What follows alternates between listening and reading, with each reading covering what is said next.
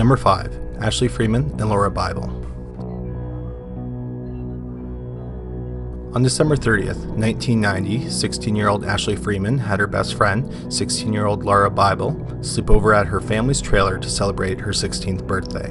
Sometime in the early morning, someone armed with a shotgun broke into the Freeman's trailer that was located outside of Welch, Oklahoma. Ashley's parents, Danny and Kathy Freeman, were shot to death in their bedroom, and then the trailer was set on fire. After the blaze was put out, the ruins were searched, but no trace of Laura or Ashley could be found. It's believed that the girls were kidnapped, however, their whereabouts, and if they are alive or dead, is still a mystery. Number 4. Maura Murray. In late 2003, 21 year old nursing student Maura Murray was going through a tumultuous time in her life.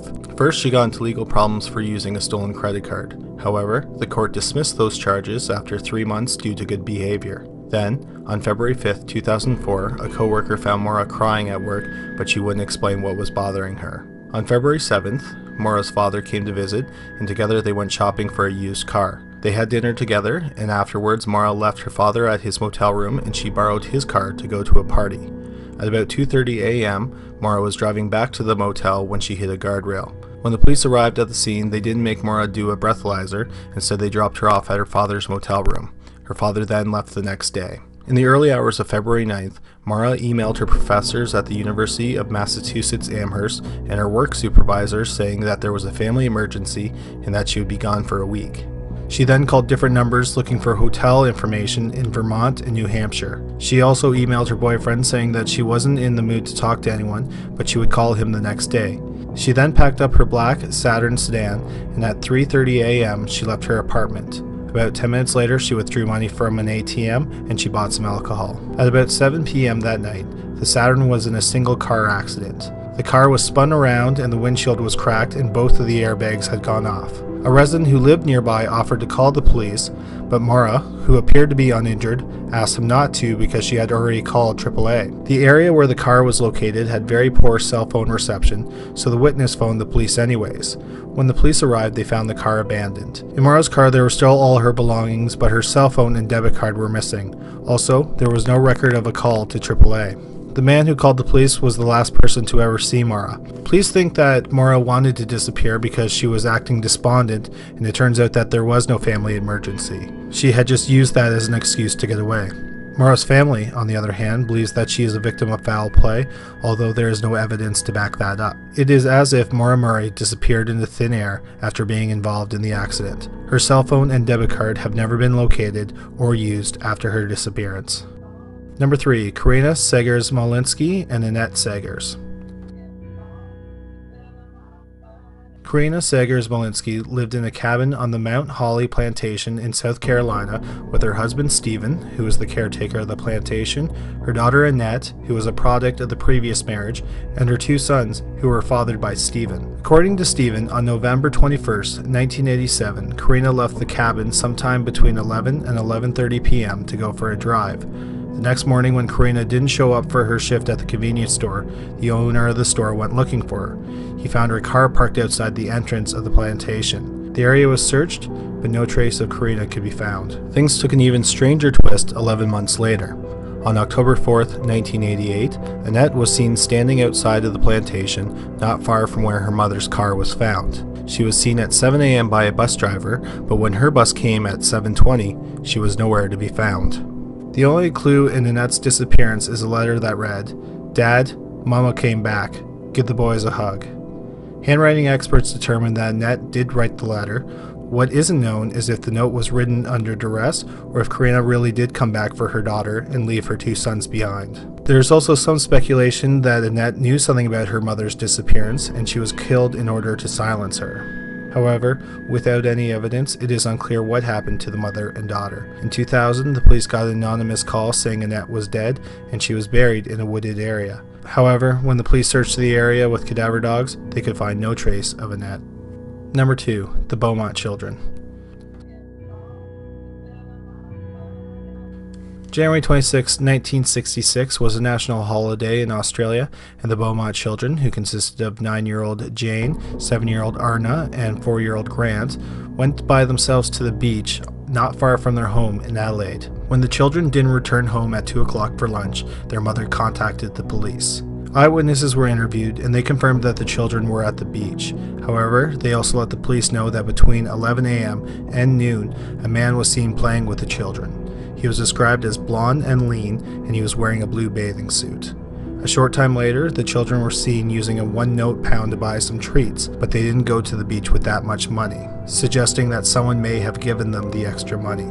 The last time they were seen was by a postman who knew the children well. He said he saw the children walking away from the beach at 3 o'clock and they were all in good spirits. After that, the three Beaumont children simply vanished into thin air, and no trace of them has ever been found. An unfortunate footnote to this story is that two months after their three children disappeared, the parents got a letter saying that their children were alive and they'd be released at a certain time and place. However, when the parents went to the location specified in the letter, no one was there.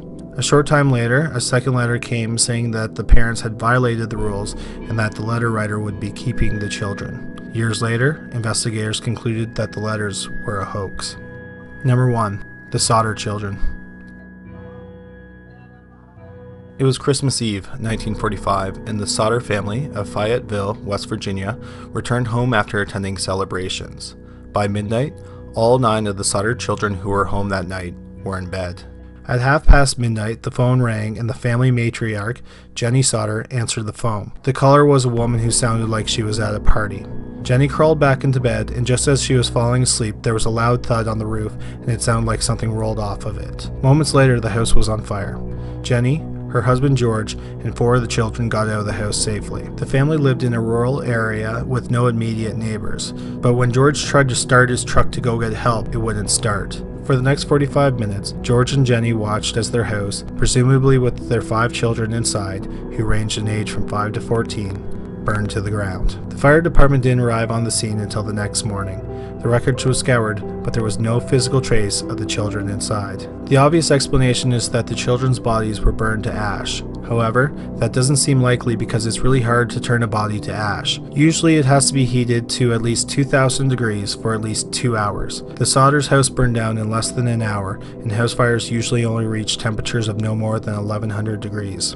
Therefore, there should have at least been some trace of bone or teeth, but there was absolutely no trace of them inside the house. Amazingly, things only got stranger from there. The fire department concluded that the fire had been started because of an electrical malfunction. However, a telephone repairman who visited the site after the fire said that the electrical wires to the Sodder house had been cut. Therefore, it was impossible for it to be an electrical fire. Another clue found at the site was a chunk of burned rubber. There was some speculation that the rubber was part of a firebomb, and that was the loud thud that Jenny heard on the roof just before the fire started. A third oddity is that a man was seen with a block and tackle that was used for car repair not far from the Sodder's house before the fire started. Could this man have been the reason George's truck wouldn't start? Another clue that suggests that the five Sodder children were kidnapped instead of perishing in the fire is that five hours away from Lafayetteville, a waitress at a restaurant said that she served a man and five children who matched the description of the Sodder children breakfast on Christmas morning. The last, and by far the strangest clue, was mailed to the Sodders 23 years after the fire in 1968. The envelope had a Kentucky postmark, and inside of the envelope was a picture of a man who looked like he was in his early 20s. On the back of the picture, someone had written, Louis Sodder, I love brother Frankie. Illa boys, A90132 or 35. At the time of the fire, Louis Sodder was nine, so his mother was unsure if the picture was Louis or not. No other mail came, and the sender never came forward. George and Jenny Sodder did not believe that their children died in the fire and that they were alive somewhere else. Sadly, they both died before definitively learning what happened to their five children. Number 5. The Boys from Hannibal. On May 9, 1967, 11 year old Joel Hoag and his 13 year old brother William came home covered in mud. The brothers were two of 11 children, and they lived in Mark Twain's hometown, Hannibal, Missouri. When their parents asked why they were so muddy, the boys explained that they were doing some cave exploring. Their parents scolded them, and the next day, when they wanted to go out and play, they were told that they weren't allowed to leave the backyard. But sadly, boys will be boys, and the two Hoag brothers left the backyard. The brothers were last seen by firefighters heading towards a cave on the south side of Hannibal with shovels and a flashlight. When the family didn't find the boys in the backyard, they searched the neighborhood for them. They weren't found in the neighborhood, so they contacted the police and a larger search was launched. Around the same time that the police started searching for the Hoag brothers, the parents of another boy in Hannibal realized that he was missing. 14 year old Craig Dowell was an acquaintance of the Hoag brothers, and a few witnesses thought that they saw him with the Hoags as they walked towards the cave. There were two problems facing the searchers. The first was that the caves were a series of tunnels, and in the tunnels there were several deep pools of water and steep drop offs. The second problem was that thanks to nearby construction, there was a cave in in the area where the boys were last seen. The initial conclusion was that the boys got trapped in a tunnel after the cave in. Expert cave searchers and skin divers from around the country came to Hannibal and helped search for the boys for 38 days, but no trace of them has ever been found. 39 years after the disappearance, a construction project caused a new entrance to open up on a tunnel, and on one of the walls someone had painted an arrow. The families were hoping that it was a tunnel that had not been searched. The tunnel was searched, but again, there was no trace of the three boys. Since absolutely no trace of the boys' bodies or any of the equipment that they had with them on the day that they went missing has ever been found, it has led to some speculation that the boys aren't in the tunnels at all and they were kidnapped instead. But again, there's no physical evidence to back up that theory either, and the whereabouts of the boys remains a mystery. Number 4. Leslie, Julie, and Timothy Guthrie. In early 1977, 29 year old Leslie Guthrie and her husband, Tim Sr., were living apart. Tim Sr. was living in Katonah, New York, and Leslie was living with her mother and the couple's two children in nearby White Plains. Although the couple was split up, they still had an amicable relationship. At 1.30 on the afternoon of February 5th, 1977, Leslie picked up her daughter Julie, who was six, and her son, Timothy, who was three, at their father's home and they drove off in Leslie's 1974 green Ford Maverick that had a white roof. And that was the last time any of their family ever saw them again. In over 40 years, not even their car has been found. At first, the police thought that the most logical explanation is that their car crashed into one of the lakes that are beside the highway that leads from Katonah to White Plains and their car is still submerged. But according to historical weather forecasts, 1977 was a cold winter in that part of New York, and the ice on the lakes would have been thick enough for a car to drive on. The next theory was that Tim Sr. was responsible for their disappearance. After all, he was the last person to see them alive. The police quickly ruled him out as a suspect, and in the ensuing years, he spent his life savings hiring private investigators and personally following up on tips and possible leads. The police thought that was possible, that since their bodies and their car weren't found, that they are still alive and either chose or were forced to disappear. Just a year after they disappeared, a tabloid newspaper published a story about a hermit who lived in Utah near the Arizona border with several wives. There was a picture of the wives, and one of the women looked like Leslie, and in the caption it said that the woman's name was Leslie. The woman in the picture looked enough like Leslie that Tim Sr. and a detective flew out to Utah to check out the hermit and his wives. By the time that they got there, the hermit and his wives had left the area and no one knew where they went. Over the past 40 years, there have been several sightings of Leslie, but none of them have ever been confirmed, and there have been no sightings of the children. If they are still alive at the time of this video, Leslie would be 69, Julie would be 46, and Timothy Jr. would be 43. Number 3. Daourou Falliette On July 29, 1965, three men armed with guns stormed into a bank in Gothenburg, Sweden. They were dressed in women's clothes and they had blonde wigs on. One of the robbers watched the door while the other two walked into the bank, firing wildly into the ceiling, which sent many of the employees and customers scurrying for cover. One of the customers didn't flee, and instead, he tried to wrestle the gun away from one of the robbers, and the robber ended up shooting himself in the leg. After robbing the bank, they ran to a nearby river and discarded their disguises. Underneath the women's clothes, they were wearing wetsuits. The plan was to jump into the water and swim to a getaway boat, but they were all arrested before making it to the boat. Later that same night in Gothenburg, the family of 16 year old Kjell Johansson became worried when he didn't come home. Then, over the next several days, the families of 22 year old Gay Carlson and 21 year old Jan Jolof Daswu also noticed that they were missing. The three young men were acquaintances and worked together. Months later, the authorities realized that they were all together when they went missing. They were all seen in a midnight blue 1956 Volvo PV444 on the day of the robbery. The young men in the car have never been found. But the story only gets weirder from there. In July 1965, Hubner Lundqvist was hitchhiking from Skåne to Lysekil, and when his parents didn't hear from him after a few weeks, they contacted the police. The last time the Lundqvist's family heard from him was a postcard that was mailed from Gothenburg on July 29th, which is the same day that the three young men disappeared, and it was the same day as the robbery. This has led people to speculate that the four disappearances and the robbery are all connected. One theory is that the young men saw the robbers prepping for the heist, and the robbers killed them to keep them quiet. Another possibility is that the three young men were actually involved in the robbery and chose to disappear when it went wrong. Lundqvist may have either been killed by the six of them, or he wasn't involved and his disappearance is a total coincidence. Or it is wholly possible that the disappearances of the three young men and Lundqvist and the robbery aren't connected at all. Perhaps the three young men got into a car accident in a remote area or crashed into the water and their car just hasn't been found. Lundqvist was hitchhiking, so it's even possible that he was in the car with them. It's also possible that Lundqvist is still alive. There are two people who said that they saw Lundqvist after he disappeared, but their claims have never been verified, and he has never returned home or contacted any friends or family. Sadly, the families of the four young men have been waiting over 50 years to find out what happened to them, but they are no closer to any answers. Number 2. The Jack Family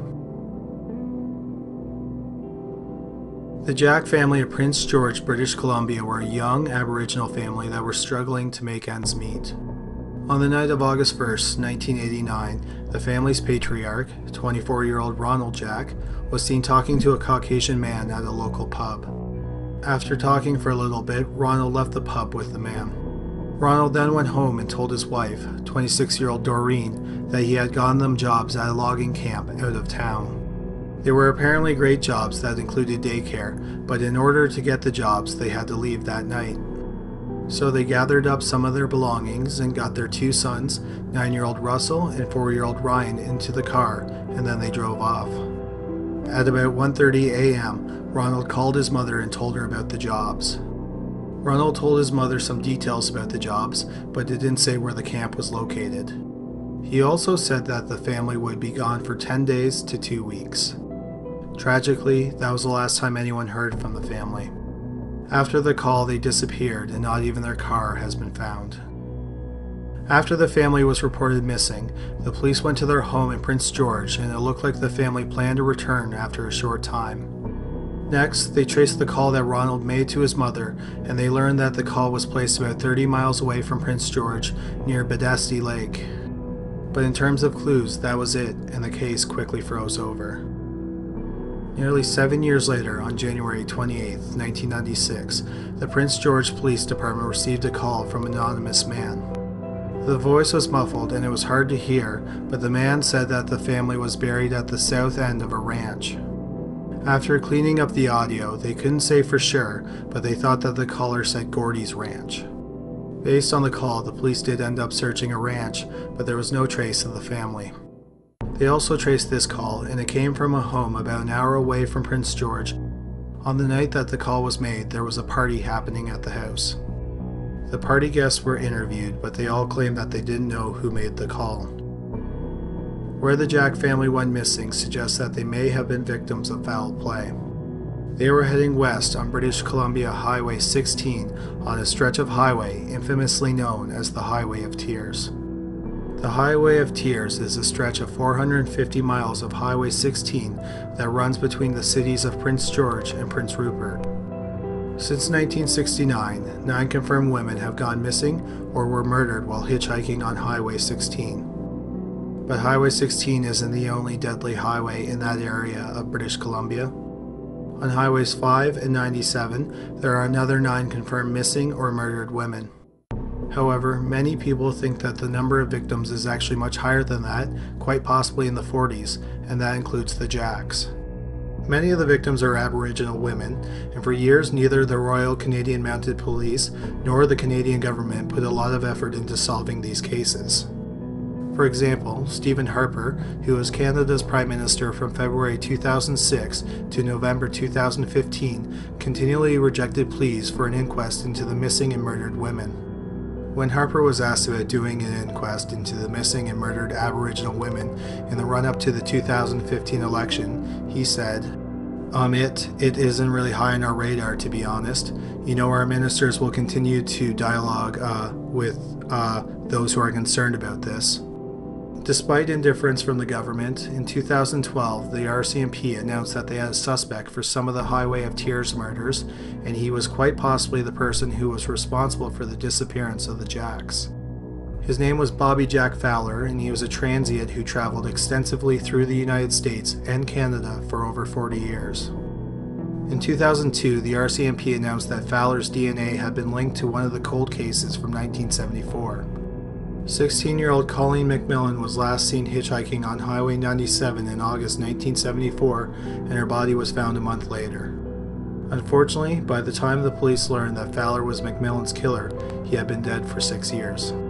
He died in prison in 2006 while serving the 10th year of his 16 year sentence for raping a woman he met in a bar.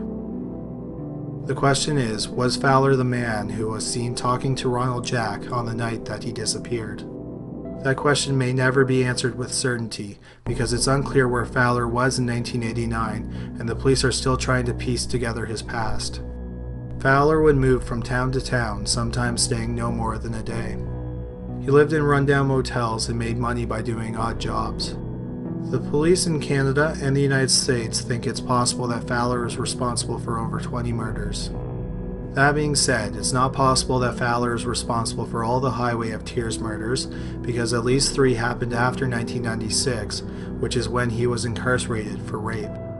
Meaning there is at least one other killer who used the interior of British Columbia as their hunting grounds, and they are still possibly free today. Number 1 Ann Miller, Patricia Bluff, and Renee Bruhl. On the morning of July 2, 1966, 21 year old Ann Miller picked up her two friends, 19 year old Patricia Bluff and 19 year old Renee Bruhl, at their Chicago area homes.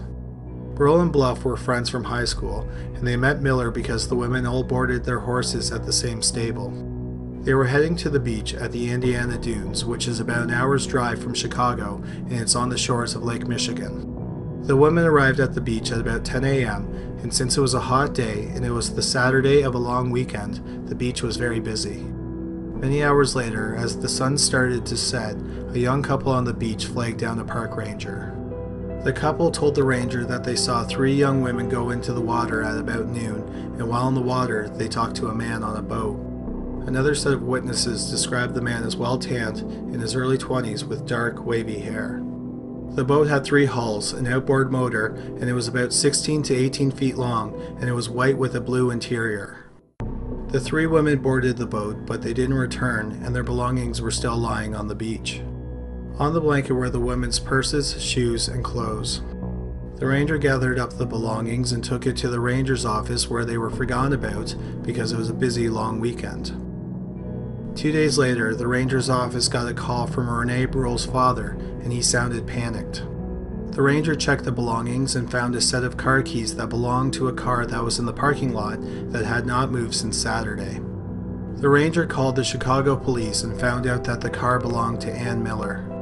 He also learned that Miller and her two friends had been reported missing two days earlier.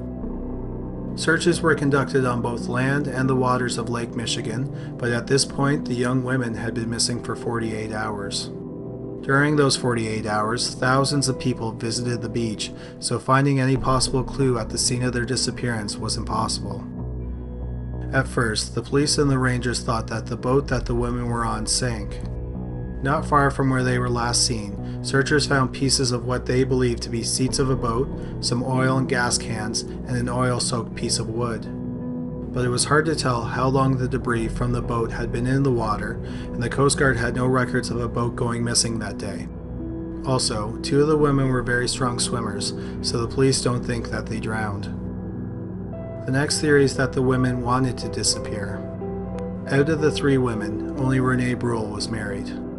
In her purse that was found at the beach was a letter addressed to her husband of 15 months. Burrell wrote that she was leaving him because he spent too much time working on his cars and hung out with his friends too much.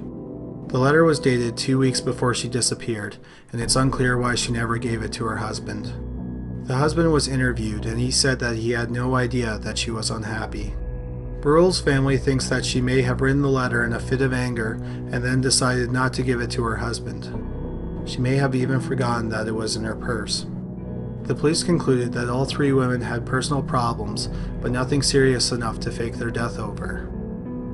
If the three women didn't drown and didn't choose to disappear, they may have met with foul play.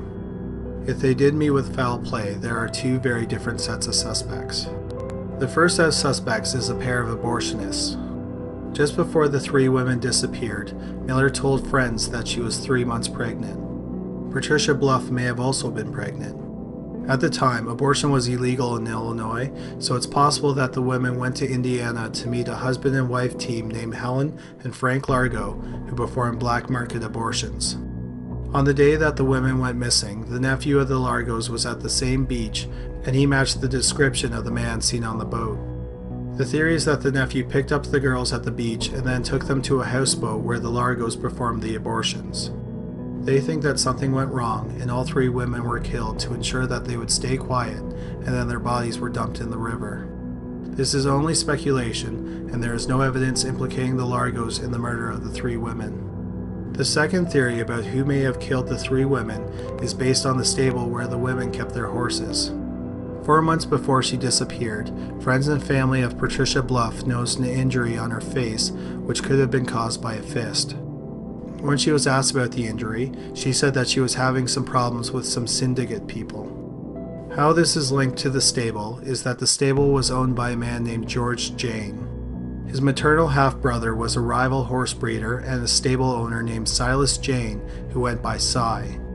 Cy thought of himself as a businessman, but he was actually more of a psychotic gangster than a businessman. Specifically, he was the head of a criminal network called the Horse Syndicate.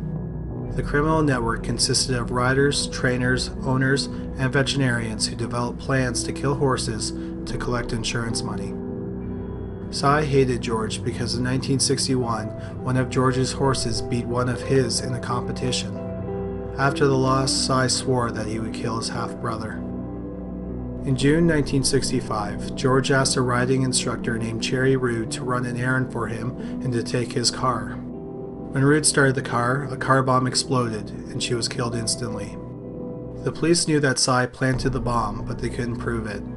Since the bomb was planted at the stables where Miller, Bruhl, and Bluff boarded their horses, the theory is that one or all three women saw something that they shouldn't have and they were killed to silence them. Besides trying to kill his brother, Cy did have a reputation for violence and he has been linked to some of Chicago's most notorious crimes.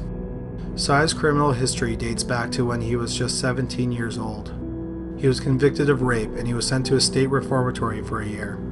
The first major crime that he was connected to as an adult was the murder of 14 year old Robert Peterson and two brothers, 13 year old John and 11 year old Anton Schuessler.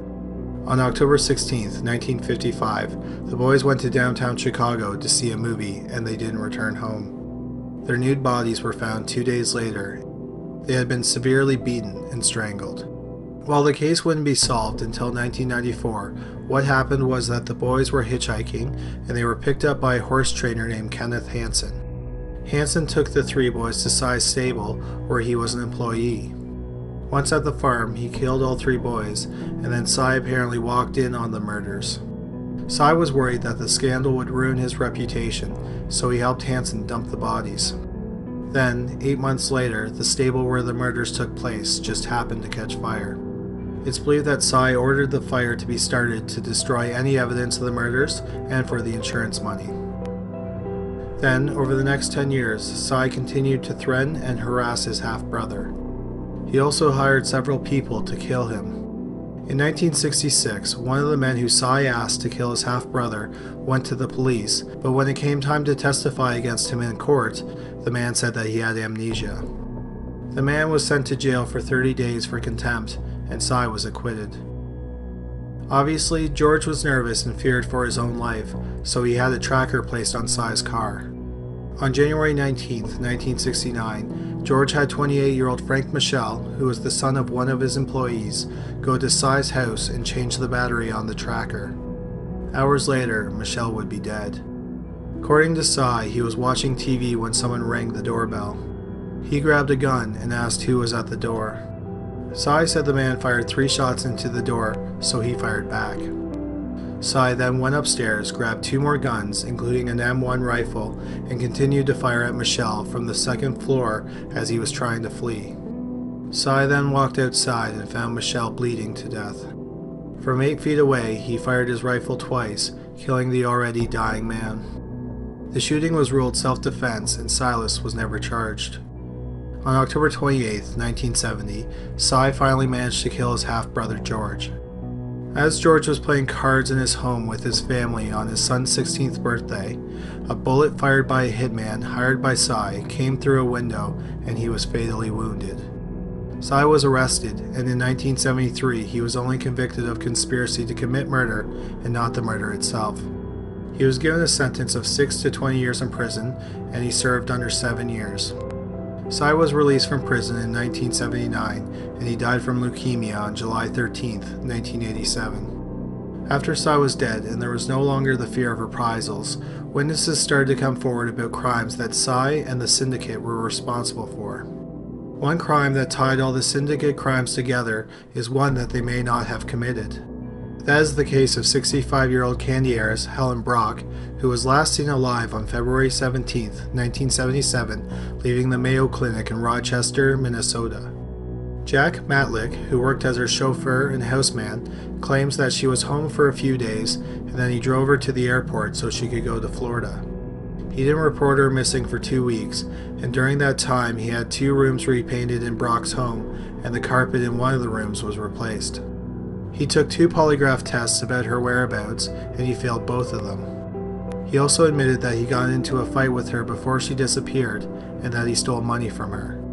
What's interesting is that the investigation led to a second suspect, a gigolo and a horse seller named Richard Bailey. Bailey's business partner in the horse business was Cy's nephew, Frank Jayne. Bailey had been dating Brock at the time of her disappearance, and he was selling her horses at inflated prices. The police thought that Brock found out that Bailey was swindling her and she was going to tell the police. The police said that Bailey arranged to have her killed, quite possibly on the orders of Cy, who was in prison at the time. In 1995, Bailey pleaded guilty to 16 counts of racketeering and fraud, but he denied swindling Brock and he swore that he didn't have her killed. Amazingly, even though Bailey wasn't charged with Brock's murder, the judge thought that it was more probable that he committed the murder than not, so he sentenced Bailey to 30 years in prison. Bailey has been in prison ever since, and in 2017 he asked for a clemency hearing.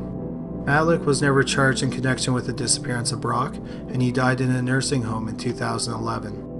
The investigation into Brock's disappearance uncovered more of the syndicate's crimes, which included killing horses in horrific ways for insurance money.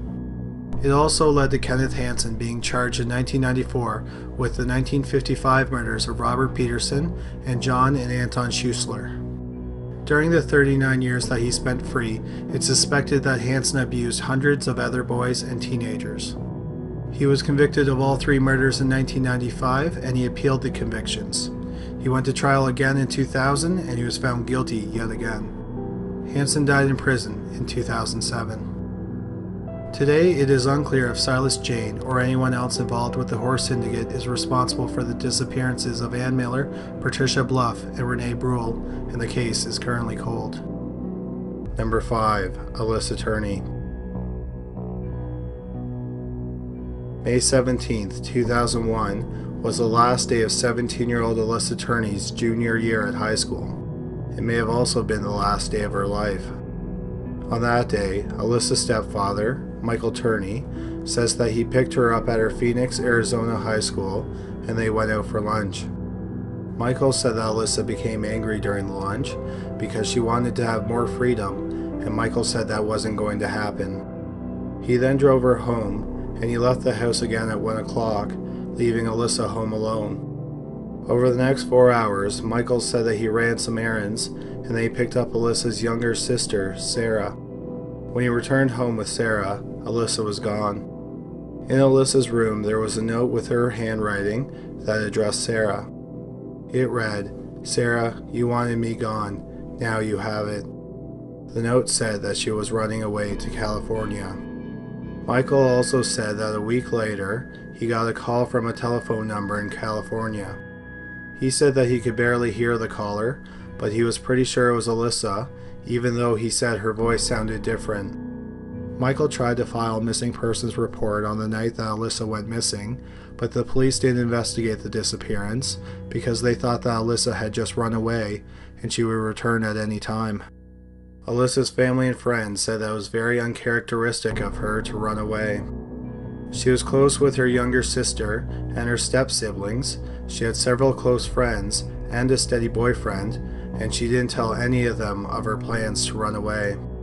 They also said that, like other teenagers, Alissa had a rebellious streak.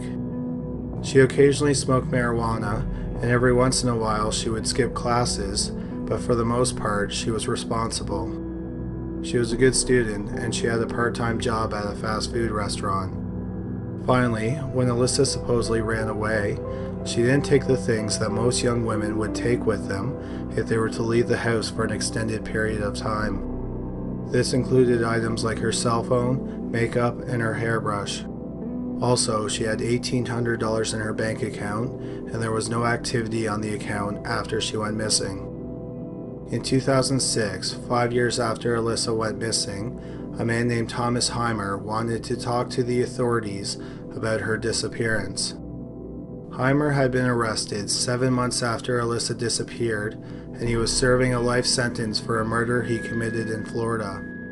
For no apparent reason, Heimer strangled and stabbed a woman companion to death and then stuffed her body under a motel bed. In 2006, he mailed out letters to several police departments around the country proclaiming to be a serial killer that claimed the lives of 21 women who were never found. He said that one of his victims was Alissa. When the police looked into his claims, they concluded that he was lying about killing Alissa. For example, he claimed that Alissa was a heroin addict, but none of her friends and family said that was remotely true. Heimer eventually took a polygraph test regarding Alissa's disappearance, and he failed.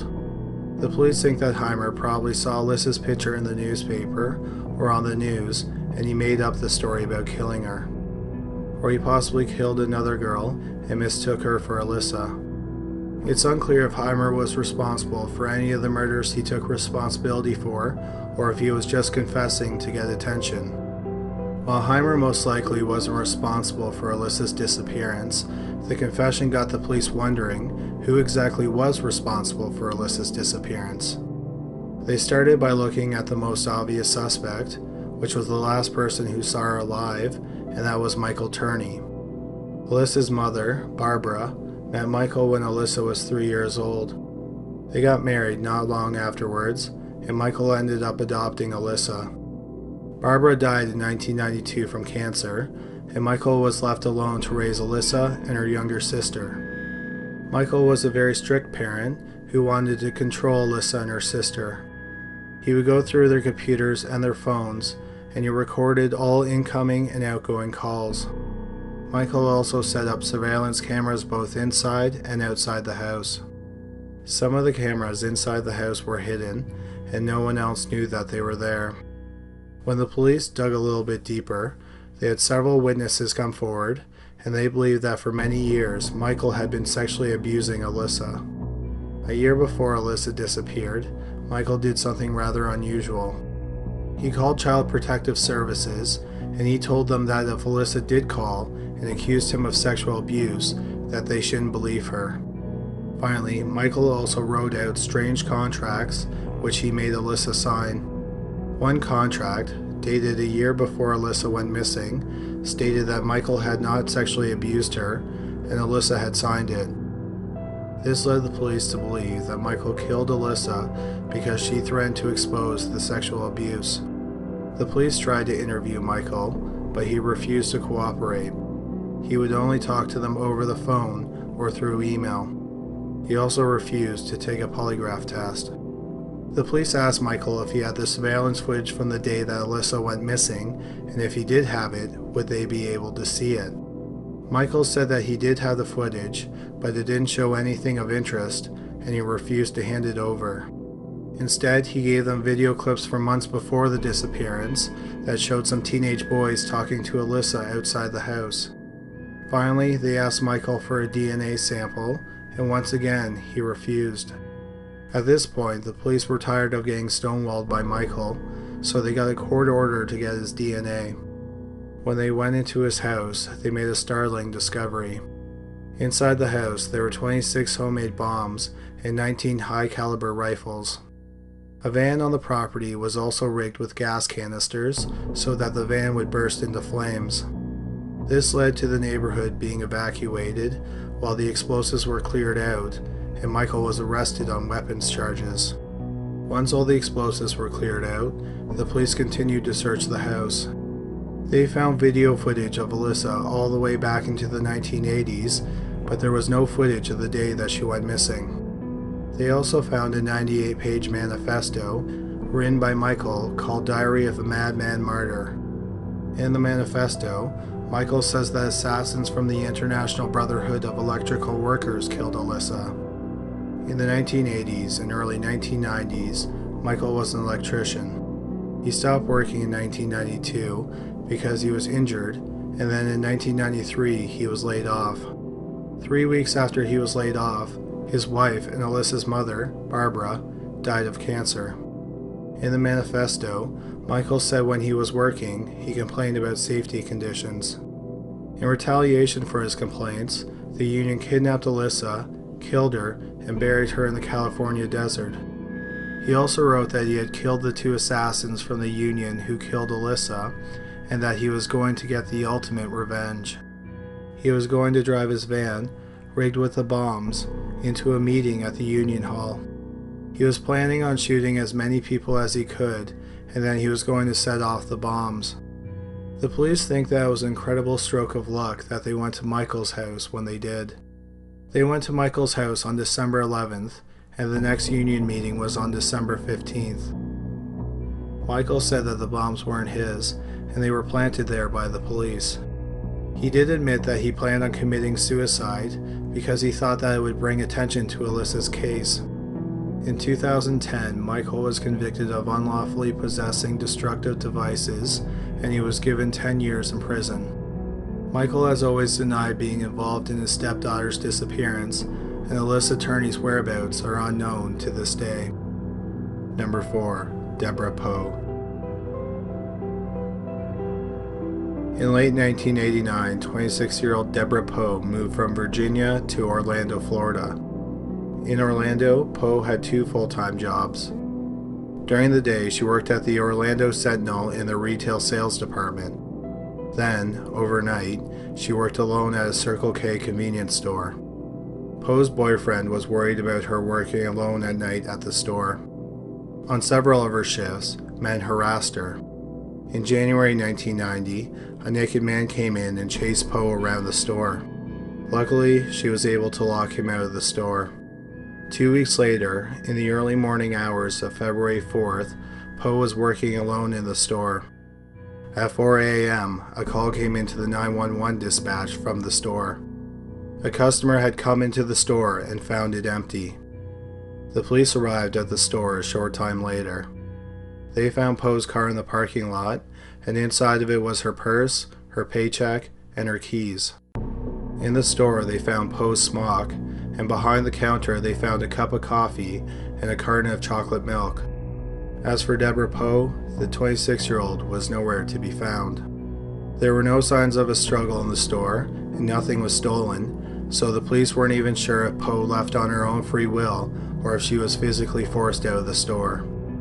The police brought bloodhounds to the store, and they found Poe's scent. They followed her scent to the rear of the store and then over a fence, and then at a nearby road they lost the scent, so the police think that she either got in or was put in a car that drove away from the scene.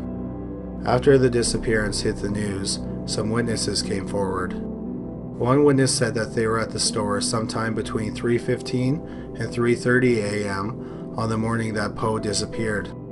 She said that Poe wasn't in the store, instead, behind the counter was a young man. He had long black hair and dark eyes. He was wearing a black Megadeth t shirt that featured a dragon spewing fire, a skull ring, and in his right earlobe he had a wire earring with a cross. The witness wanted to buy a pack of cigarettes, and the young man wasn't sure where they were. The witness had to point out where they were, and then she paid the man, who rang up her purchase on the cash register, and then he gave her some change. Half an hour later, the store was found with no one inside of it. The police do not know if the young man with the black hair was involved with Poe's disappearance. Another possibility is that he was just another customer. But why would another customer pretend to work at the store? Also, if the man did kidnap her, it doesn't make sense for him to leave the store with her and then return a short time later. That would suggest that Poe was somewhere inside the store or at the rear of the store when the witness came in to buy cigarettes. Unfortunately, the police have never been able to identify the young man in the Megadeth t shirt. Deborah Poe's friends and family are hoping that one day the man will come forward and maybe he can shed some light on what happened to Deborah. Number 3. Robert Dunbar. The strange case of Robert Dunbar started on a fishing trip at Swayze Lake near Opelousas, Louisiana on August 23, 1912. At lunch, the Dunbar family walked back to their cabins and they realized that four year old Robert, who went by the name Bobby, wasn't with them. The family searched the immediate area, and when he wasn't found, the police were called in. The search of the area was extensive, but the only trace of Bobby that could be found were a set of footprints that led to a swamp. Witnesses said that they remembered a strange man hanging around the swamp around the time that Bobby went missing. Since no body was found, the police concluded that Bobby had been kidnapped by the man in the swamp. Eight months went by, and then suddenly there was a break in the case. Not only had the police made an arrest, but they said that they found Bobby as well. William Cantwell Walters was arrested in April 1913 while traveling in a tented wagon with a young boy who matched Bobby's description. When the boy was brought to the Dunbar family, who lived in Opelousas, the town threw a parade, and the boy rode in on a fire truck. Newspaper reports from the time contradicted each other, but apparently Bobby's parents, Percy and Leslie, weren't sure if the boy was their missing son or not. A major problem was that the boy didn't respond to the name Robert or Bobby. Another troubling aspect was that the boy didn't seem to recognize Bobby's older brother. Yet, the boy did look a lot like Bobby.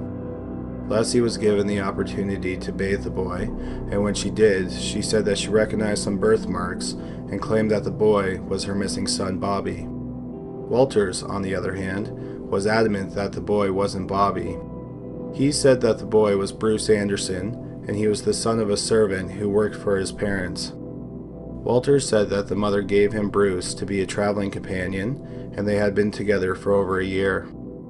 At this point, the story was making national headlines, and that's when a woman named Julia Anderson from Barnesville, North Carolina, came forward and said that the boy was her son Bruce. Just like Walter said, she was a servant of his parents, and she did give Bruce to him. She said in February 1912 she gave Williams permission to take Bruce for a few days, but instead he kept him for 14 months. She just had never reported Bruce missing, and thought that one day Walters would return with her son. The case fascinated the country, and the newspaper in New Orleans paid for Julia to travel from Barnesville to Opelousas to see if she could identify her son. The boy was put into a room with four other boys that looked similar, and then Julia was allowed to enter. The boy didn't recognize Julia, and she wasn't sure which boy was her son. Eventually, Julia did pick the correct boy, but she couldn't say with certainty that it was Bruce. Since she couldn't definitively pick the right child, and since the boy didn't recognize her, the lawyers declared that Julia had failed the test, and this made headlines across the country. She begged for a second chance and she asked for permission to undress the boy so she could check him for birthmarks. After all, at this point, she hadn't seen her son in 15 months. The lawyers agreed to give her a second chance, and she was able to undress the boy. This time, with much more certainty, she said that the boy was her son Bruce. But unfortunately, not being able to recognize Bruce the first time damaged Julia's case too much. The authorities didn't believe her story, and they refused to give her the boy. Julia was poor, and she didn't know anyone in El Opelousas, so she was forced to return to Barnesville, and the boy was given to the Dunbars. Walters was convicted of kidnapping in 1914, and he was sentenced to life in prison. His lawyer appealed the conviction, and it was overturned on a technicality. He was released after spending two years in prison. The town decided not to retry him because the trial was so expensive the first time. As for Julia, she had two other children in Barnesville, but she lost both of them not long after she got back home.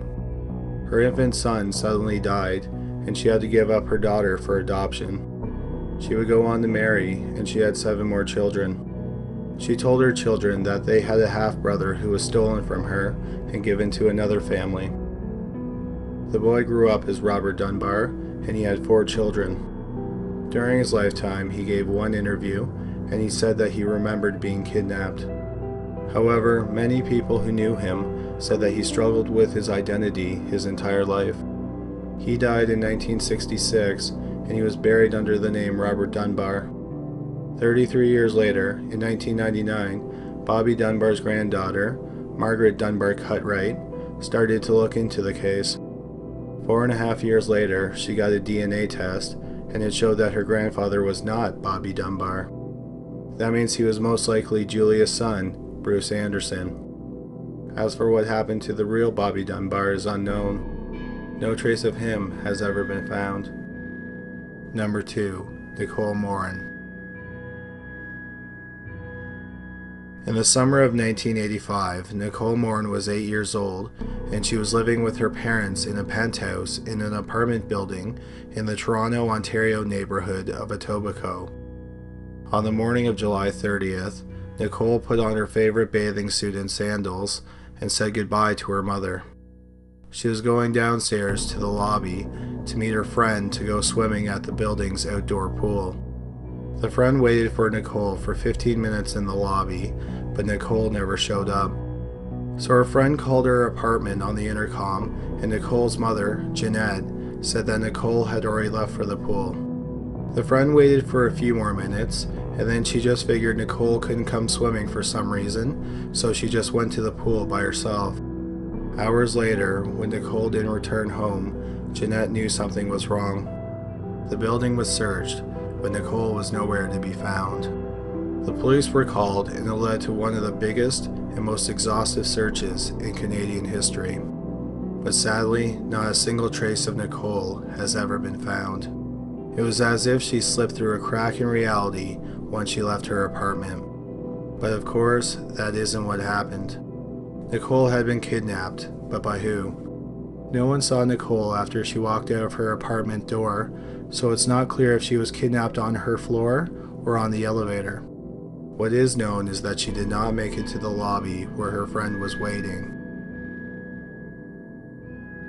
The kidnapper could have been someone who was visiting the apartment building, like a guest or a maintenance person, and she was taken out of the building right away.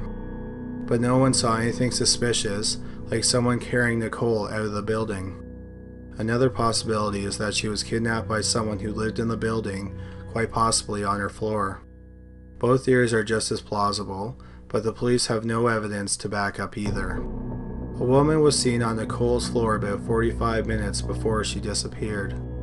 She was on the opposite end of the hall from the Morin's penthouse, and she was holding a notepad. She was described as a white woman, about 35 years old, 5'5 to 5'7, and she was slender with a fair complexion.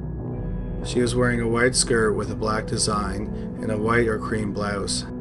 The police don't think that she was involved in the kidnapping, but she may have witnessed something.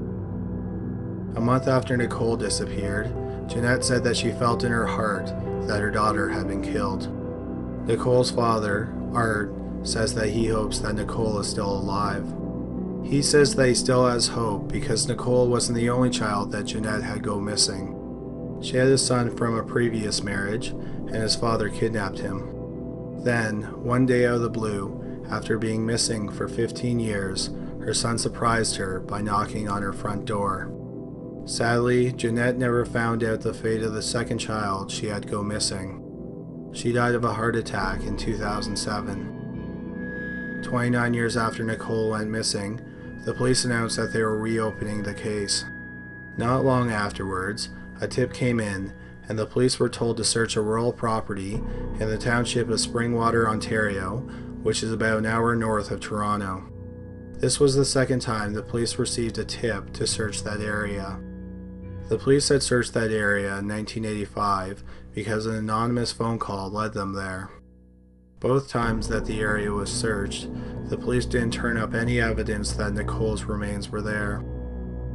The police and Nicole's father are hoping that one day Nicole will be found, and they are all praying that when she is found, that she is still alive. If Nicole is still alive, then she is 43 years old at the time of this video. Number 1. Edward Mapps Edward Mapps was born in June 1922, and as an adult he was a sculptor, but he never held down a steady job. Instead, he lived with older women and constantly moved around. He dressed like a beatnik, and he wore sandals year round, even though he lived in Stroudsburg, Pennsylvania, which has winters that aren't exactly sandal friendly. In July 1960, when Edwards was in his late 30s, he married 21 year old Christine Wolbach after only knowing her for two months. In September of 1961, Christine gave birth to a daughter named Julia Louise. On the night of January 21, 1962, all three members of the Mapps family were visiting a neighbor. The neighbor said that it was a pleasant visit and they had given her a pie. They left her house around 9:05 p.m. and the neighbor said that nothing appeared to be out of the norm. At 10:48 p.m., a call came into the fire station in Stroudsburg. The Mapps house was on fire. The fire department arrived at the Mapps house a short time later. Inside the house, they found Christine and Julia Louise. Both mother and daughter were rushed to the hospital. Sadly, Julia Louise was pronounced dead on arrival. She had died from smoke inhalation. Christine died a few hours later, but the fire didn't cause her death. Instead, she had been struck three times in the head with a 4 inch blunt instrument. She died from a cerebral hemorrhage.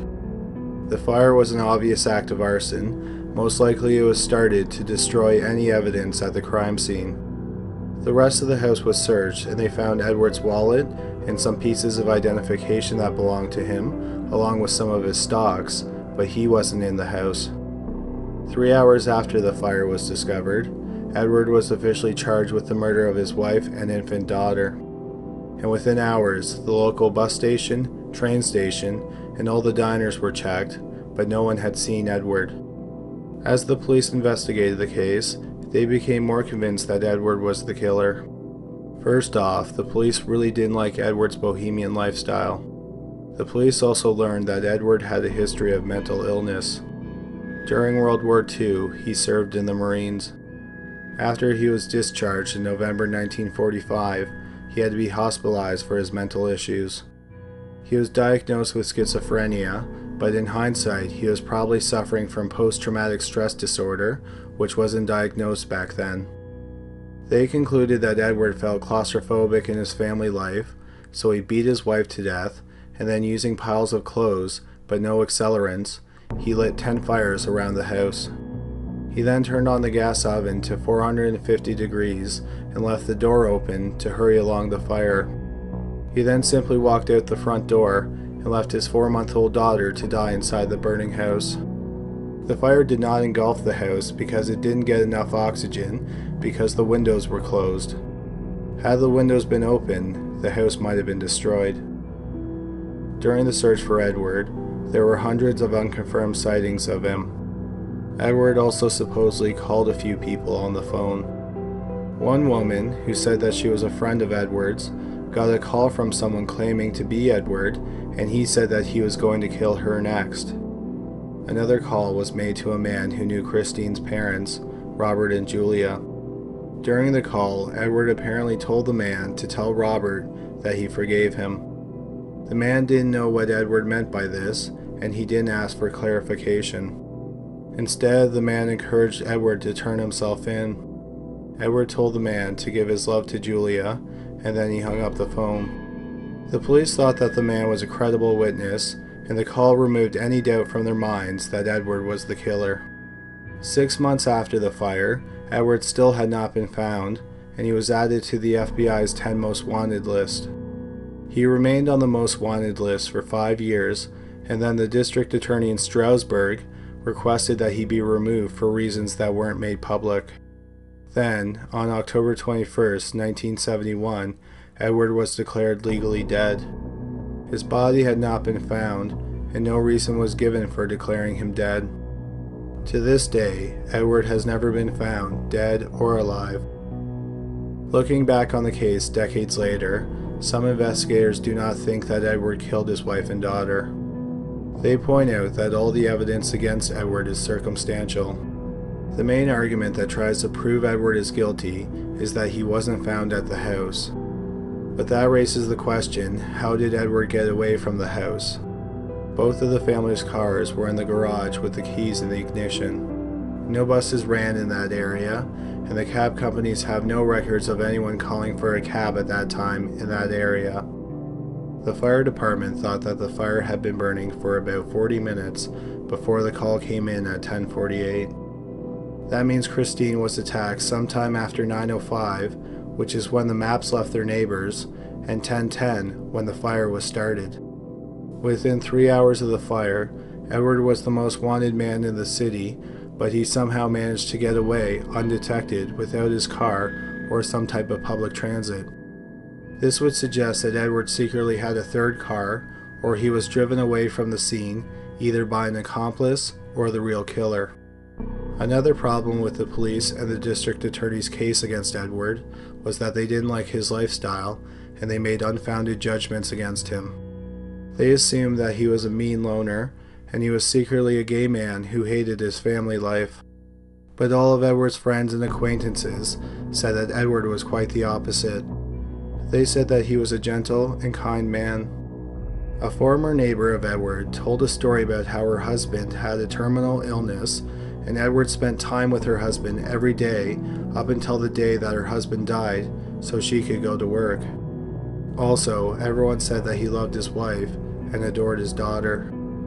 Friends and family of Edward also point out that he had nothing to gain by killing his family and running away. One last oddity that was found inside the house was that all of Edward's sculptures had been smashed. An alternative suspect that was theorized by a local paper in Stroudsburg was Christine's father, Robert Walbach. Robert had a violent temper, and he loathed Edward. He was strongly against Edward and Christine getting married, but he did allow the couple to live with him and his wife Julia. The more time Robert spent with Edward, the more his hatred grew. He thought that Edward was lazy, and he did nothing but sit around the house all day. Edward also didn't pay for anything, although Robert suspected he had money. Robert's suspicions turned out to be true. After the fire, the police discovered that Edward had a $30,000 trust fund, which he withdrew money from every month. When Edward went missing, the withdrawal stopped. It also annoyed Robert how entitled Edward was. When Edward was living with Robert and Julia, he would answer the phone and say, Maps residence, even though he hadn't paid a cent towards bills. In October 1961, Robert's patience for his son in law had run out.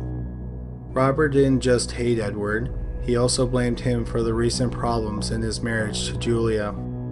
There were even rumors that Edward was having an affair with Julia. Then, one day in October, Edward chastised Robert for closing a door, so Robert smacked him in the face and ordered him out of the house or he would kill him. A month later, Edward, Christine, and the baby moved into the house where the baby would die and where Christine was fatally wounded. Around the same time, Julia filed for a divorce from Robert because she feared how violent he was. Robert was interviewed by the police three weeks after the murders. He said at the time of the murders, he was on an Alaskan airline flight from Miami to New York and he checked into his hotel at 3:15 a.m but there were two problems with his alibi. The first is that Alaskan Airlines didn't have a flight from Miami to New York City at that time. Only one airline had a flight from Miami to New York City that night, and it was Paramount Airlines. Another problem with Robert's alibi is that a friend of the family tried calling Robert at 4 a.m. in his hotel room, but there was no answer. He couldn't get a hold of Robert until 8:10 a.m. There's no record of the police or the FBI checking out these discrepancies, probably because they were convinced that Edward was the killer. The problem with the theory of Robert being the killer, or hiring someone to commit the murders, is why would he do it? Yes, Robert hated Edward because he thought that Edward was an entitled deadbeat who ruined his marriage, so he had motive to kill him. But either beating or having his daughter beat to death and then leaving his granddaughter to die in the house after it was set on fire, while making Edward disappear to make it look like he committed the murder, seems grotesquely sadistic for a motive like that. Why not just make Edward disappear and let his daughter and granddaughter live? The police never publicly considered Robert Walbach as a suspect in the murders of his daughter and his granddaughter and the disappearance of his son in law. If he was responsible, he took that secret to his grave when he died several years ago. Number 3. Michael Dunahee March 24, 1991 was a cool, windy day in Victoria, British Columbia. Just before 12:30 p.m., the Dunahee family arrived at the Blanchard Elementary School. Crystal Dunahee was going to play some touch football in a soccer field beside the elementary school. She and her husband Bruce got their two children, four year old Michael and six month old Caitlin, out of the car. Crystal zipped up four year old Michael's jacket and sent him off to play at the school's playground, only a few feet from the parking lot. Crystal and Bruce carried Caitlin and some supplies over to the soccer field. They thought it would be safe because there were at least a dozen adults and several children in the schoolyard at the time. Michael was out of their sight for no more than a few minutes. When Bruce walked to the playground, Michael wasn't there. His parents phoned the police, and they arrived at the school within minutes. A massive search was conducted, but no trace of Michael was found. All the detectives from the Sexual Abuse Division were called in, and they worked for 30 days straight. 1,600 leads came in, but nothing fruitful ever came from them. The police think that Michael didn't make it to the playground and he was probably kidnapped in the parking lot. The disappearance rattled the city of Victoria and many Canadians. Who would kidnap a boy from such a public area just a hundred feet from his parents? The police say that Crystal and Bruce did nothing wrong and they were just victims of circumstance. Michael's family hopes that he is still alive and one day he'll come home. If Michael is still alive, he is 31 years old at the time of this video. Number 2. Felicia Weaver At the beginning of 2015, 52-year-old Felicia Weaver was living with her ex-husband in the small town of Hayden, Alabama. Two of her three sons also lived in the house. Weaver moved in with her ex because he and her sons needed to take care of her because she had chronic obstructive pulmonary disease. Her condition was worsening, and her family considered taking her to hospice care. She needed oxygen from a tank, and she could barely walk 100 feet on her own. On the morning of February 5, 2015, Weaver's son, Michael Mullins, left his mother home alone. When he left the house, she was sitting on the bed playing with her iPad. While he was out, Mullins communicated via text with his mother. He sent a text at 2:37 and said he was heading home. At 3 o'clock, he still hadn't made it home, and he also hadn't heard from his mother, so he became worried. He called his mother, but there was no answer. He then called his father, who answered the phone, and told him that the house was on fire. When Mullins made it home, the fire department was there fighting a blaze that engulfed the entire house. Mullins and the rest of the family assumed that Weaver never made it out of the house and she died in the fire. Because of her health, she wasn't very mobile, and her car was parked outside of the home. After the blaze was extinguished, the fire department searched the burnt wreckage of the house. They found the bodies of the family's three dogs, but none of Weaver's remains were found. The fire wasn't hot enough and didn't burn long enough to turn Weaver's body into ash. Also, if the dogs' bodies weren't destroyed, a human body wouldn't have been destroyed either. The fire department is sure that there was no human remains in the wreckage. The fire marshal didn't say what caused the fire, but he said no accelerant was used. A massive search for Weaver was launched, but she wasn't in the area. Her family knows that she couldn't have made it very far on her own, especially without her car. Her family has no idea where she went, but they believe she is dead. She could not survive very long without her oxygen or her medication. The police are not sure if she was a target of foul play because why would someone kidnap a dying woman? If Weaver chose to disappear, where did she go? Did she start the fire? If so, why did she do that? Also, why wouldn't she have let the dogs out of the house before starting the fire? Unfortunately, unless Felicia Weaver is found, these questions will likely never be answered. Number 1. Juan Pedro Martinez. At 6 o'clock on the morning of June 25, 1986, a tanker truck was speeding down a slope in the Somosierra mountain range, which is about 60 miles north of Madrid, Spain. The truck was traveling at least 85 miles per hour downhill Many people thought that the driver had a problem with the brakes and he couldn't slow down. The truck knocked the mirror off one car and rear ended another one. The driver of the car that was rear ended pulled off and watched as the truck continued to speed down the slope. The truck eventually came to a curve in the road and it overturned, colliding with two other vehicles in the process. When it did, the contents of the tanker spilled out. Unfortunately, the tanker was carrying 20,000 liters of sulfuric acid. First responders raced to the scene, and when they arrived, there was a fire because the acid had mixed with the dew on the grass. Lime was brought in to neutralize the acid and stop the fire. Despite three vehicles being involved in the crash, there were only two fatalities. 36 year old Andreas Martinez, who was the driver of the truck, and his wife, 34 year old Carmen Gomez, who was in the passenger seat of the truck. Both of their bodies had been burned with acid. About an hour and a half later, a member of the civil guard called Carmen's mother to tell her the tragic news.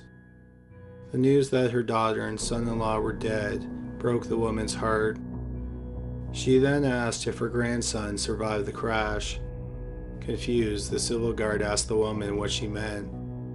The woman said that her 10 year old grandson, Juan Pedro Martinez, was traveling with his parents in the truck. She wanted to know if he survived the accident. The civil guard told her that no child, dead or alive, was found at the scene. Carmen's mother then asked a question that hasn't been answered in over 30 years.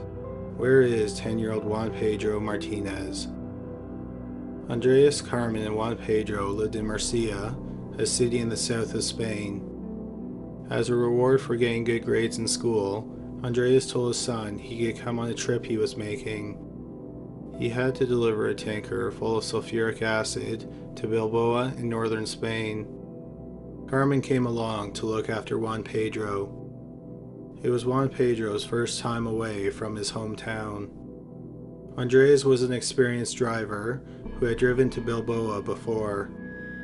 He owned the truck and he was paying it off in installments, but he didn't own the tanker. The family picked up the tanker in a nearby city at 7 o'clock the evening before the crash.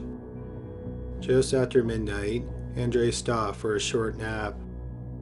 By 3 o'clock, they made it to South Madrid and they got some gas. The family was last seen together and alive at 5:30 a.m.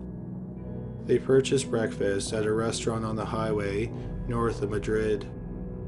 The employee who served them said he didn't notice anything unusual about the family. About a half an hour later, the truck crashed. The first and most obvious explanation for the crash is that it was a terrible accident. There was something wrong with the truck's brakes and it was out of control as it drove down the slope. After the crash, the acid splashed and possibly pooled in the cab of the truck, and Juan Pedro's body dissolved in the acid. But there are a few problems with that theory. The first is that there was nothing wrong with the truck's brakes. Secondly, Juan Pedro's body wouldn't have dissolved that quickly. It is possible to dissolve a body in sulfuric acid, but it takes a while. For example, it takes about two weeks to dissolve pieces of meat, and bones, especially teeth, are even harder to dissolve. Also, plastic and rubber don't dissolve in sulfuric acid, so plastic buttons and the rubber soles of his shoes wouldn't have dissolved. Essentially, there should have been some trace of Juan Pedro defined, even if the impossible did happen and his body was dissolved. Finally, his parents' bodies didn't dissolve, so there's no reason that Juan Pedro's body would have dissolved. The next theory is that Juan Pedro was hurt in the crash and was burned with acid. He may have run towards the nearby river to stop the burning, and he died somewhere along the way. The civil guard doesn't think that is likely. They performed an extensive search that spanned a radius of 20 miles. They found toys, children's cassettes, and children's clothes in the cab, but there was no physical evidence that Juan Pedro was in the cab of the truck when it crashed. They even brought dogs to the crash site, and they couldn't find any of Juan Pedro's remains. Also, while the scene of the crash was chaotic, no one remembers seeing a child there.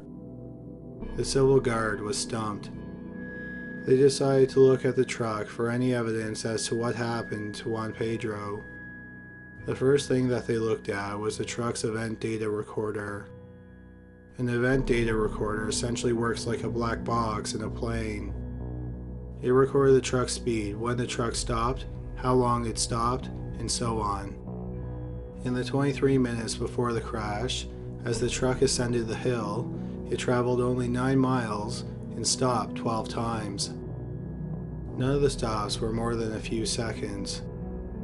The last one, which was near the top of the hill, was the longest. It was 22 seconds.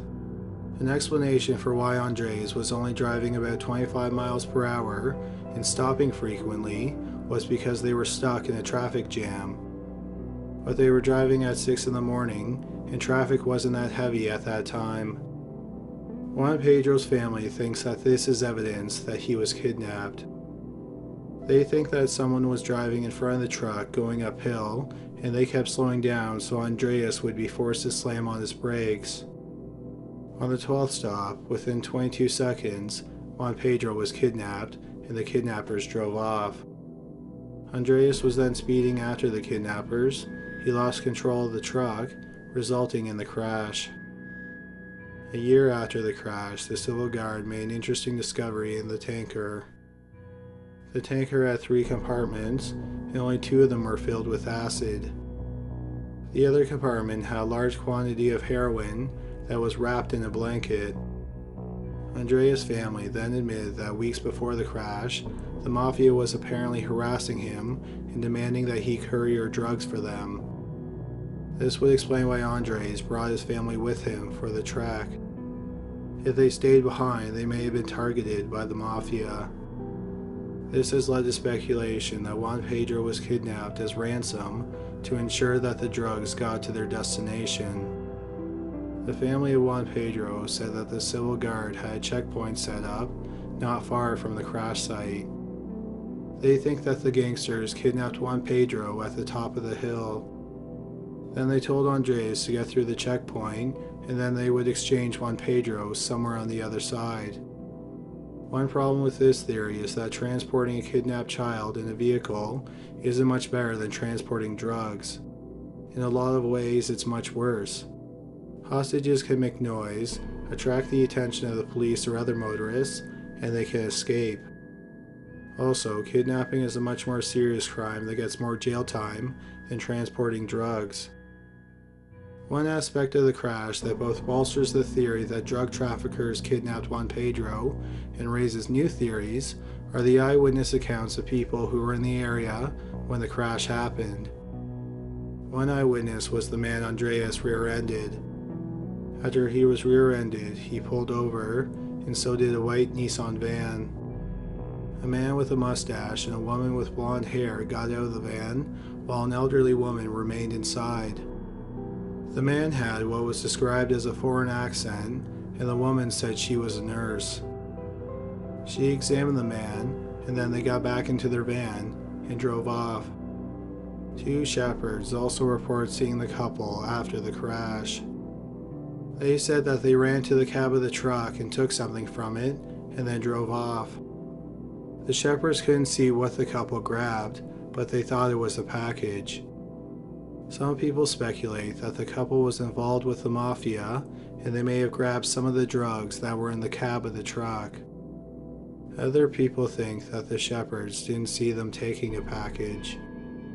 Instead, they think that the couple took Juan Pedro out of the cab. They may have done this to drive him to the hospital and he died along the way. But if that is the case, why did they not report the death? Also, what did they do with the body? Another possibility is that the couple kidnapped the boy after the crash. Adding credence to this theory is a report that came into the Civil Guard in 1987, the year after Juan Pedro went missing. A man who ran a driving school in Madrid said that one day after the crash, an elderly blind Iranian woman came into the school. The woman said that she had been in Spain for six months and she was looking for the American embassy. She was accompanied by a boy who was about 10 or 11 who seemed disoriented. The boy had an accent that made it sound like he was from the same area of Spain that Juan Pedro was from. The man swore that the boy was Juan Pedro. There is speculation that this elderly woman was the same elderly woman who was in the white van with the couple.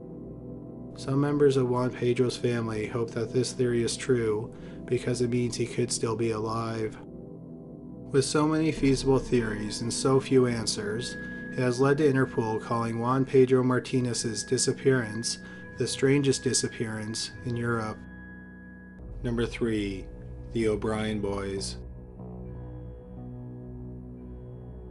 By the fall of 1996, Gary O'Brien and Diana Saunders of Torbay, Newfoundland and Labrador, Canada, have been divorced for some time. The marriage produced three sons Adam, Trevor, and Mitchell. The marriage was also marred with domestic abuse. Gary had a history of mental health issues, which included suicidal thoughts. Saunders ended up moving the boys out of the family home and into an apartment in nearby Mount Pearl. As part of the divorce, Gary was given weekly visitations.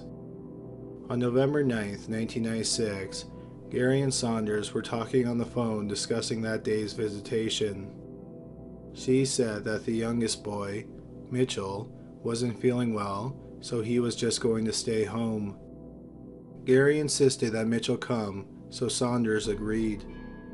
Gary then came and picked up 14 year old Adam, 11 year old Trevor, and four-year-old Mitchell.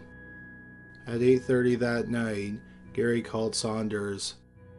He said that he wasn't bringing the children back and she was never going to see them again. He also told her that he had rigged his house to blow up if anyone went inside of it. Saunders then asked to speak to her sons. Gary said, later, and then hung up the phone. Saunders called the police immediately and they went to Gary's house. His car, a 1989 Ford Tempo, was gone. The police did a check of the house and found that it was booby trapped. It was rigged to cause two 400 pound propane tanks to explode. The explosion would have not only destroyed the O'Brien house, it would have leveled several neighboring houses as well. The police were luckily able to disarm the booby trap. The police entered the house, but Gary and the boys were gone. Where Gary took the children and what he did with them are still mysteries. A year after they disappeared, the police were dragging the ocean floor in an area where locals pushed their cars over a cliff and into the water. They found an engine from a 1989 Ford Tempo, which is the type of car that Gary drove. The police checked the serial number on the engine, and it belonged to Gary. No other car parts belonging to Gary, or any trace of Gary and the boys, were found in the ocean. So the police aren't sure if the car went into the ocean or just the engine. The boy's mother, Diana Saunders, thinks that Gary removed the engine beforehand and dumped it in the ocean. She thinks he did this to throw investigators off his trail to make it look like he killed himself and the boys. She also said that he booby trapped the house to give himself time to get away. Saunders thinks that her sons are still alive and they may be living in an off the grid community like a religious commune and they are cut off from technology. Gary may have also brainwashed them to hate her.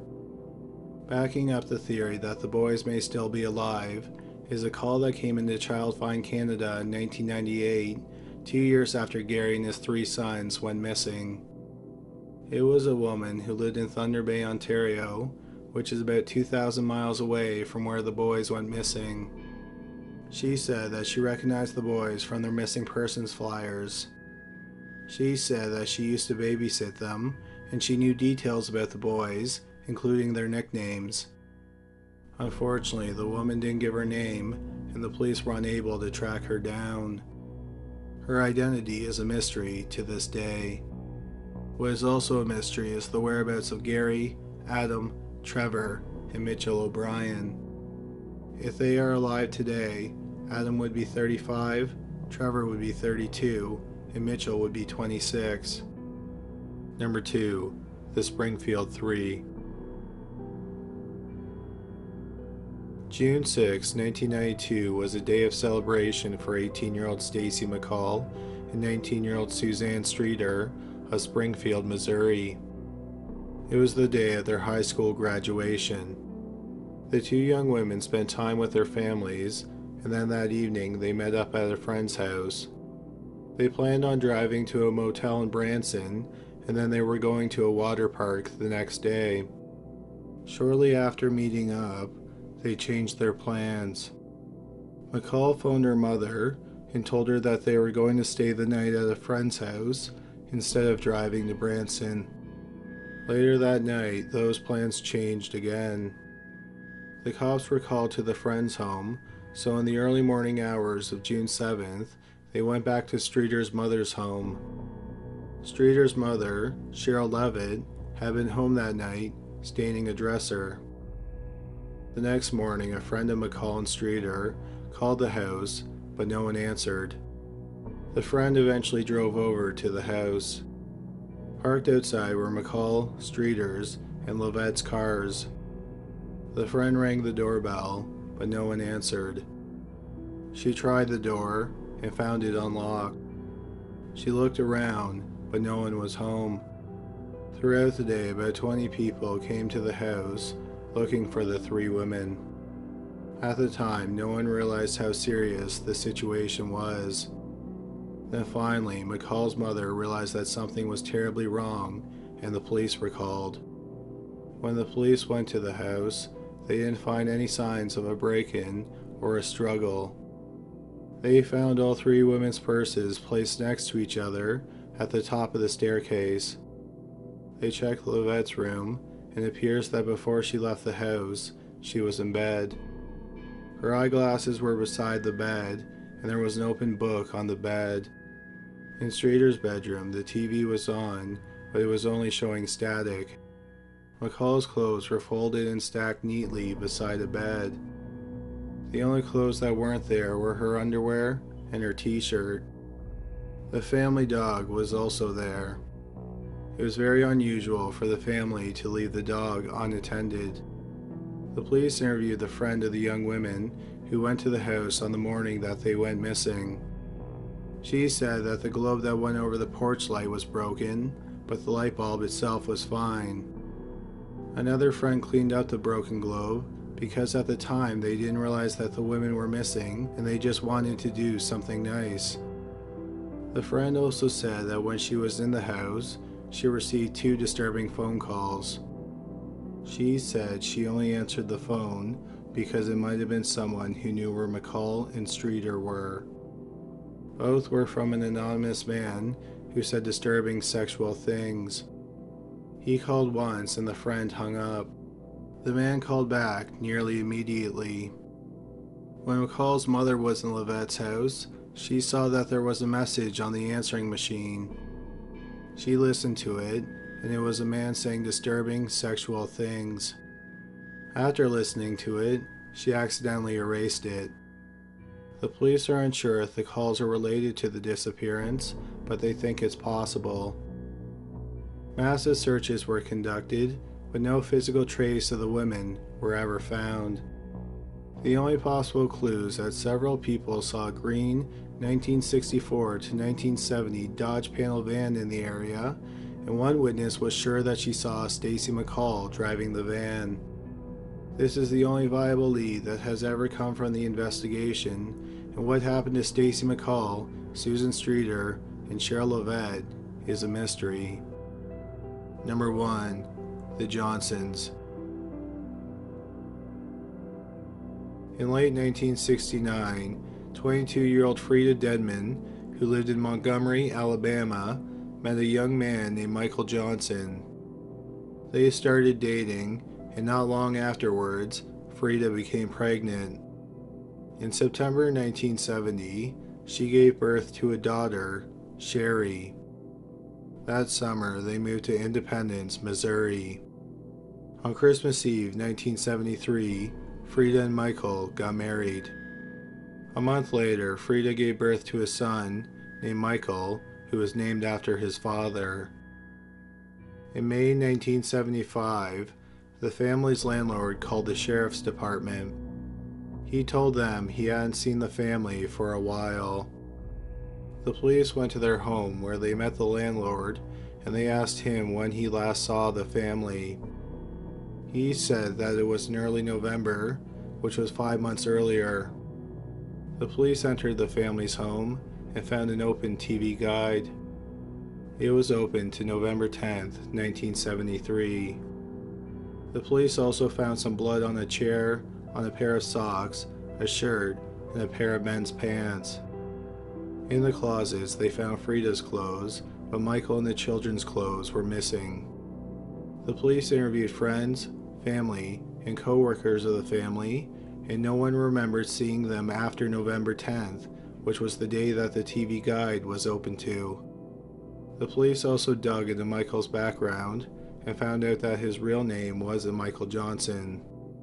His real name was Henry Lee Harbison, and he was wanted by the FBI for check forgery. He had also served time in Alcatraz and Leavenworth for transporting stolen cars across state lines. The sheriff's department concluded that the family picked up and moved somewhere else to stay ahead of the FBI. They probably just changed their names and were hiding somewhere else. As the years went by and Frida's family didn't hear from her, they began to doubt that is what happened. And in 2004, the Sheriff's Department announced that they are reopening the case. They had the blood tested, but it was inconclusive. After the case was reopened, the Sheriff's Department said that there were three theories as to what happened to the family. The first theory is that the Sheriff's Department was correct the first time and the family simply moved away and assumed new identities.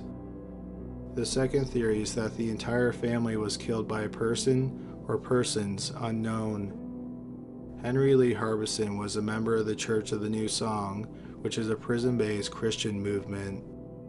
His associates at the church said that the family was killed. However, they didn't provide any details backing up that theory. The third theory is that Harbison killed Frida and fled with the children. Frida's family believes this is what really happened. This would explain the bloodstains and why only Frida's clothes were left behind. Her family also thinks that Harbison threatened the landlord, and that is why he didn't report the family missing for five months. One possibility is that after killing Frida, he killed the children and himself. But if that is the case, then where are their bodies? Frida's family, on the other hand, think that he fled and he gave the children away. He then established a new identity for himself. They said that Sherry and Michael could still be alive and may not even know that they have family that is looking for them. If they are still alive, Sherry would be 47 and Michael would be 40. If Harbison is still alive, he would be 83. Finally, if Frida is still alive, she would be 70 years old. Number 3. Robbie Floyd, Jennifer Hughes, Serena Glenn, Brent Hughes, and Brittany Hughes. In the winter of 1996, 32 year old Robbie Floyd lived in Fayetteville, North Carolina with her third husband, Jason, their child Brandon, and three of her children from previous relationships 11 year old Serena Glenn and a pair of 4 year old twins, Brent Hughes and Brittany Hughes. Sometime in December, a neighbor of the family noticed Robbie loading boxes into her blue van. She was with her sister, 17 year old Jennifer Hughes, and an older woman. Robbie told the neighbor that the older woman was her mother. Robbie was in a rush, and she told her neighbor that she was going to Alabama. She said her father was sick and she was going to see him. She then loaded three of her four children into the van 11 year old Serena and her 4 year old twins, Brett and Brittany. Then Robbie and her sister Jennifer got into the van and they drove off. Her neighbor never saw them again. Robbie didn't keep in close contact with her family, and she was known to go voluntarily missing for long periods of time. As a result, her family didn't report her missing until a year and a half later, in August 1998. Robbie's family in Sylacauga, Alabama, said that Robbie did plan to move back to help with her ailing father, but she never arrived. They said they had not talked to or seen her since December 1996. On the last day that Robbie was seen, she was seen with an older woman. Robbie introduced the woman to her neighbor as her mother. But Robbie's mother said she had not been to her daughter's house for several years before she went missing. Robbie's father died in 1998 and she didn't come to the funeral. During their investigation, the police talked to Robbie's neighbors. They learned that Robbie's husband, Jason, and the one child she left behind, who was the only child she had with Jason, continued to live in the house where he lived with Robbie and her kids for about two months after they disappeared. Then, February 1997, they moved away. The neighbors also told the police that Robbie and Jason had been having marital problems. Before she went missing, they had been separated, and the neighbors said that Robbie told her that they were talking about getting divorced. However, it appeared that they had reconciled before she, her three kids, and her sister went missing. The police tracked Jason down, and he said that he talked to Robbie after she left North Carolina. She told him that she was calling from a motel near her parents' house in Sylacauga, Alabama. She said she would phone again in a few days, but he never heard from her again. The police eventually cleared Jason as a suspect in the disappearance of Robbie, her sister Jennifer, and Robbie's three children. Then in 2004, a detective who worked on the mass disappearance told a newspaper the Fayetteville Observer, that the family wasn't actually missing. He said on the day that Robbie drove off with her sister and her three children, the sheriff's department was coming to arrest her for writing bad checks. Robbie had been writing checks using 14 different aliases. The detective said that Robbie ultimately settled in Alabama. Supposedly, in 1999, she set up an address there.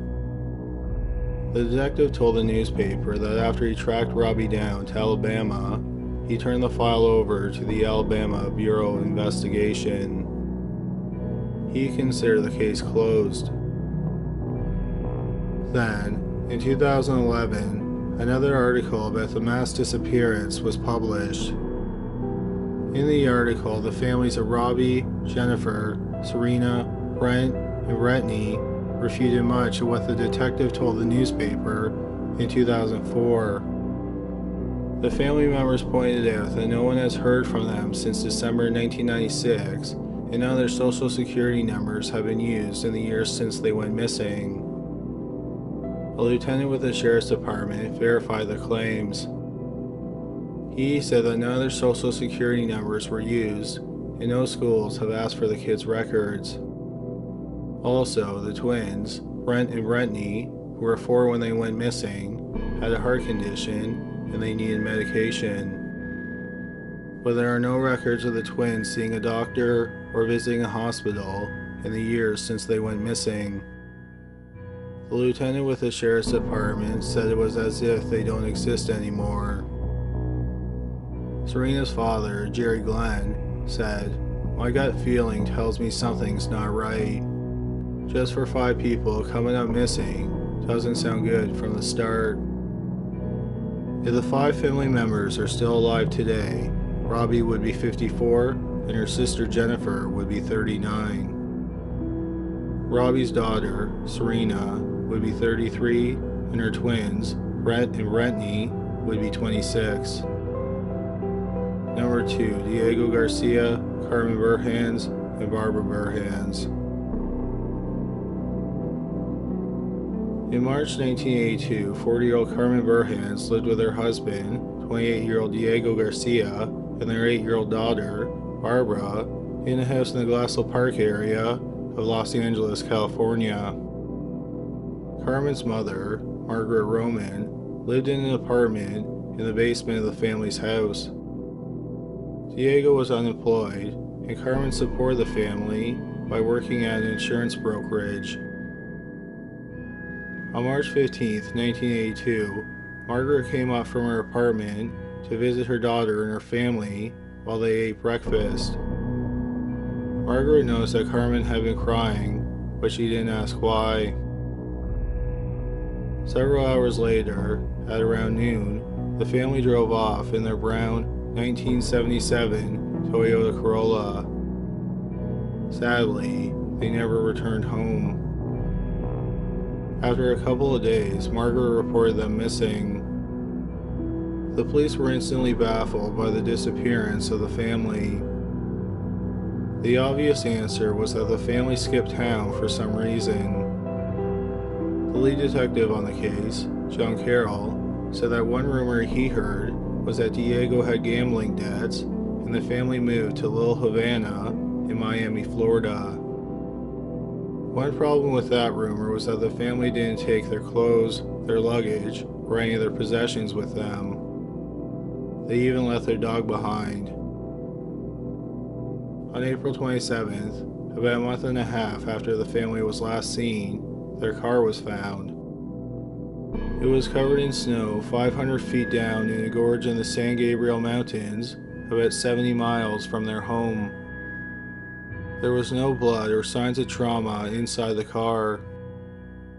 The gorge was searched, but besides their car, no trace of the family was found. Detective Carroll said that it doesn't appear that the family was in the car when they went down into the gorge. Instead, he thinks that someone pushed the car into the gorge. The road where the car went down into the gorge had been closed since March 16th, the day after the family went missing. Detective Carroll said it was possible that the car was pushed into the gorge by someone who was trying to get rid of the car. He said that another possibility is that the car was parked on the side of the road and it was knocked into the gorge by accident by a snowplow. One reason the family could have abandoned the car was because they were having problems with the car. But no one in the area remembered seeing the family, nor did anyone remember a family looking for help with their car around the time that the family went missing. Carmen's mother, Margaret, told Detective Carroll that shortly before the family went missing, Carmen had converted to Mormonism. She also said that Carmen may have been involved in a cult that used candles and killed chickens as sacrifices. Detective Carroll looked at the family's bank accounts, and five days after they went missing, a check from Carmen's bank account was cashed. It was cashed by an elderly woman who owned a chicken ranch in Santa Clarita, California. The woman told Detective Carroll that she sold Carmen some live chickens before she went missing. Detective Carroll cannot confirm if Carmen was involved in a cult, and he didn't know if her religious practices were connected to her family's disappearance. After the family went missing, Carmen's mother started getting strange phone calls. Most of the time, the caller would just hang up when she answered. Then one time, the caller told Margaret that the family had been killed because Carmen didn't come up with enough money to cover a debt that Diego owed. The next day, there was another phone call. This caller said they saw Carmen walking down the road in a white dress. None of the calls were traced, and the identity of the callers remains a mystery. The caller wasn't the only person who supposedly saw Carmen after she went missing. A high school friend of Carmen said that she saw Carmen at a shopping plaza in Los Angeles. Another person supposedly saw her at a hospital. The witness said she was with an elderly woman and they were buying flowers. Then finally, in mid April, about a month after the family went missing, the owner of a candle store said that Carmen came in and bought some candles. Detective Carroll couldn't confirm any of the sightings. He thinks that the family had their car stolen or they were victims of a carjacking. He said it's entirely possible they were killed for their car. Then the killer got rid of the car by pushing it into the gorge on the closed road. But since the family hasn't been found, Detective Carroll hasn't been able to confirm any of the theories about what happened to them. He said the only thing he knew for sure was that the family was still missing. Over 36 years later, besides their car, no trace of Carmen, Diego, or Barbara has ever been found. Number 1. The Clinton Avenue 5 August 20th, 1978 was a humid, overcast day in Newark, New Jersey. That afternoon, 17-year-olds Melvin Pittman and Ernest Taylor and 16-year-olds Alvin Turner, Michael McDowell, and Randy Johnson were playing basketball at Westside Park. As they played, a mutual friend named Lee Evans, who worked as a mason and a carpenter, asked the five young men if they wanted to make some money by moving some boxes. The young men agreed, and they arranged to meet up later that evening. At least three of the young men went home for dinner, and then they returned to the park. At 9.30 p.m., Michael McDowell returned home for a few minutes. He got a drink of water and changed his clothes. He then left his house and got into the back of Evan's pickup truck. Evan's pickup truck, with at least two of the young men in the back, was seen at 10 p.m. at an intersection near the boys' homes. After that sighting, the five teenagers seemingly vanished into thin air. Their families reported them missing, but the police didn't do much in the way of investigating. They just assumed the five teenagers had run away and they would get in contact with their families any day. A few days after the teens went missing, Randy Johnson's mother, Sarah, received a phone call. The caller demanded $750 in exchange for information about what happened to her son. Sarah reported the call to the police and they traced it. The call came from a payphone at Union Station in Washington, D.C., which is over 200 miles from Newark. The police thought it was one of the teens who were looking to get money to fund their excursion. But the caller never phoned back and never attempted to collect the money.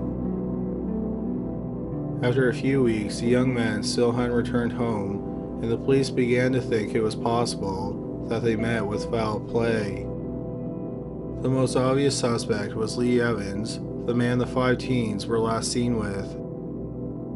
Evans swore he had nothing to do with the disappearance of the young men.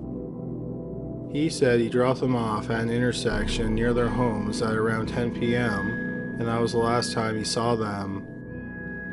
The police asked him to take a polygraph exam, and he agreed. He was asked if he had anything to do with the young men's disappearance, and he said he didn't. The polygraph examiner determined that he was telling the truth.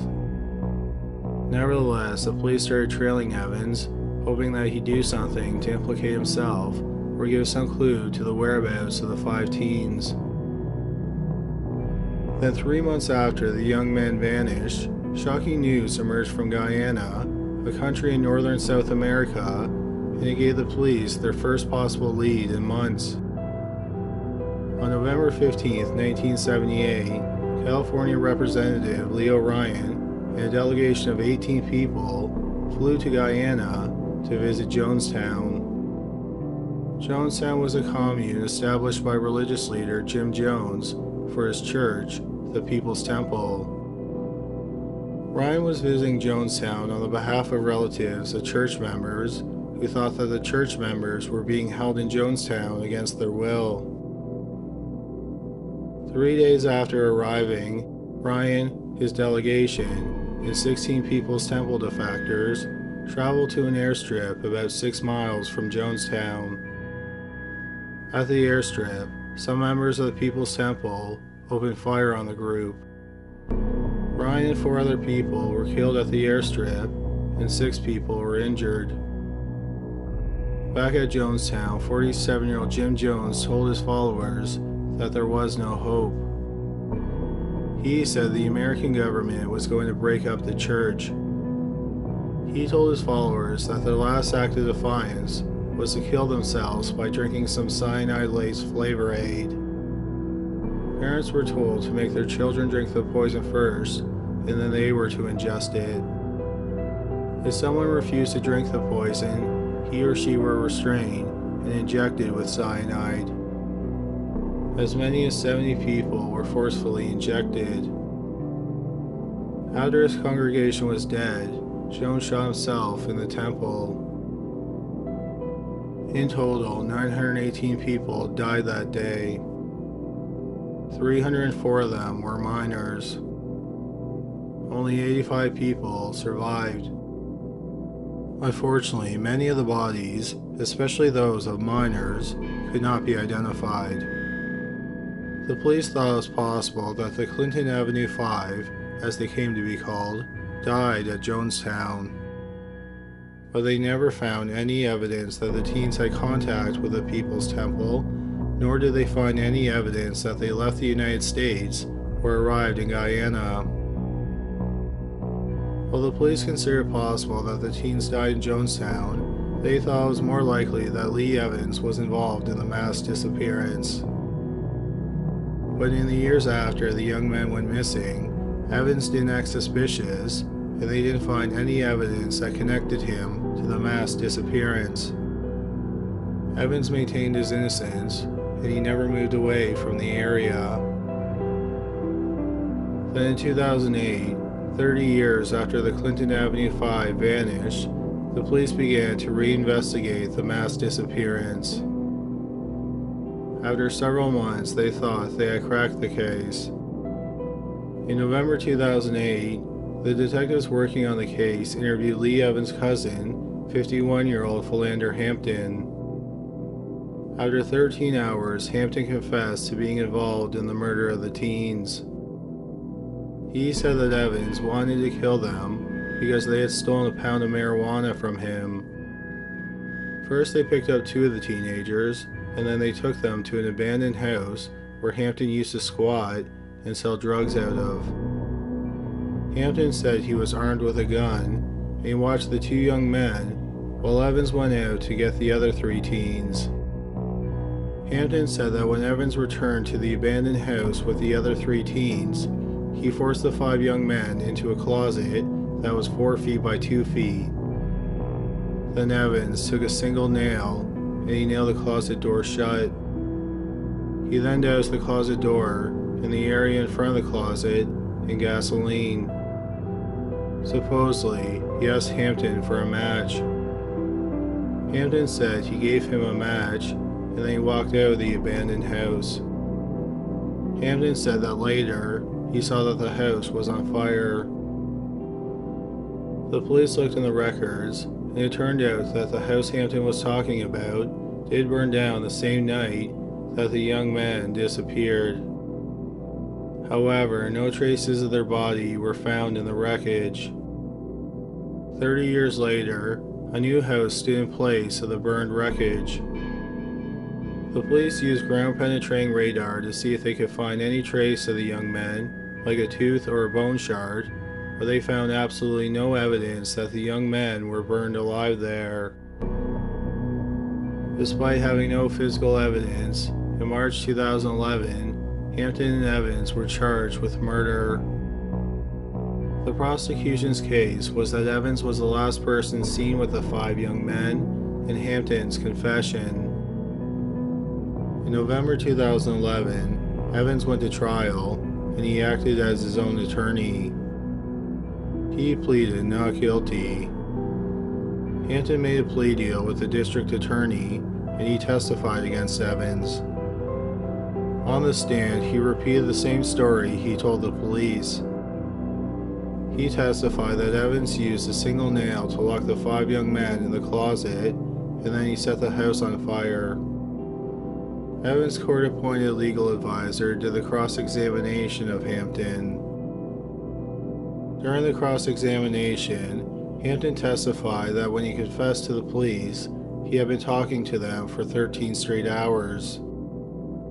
He also said that in exchange for testifying, he was given a 10 year sentence, but he would be allowed to apply for parole after serving just six months. When he was released, the district attorney's office was going to pay him $15,000 for relocation fees. Hampton also admitted that he had been a heroin addict for 10 years and he sold drugs. He was in and out of prison for most of his adult life. This included a 10 year sentence for a pair of armed robberies. Evans' legal advisor even questioned the plausibility of Hampton's confession. For example, would five teenage boys be able to fit into a closet that was 4x2? Would a single nail be strong enough to keep the door closed? Or would five athletic young men be able to break down the door? Also, Hampton was a small guy, and the teens were all larger than him. When he was watching two of the teenagers, why didn't they try to overpower him and take the gun? Finally, if the young men did die in the fire, wouldn't someone have found a trace of them when the wreckage of the fire was cleaned up? Or when the police searched the area with ground penetrating radar? The jury ended up deliberating for more than 12 hours. They found Evans not guilty on all charges. At the time of this video, the case of the Clinton Avenue 5 remains unresolved. Even if Lee Evans was involved in the mass disappearance, he'll never be retried. He maintains his innocence, and no evidence links him to the disappearance of the five young men. Evans said that being accused and tried for such a horrible crime was devastating. He said That's not the same thing as someone destroying you. It's like someone put you in the oven and burned you up. You can't undo that. No trace of Melvin Pittman, Ernest Taylor, Alvin Turner, Michael McDowell, and Randy Johnson has ever been found. Number 2. Elaine Laberdeau In late July 1989, 27 year old Elaine Laberdeau, who lived in Toulouse, France, was suffering from a bout of depression, so she checked herself into a hospital in Balma, which is a commune east of Toulouse. On August 16th, she was still in the hospital. That morning, she went to an art therapy class. She was making a scarf for her twin sister's birthday, which was just a few weeks away. Later that day, another patient noticed that Laberdeau was missing. The hospital reported her missing to the police that evening. But the police weren't interested in investigating the disappearance. They pointed out that Laberdeau was a 27 year old woman, and if she wanted to disappear, she had that right. They also thought it was possible that she died by suicide, and her body would be found at some point. Laberdeau's family was not convinced that either scenario happened. They acknowledged that she had been depressed, but they pointed out that she had been getting treatment and she seemed to be getting better. She had an eight year old son, and she had upcoming plans that she was looking forward to. For years, Laberdeau's family was left wondering what exactly happened to her. Then in September 1997, an answer may have emerged with the arrest of 32 year old Patrice Allegra. Allegra had been charged with sexually assaulting and killing five women between 1989 and 1997. It is believed that he committed his first murder on February 22, 1989, in Toulouse. On that day, 22 year old Valerie Theriot was found dead in her home. She was nearly nude, her head was in a puddle of blood, and her hands were bound behind her back. A scarf had been tied around her neck, her underwear had been torn, and pieces of it had been shoved inside her mouth and her nostrils. In the living room, there were two glasses, and that seemed to indicate that she had a guest in her home before she died. Amazingly, despite the viciousness of the crime scene, the police concluded that it was a suicide. Allegra had worked with Theriot at a cafe, and she was his neighbor. On the night that he killed her, he went to her home and asked her to have sex with him. She refused, so he sexually assaulted her, beat her, and strangled her to death with a scarf. Eleven months later, on January 25, 1990, 19 year old Laura Martina was hitchhiking home. Allegra, who was a neighbor of Martina, picked her up. He tried to kiss her, and she rejected him. This made him angry, so he sexually assaulted, beat, and strangled her to death. He dumped her body in a ditch, and she was found two days later. The police investigated the murder, but Allegra was not considered a suspect. A month later, on February 11, 1990, the fire department was called to the apartment of 29 year old Martine Mateus. Inside her apartment, they found her burned body on her bed. Her body was positioned in a sexual manner, and her wrists and ankles had been bound. Blood was found in her bathroom and on her bra. The fire was started in two different places. Something odd that the police found in the living room was a piece of an automatic handgun. The cause of death was carbon monoxide poisoning, which means she was alive when the fires were started. Once again, despite the brutality of the crime scene, the death was ruled a suicide. Allegra knew Mateus because they had been neighbors for a short time. After murdering Mateus, Allegra seemed to take a seven year break from killing. Then on February 21, 1997, Allegra went to a bar with a woman. Afterward, he beat and sexually assaulted her.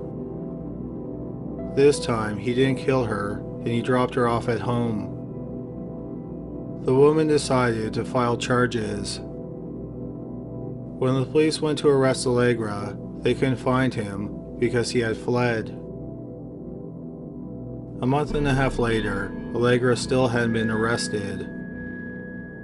On May 31, 1997, Allegra broke into the home of a woman they had previously tried to get romantically involved with. She called the police and they arrested Allegra. He didn't have any identification on him when he was arrested, and he gave the police a fake name. The next morning, he was released on bail. A few hours after he was released, the woman whose home he tried to break into went to the police station. After he broke in, but before he was arrested, Allegra either dropped his driver's license or he ditched it in the woman's home. The woman found his driver's license and she brought it to the police station. That's when the police realized that Allegra was wanted for sexual assault. After he was released, Allegra made his way to Verdun, which is a commune in France.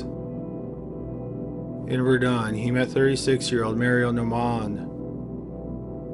In exchange for doing work around her property, Normand told Allegra he could stay with her for a few days.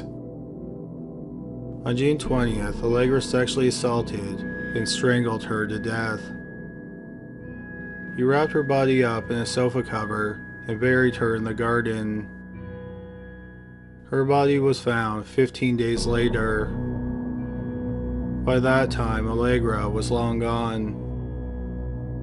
He went to Spain where he met 31 year old Isabel Chichery, who was on vacation from Paris. A few months later, in early September, Allegra made his way to Paris. He called Chichery and told her that his car had been stolen. He asked if he could stay with her for a few days, and she agreed. A few days later, on the night of September 3rd, Allegra asked Chichery to sleep with him, and she rejected him. Once again, Allegra snapped. He beat, sexually assaulted, and strangled Chichery to death. He then left her apartment. On September 5th, he went back to her apartment and set it on fire. When the firefighters arrived, they found Chichery's body in the apartment and they called the police in. The police quickly concluded that she had been murdered. The police investigated her murder, and they learned from Chichery's friends that she had a house gas before she was killed. The only thing her friends knew about the house gas was that his name was Patrice, he was from Toulouse, and he was a bartender. The police of Paris called the police in Toulouse and asked them if they knew anyone who fit that description. The police in Toulouse told them that they were probably looking for Patrice Allegra. The police then set up a sting for Allegra. They knew he would be looking for a place to hide out. They went to several of his friends that they thought he would call. They told them that if he did call, they should tell him to go to a specific place. Their plan worked. Allegra called one of his friends and he told Allegra to go to the place that the police had indicated. When Allegra showed up, the police were waiting for him and he was arrested. While Allegra was in custody, he admitted to the murders of Valerie Thériault, Laura Martina, Martine Mateus, Marielle Norman, and Isabel Chichery. In February 2001, he was convicted of the five murders and he was sentenced to life in prison. One thing that people had a hard time understanding was why Allegra was able to get away with murdering for so long. He knew his first three victims, who were killed between February 1989 and 1990 because he was their neighbor. If one person has a personal connection to three victims, logically, they should have at least been considered a suspect. The police didn't even interview Allegra. Part of the problem was that two of the deaths were ruled suicides. This bewildered people as well, because there were clear signs that they were murders. When an investigator was asked why the murders were labeled suicides, his answer only led to more bafflement instead of clarity. He said, a murderer would not leave so many clues. Then in April 2003, a possible explanation emerged as to why Allegra got away with his crimes for so long. A sex worker, who was only identified as Patricia, claimed that Allegra was a pimp and he set up S&M sex parties. At these parties were police, politicians, and other influential members of Toulouse society. Patricia claimed that the police gave Allegra special protection and let him get away with murdering women because he ran these parties. Patricia also said that in 1992 she watched Allegra kill a sex worker who wasn't identified and a transvestite named Claude Martinez. Supposedly, Allegra had been ordered to kill them because they were going to go public about the parties. Martinez apparently had some incriminating photos as evidence.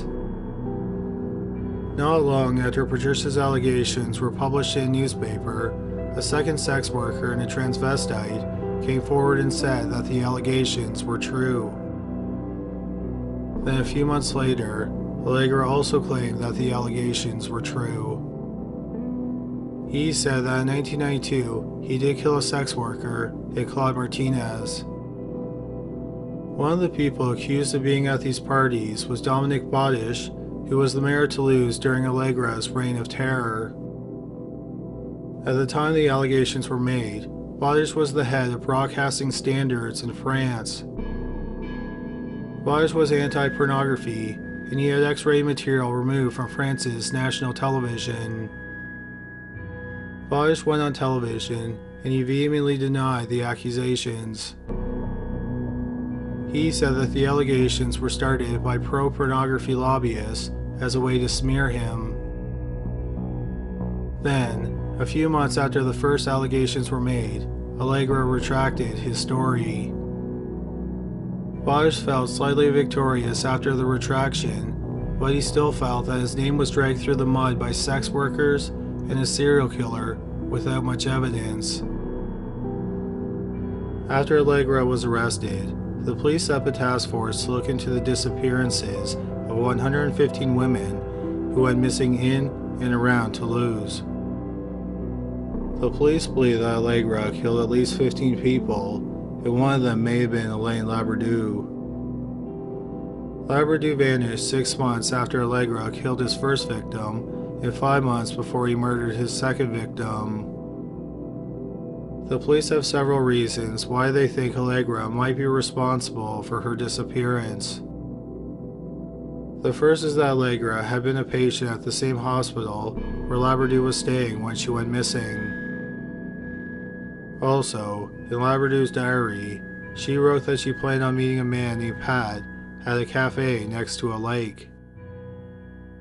Allegra was known to go fishing on that lake, and he was a regular at the cafe. A bartender saw a photograph of Laberdeau, and he said he saw her at the cafe. He said that she was with a man, and he gave a description of the man. His description sounded a lot like Allegra. Finally, in December 1989, a man who looked like Allegra pawned a piece of jewelry that was owned by Laberdeau. The police have not charged Allegra in connection with the disappearance of Laberdeau because they said that all the evidence is circumstantial. Allegra has not confessed to being involved in her disappearance. Elaine Laberdeau's family believes that Allegra killed her. They hope that one day he'll confess and he'll reveal the location of her remains. Number 1. Michaela Garecht. Saturday, November 19, 1988, was a cool, sunny day in Hayward, which is a city in the Bay Area of California. Just after 10 a.m., nine year old Michaela Garecht and a friend rode their scooters two blocks to a store to buy some snacks. When they came back out of the store, Michaela noticed that her scooter had been moved a few feet, so she went to retrieve it. When she did, a man stepped out of his car, which was in the parking lot of the store. He grabbed Michaela around the waist and she started screaming. He opened the back door of his car and he threw her in the back seat. He then got into his car and drove away. What happened to Michaela after that isn't known. She has never been found. Michaela's friend witnessed the abduction and she described the kidnapper to the police. He was in his late 20s, and the most notable aspect about him was that his face was pockmarked or he had terrible acne. He also had dirty blonde hair that was about shoulder length. He was slender and he was about 6 feet tall. His eyes were blue and described as fox like. The car he was driving was an older American sedan. It may have previously been in an accident.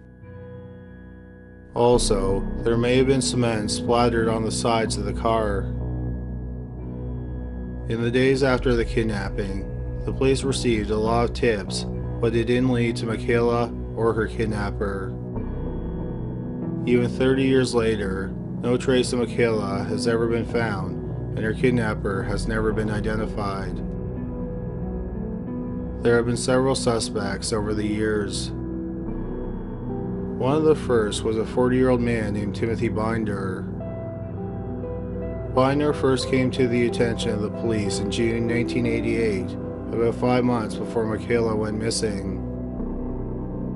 On June 2, 1988, seven year old Amber Swartz Garcia was skipping rope alone in front of her home in Pinole, California. Pinole is about 30 miles from Hayward, where Michaela went missing. Both cities are in the same county. When Amber's mother went to check on her, she was gone. By nightfall, Amber's neighborhood was being searched. The next day, a pair of pink socks were found near a baseball diamond in Amber's neighborhood. The baseball diamond was next to a creek that ran behind Amber's home. Amber's mother was asked if she recognized the socks, and she said they could have been Amber's, but she wasn't sure. Three days after Amber vanished, Binder paid Amber's family a visit. He told Amber's family that he tried to save her, but he couldn't. He then showed the family maps of where he thought they could find her. He also told the family that he was sure that Amber was dead and they should be looking for a body. Binder then told the family that Amber's kidnapping reminded him of a crime that happened four and a half years earlier. Five year old Angela Bugay lived with her mother and her three year old brother Chris in an apartment in Antioch, California. On November 19, 1983, Angela and Chris went to a neighbor's home to get some rain boots. Only Chris returned home. A week to the day that Angela went missing, her body was found in a shallow grave in a field not far from her home. She had been sexually assaulted and then suffocated to death. Her murder was unsolved what Binder didn't mention to Amber's family was that he was obsessed with Angela. The day before Amber went missing, Binder had mailed a letter to Angela's mother. The contents of the letter were not made public. Binder also paid a lot of visits to Angela's grave.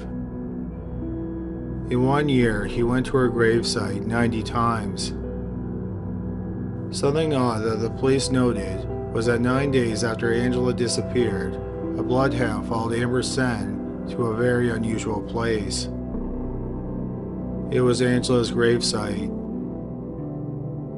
Needless to say, after that first visit, Binder gave Amber's mother the creeps. After he left Amber's home, one of her family members called the police and reported him.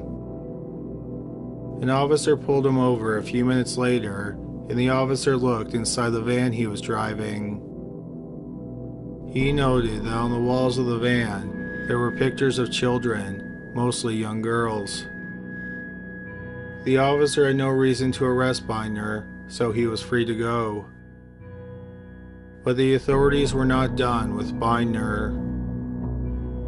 In June 1988, Binder underwent three polygraph exams. He was asked if he was involved in the disappearance of Amber Swartz Garcia. During all three tests, he maintained that he didn't know what happened to Amber. The results of the first two tests were inconclusive, but the third exam showed clear signs of deception. The FBI was asked to assist in Amber's disappearance. An agent interviewed Binder, who once again, he denied being involved in the disappearance of Amber. He said that at the age of 14, he took a vow of nonviolence. Binder did give the agent his theories on how he thought Amber might have been kidnapped and what might have happened to her afterward. He also gave the agent an eerie prediction. He said that the next girl to go missing would probably be 9 or 10 years old. Five months later, 9 year old Michaela Garecht disappeared. Binder, who lived in Oakland, was in Hayward on the morning that Michaela went missing. He had undergone an exam to be a firefighter and he failed. Before he applied to be a firefighter, Binder had worked for the Social Security office, but he had been fired twice. He was fired for the first time in 1985 because he had been looking up the addresses of little girls who lived in Colorado.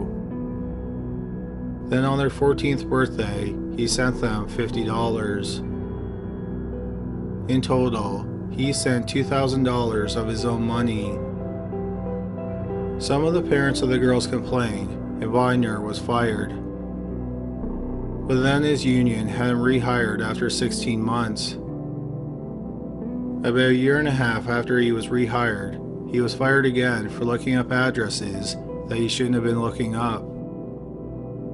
One of the addresses he looked up was Angela Bugay's mother. After Michaela went missing, Binder went to her family's home and talked to both of her parents. He then started to look for her body. The police learned that Binder was trying to involve himself in the search and they told him to go home. Two months after Michaela disappeared, on January 30th, 1989, another girl disappeared. 13 year old Eileen Misheloff lived in Dublin, California. Dublin is about 10 miles from Hayward, where Michaela lived. Eileen went missing as she was walking home from school. Once again, Binder got involved in the search. Sadly, no one has ever found a trace of Eileen. Despite having a promising suspect, the police couldn't make an arrest and the cases went cold. On May 23, 1991, just over two years after Eileen had disappeared, a woman in Fairfax found a letter in her mailbox that was addressed to her 12 year old daughter. There was no return address on the envelope. The woman decided to open the envelope, and inside was a letter and two collector coins. The letter explained the significance of one of the coins. The letter was signed off TJB, which is Binder's initials. At the time, the woman had no idea who sent the letter. she had never met or even heard of Timothy Binder. A few days later, another letter arrived for the 12 year old girl. The writing on the letter was backwards, and to read it, the girl's mother had to hold it in front of a mirror. After getting the second letter, the girl's mother went to the police.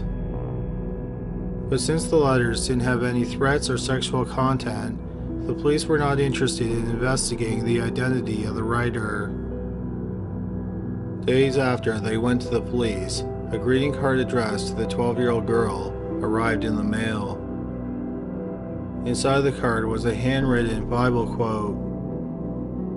The girl's family went to the police again, but they still didn't want to investigate, so the girl's family hired a private investigator.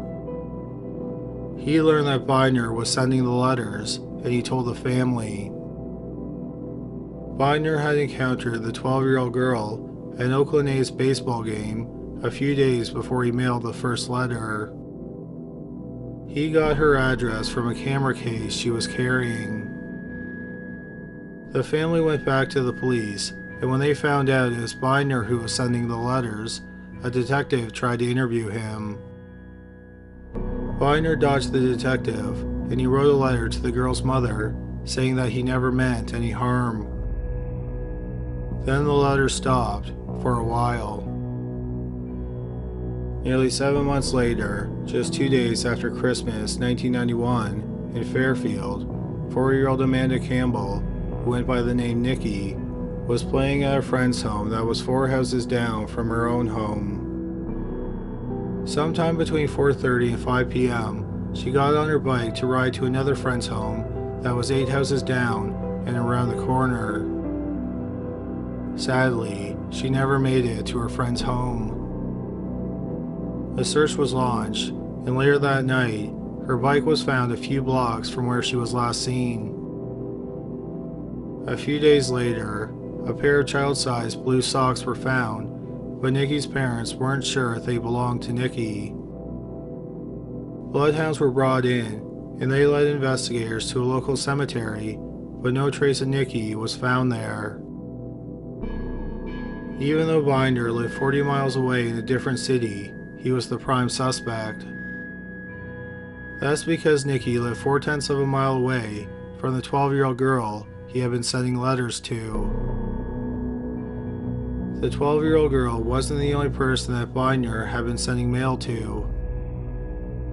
In early December, a few weeks before four year old Nikki vanished, Binder sent a Christmas card to the FBI agent who worked on Amber Swartz Garcia's disappearance.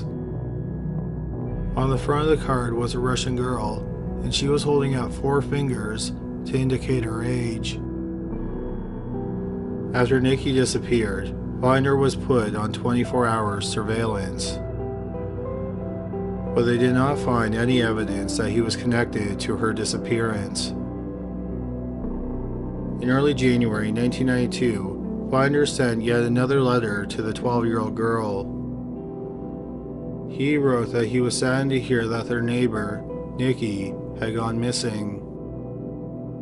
He also wrote that he had looked for the other girls and he would look for Nikki.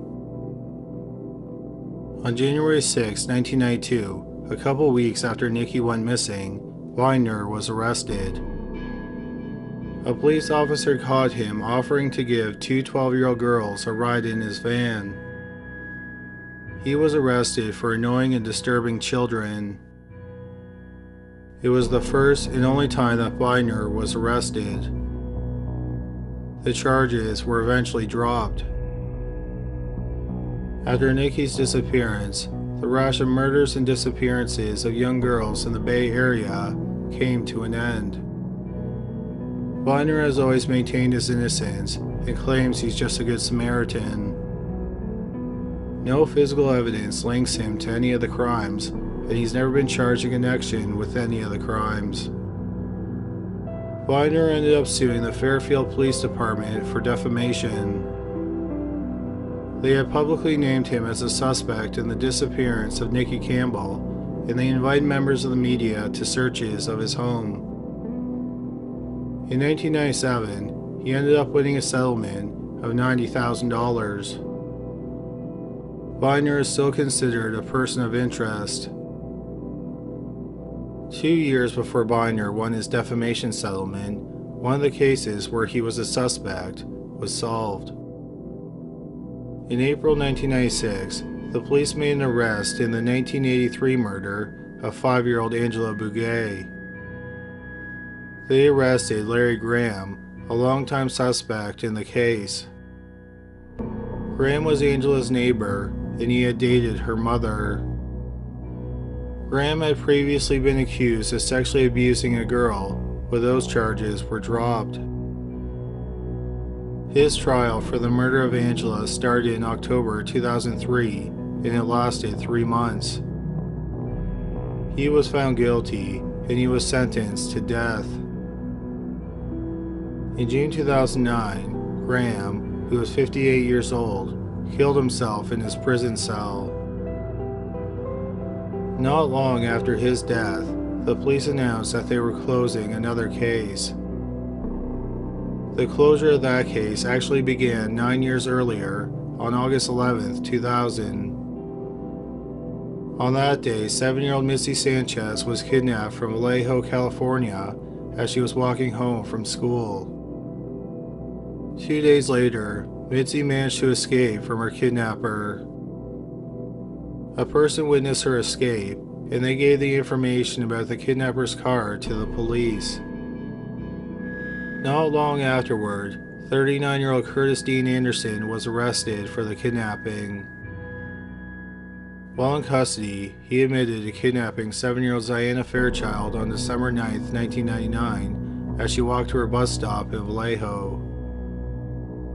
He later killed her and dumped her body a construction worker happened to find parts of her skull in January 2001.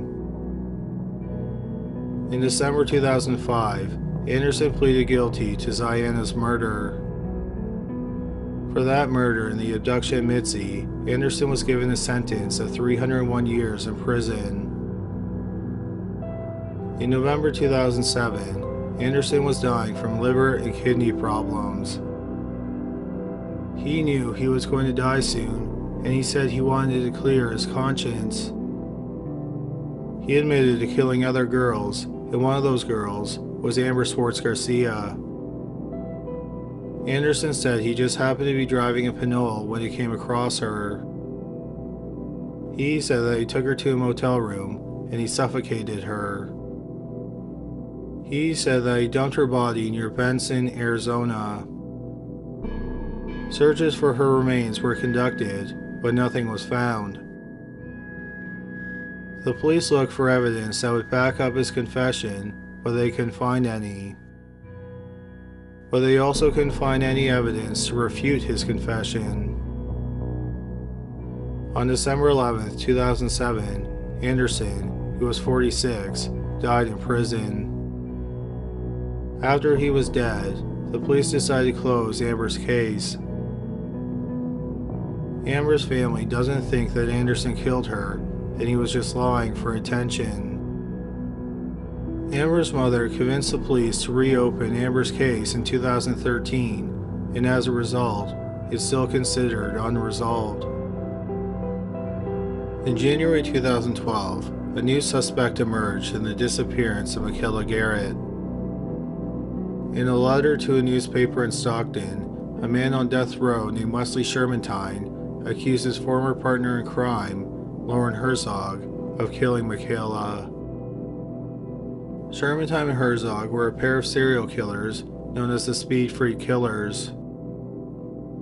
The pair were childhood friends, and they grew up across the road from each other in the small town of Linden, California. Shermantine and Herzog were well known in their town because they were meth addicted troublemakers. It's believed that they committed their first murder in September 1984. They were high on meth and they were driving home after a night at a casino. They happened upon 41 year old Henry Howell, who was parked on the side of the highway near Hope Valley, California. Either Herzog or Shermantine shot him once in the back of the head. Two months later, in November 1984, Herzog and Shermantine were driving on Roberts Island and they came across a parked car. They got out of their car and shot the driver of the other car, 35 year old Howard King. Then they dragged the passenger, 31 year old Paul Kavanaugh, from the car. He was then shot at point blank range with a shotgun. King and Kavanaugh's bodies were found on November 27th. There was no motive for the three murders other than the thrill of killing the men. At the time of the shootings, Shermantine was 19 and Herzog was 18. The police were baffled by the shootings, and it wasn't long before the investigations into them went cold. Ten months later, on September 4, 1985, Herzog and Shermantine convinced 24 year old Robin Armtrout to go for a drive with them. Her body was found on the side of the road four days later. She had been sexually assaulted and stabbed 46 times. During the investigation, Shermantine and Herzog weren't considered suspects.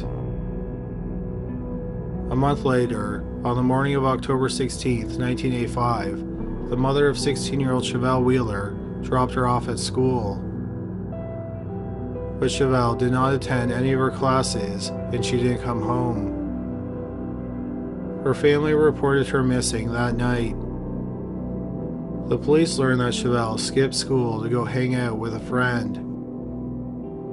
That friend was Wesley Shermantine, Shermantine was asked about Chevelle's whereabouts, and he said he didn't know what happened to her. The police searched a hunting cabin owned by Shermantine's family. Inside, they found several drops of blood. Shermantine said that the blood was from hunting. At the time, the police could not test the DNA, so they weren't sure who the blood belonged to. Since Chevelle was missing and the police didn't have any evidence that she was dead, they could not arrest Shermantine for her murder. After that, Shermantine and Herzog seemed to go quiet. Then 13 years after Chevelle disappeared, on November 14, 1998, 25-year-old Cindy Vanderheiden went missing after spending the evening at a bar that was owned by her father. She was seen leaving the bar with Shermantine and Herzog. They became the first suspects in her disappearance. In January 1999, Shermantine's car was impounded and searched. The police found blood inside his car. They had that blood tested, and they also tested the blood that was found in his cabin in 1985, which they believe was the blood of Chevelle Wheeler.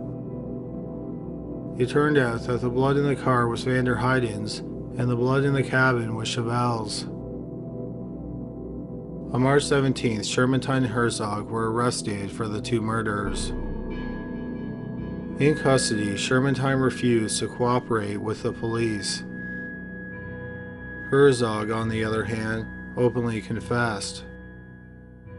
When Shermantine and Herzog were arrested, the police had no reason to suspect them in the murders of Henry Howell, Paul Kavanaugh, Howard King, and Robin Armtrout. So Herzog surprised them by saying that he and Shermantine killed them. Herzog said that Shermantine was the leader in the murders, and he minimized his own role in the killings. One thing that Herzog wouldn't do was reveal the whereabouts of the remains of Cindy Vanderheiden and Chevelle Wheeler. Shermantine was convicted of the murders of Paul Kavanaugh, Howard King, Chevelle Wheeler, and Cindy Vanderheiden in February 2001. Shermantine said he would reveal the location of Vanderheiden's remains in exchange for money, but her family refused to pay. A month after he was convicted, Shermantine was offered a plea deal. If he revealed the whereabouts of the remains of Chevelle and Vanderheiden, he wouldn't face the death penalty. Shermantine turned down the plea deal and he was sentenced to death. In October 2001, Herzog was convicted of the murders of Cindy Vanderheiden, Paul Kavanaugh, and Howard King. He was also convicted of being an accessory after the fact in the murder of Henry Howell. He was sentenced to 78 years in prison.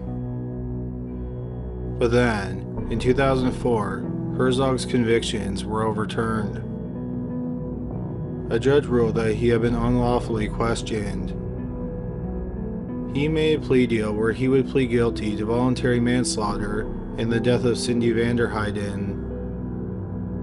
He was sentenced to 14 years in prison, which included the six years he had already served. In September 2010, Herzog was paroled and he moved into a trailer on the prison grounds. About a year and a half later, in January 2012, Shermantine told the police that he would reveal the location of the remains of some of their victims. He also said that one of Herzog's victims might have been Michaela Garecht. Shermantine pointed out that Herzog looked a lot like the sketch of the kidnapper. Also, Herzog had family that lived a couple miles from where Michaela went missing. But the police were never able to ask Herzog about Michaela's murder. On January 16, 2012, the day he found out that Shermantine was cooperating with the police, Herzog hanged himself. He was 46 years old, and he was about three months away from having more freedom on his parole. Investigators believe that Shermantine started cooperating with the police as a way to get revenge on Herzog for confessing when they were first arrested. On February 9, 2012, some of Chevelle Wheeler's remains were found on a property that was owned by Shermantine's family. The next day, the remains of Cindy Vanderheiden were found in some foothills in Calaveras County. The day after that, the police went to a field in Linden that Shermantine called Herzog's Boneyard. The police dug up an old well and they found thousands of bones. It turned out that the bones belonged to three females and a fetus. One of the victims was 19 year old Kimberly Ann Billy, who went missing from Stockton on December 11, 1984. Another set of remains was 16 year old Joanne Hobson, who disappeared from Stockton on August 29, 1985. The police were not able to identify the third set of remains or the fetus. What the police do know, thanks to DNA testing, is that the third set of remains is not Michaela. So at the time of this video, it's not known if Herzog killed Michaela Garecht. The police said it's possible that he did kill her, but there is no evidence to prove that.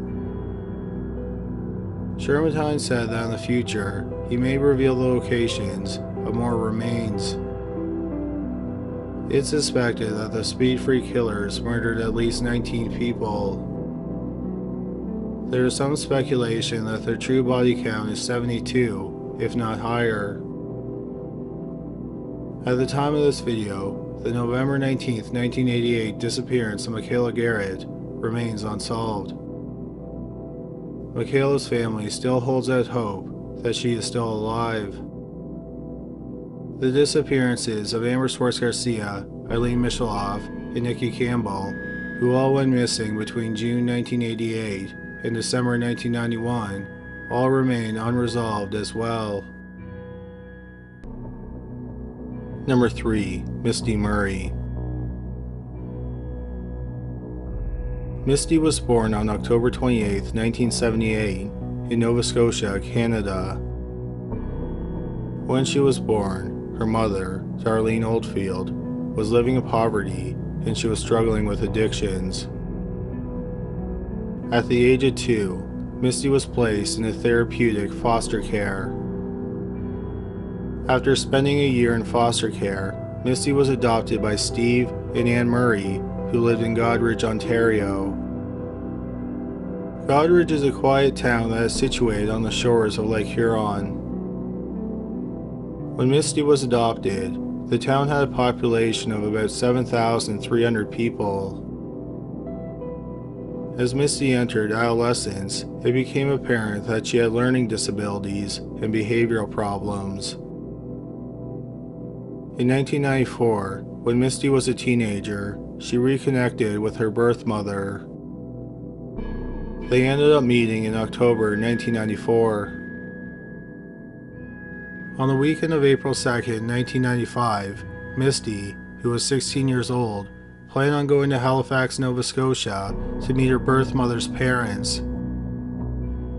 She was so excited about the trip that she packed her suitcase a week early.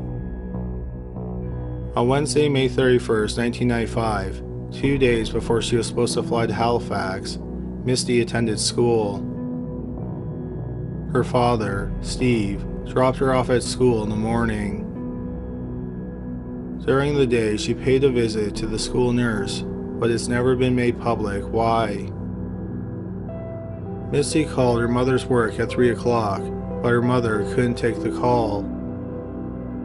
Steve and Anne didn't see Misty on the night of May 31st. The next day, Steve took a business trip to Toronto, and when he arrived home at 8:30 that night, he and Anne realized that Misty was missing.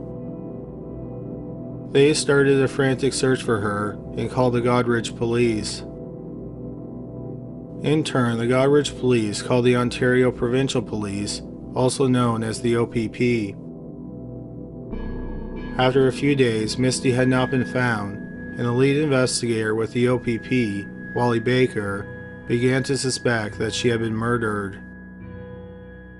He even had a suspect. It was Misty's adopted father, Steve. Baker began to suspect Steve because of something he didn't mention when he was interviewed. Steve had neglected to tell the police that on the evening Misty went missing, he had taken his boat out on Lake Huron for 20 to 30 minutes.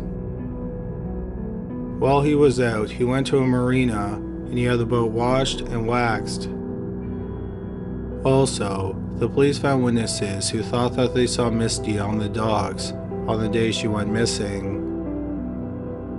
Baker assumed that Steve purposely left out the fact that he took his boat out because he was hiding something. Specifically, he thought that Steve got Misty onto the boat, took her out on the lake, killed her, and dumped her body. Baker speculated that Steve had been having a sexual relationship with Misty and he killed her to cover it up. Steve denied having anything to do with Misty's disappearance. He said he simply forgot that he had taken the boat out about four months after Misty vanished, Steve was charged with Misty's murder. The problem was that there was absolutely no evidence that Misty had been murdered or that Steve had killed her. Baker's theory was that Steve killed Misty because he had been sexually abusing her. But Baker and several officers were the only ones who believed this. Everyone who knew the family said that Misty loved her adopted parents and she never had any major complaints about them. Later on, one of the officers who accused Steve of having a sexual relationship with Misty got arrested for lewd behavior with an underage babysitter. Besides there being a problem with the motive, there were also other plausible suspects. For example, Shortly before she disappeared, Misty told her guidance counselor that she felt threatened by her possessive ex boyfriend, who was several years older than her. The ex boyfriend said he saw Misty for the last time on May 30th. May 31st was the last day her parents saw her, and it was the last day that she attended school. He said he remembered seeing her that day because on the same day he had cashed a check and paid his rent. But the records show that he cashed the check and paid his rent on May 31st, the last day Misty was seen by her parents. Another group of suspects was the crew of a freighter which had docked in Goderich on May 31st. The police conducted short interviews with the crew, but they went against regulations and didn't keep records of the interviews. Media outlets that were covering Misty's disappearance pointed out that a member of the crew, who was possibly drunk, could have attacked Misty. Despite these plausible alternative suspects, Baker and the other officers didn't pay much attention to them. They were sure that Steve had killed Misty and dumped her body in the lake. But the lake was dragged and searched with sonar, and Misty's body was not found. Probably the most compelling evidence that Steve didn't kill Misty was that there were many eyewitnesses who saw Misty after May 31st. On June 1st, which is the day after her parents last saw her and she last attended school, Misty was seen at a bargain store in Goderich. The person who saw her was one of her classmates, and they had a conversation in the bargain store. The next day, three of her fellow classmates said they drove past Misty. They said that Misty was walking towards Clinton, which is a community about 12 miles from Goderich.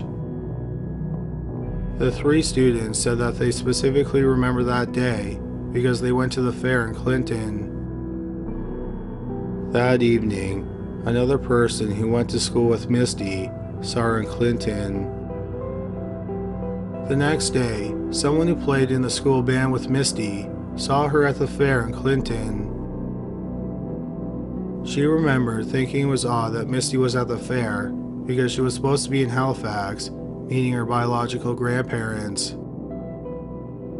The witness said that Misty was at the fair with a group of people she didn't know.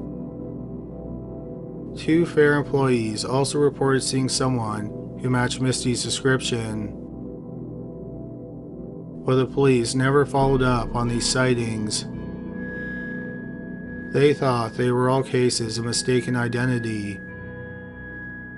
They didn't think that Misty would run away because she had been looking forward to going to Halifax. Also, at home, she left behind a suitcase packed with clothes and $200. If she left of her own free will and ran away, why didn't she take her suitcase, which was already packed, or at the very least, take her money with her? The witnesses, on the other hand, were certain that they saw Misty. They were confident that it was her they saw because they personally knew her. But what confirmed it for them was Misty's jacket. Misty owned a distinctive green jacket that had the word Seaforth Girls Trumpet Band and her name embroidered on it. All the witnesses said that she was wearing the jacket when they saw her. These weren't the only people who saw Misty after she was reported missing. London, Ontario is a city about 60 miles south of Goderich and about 50 miles from Clinton, where Misty's classmates are sure they saw her after she was reported missing. In the two weeks after Misty was reported missing, six different people saw a girl matching her description in London. Some people saw her in a rougher part of the city where there were shelters for street kids.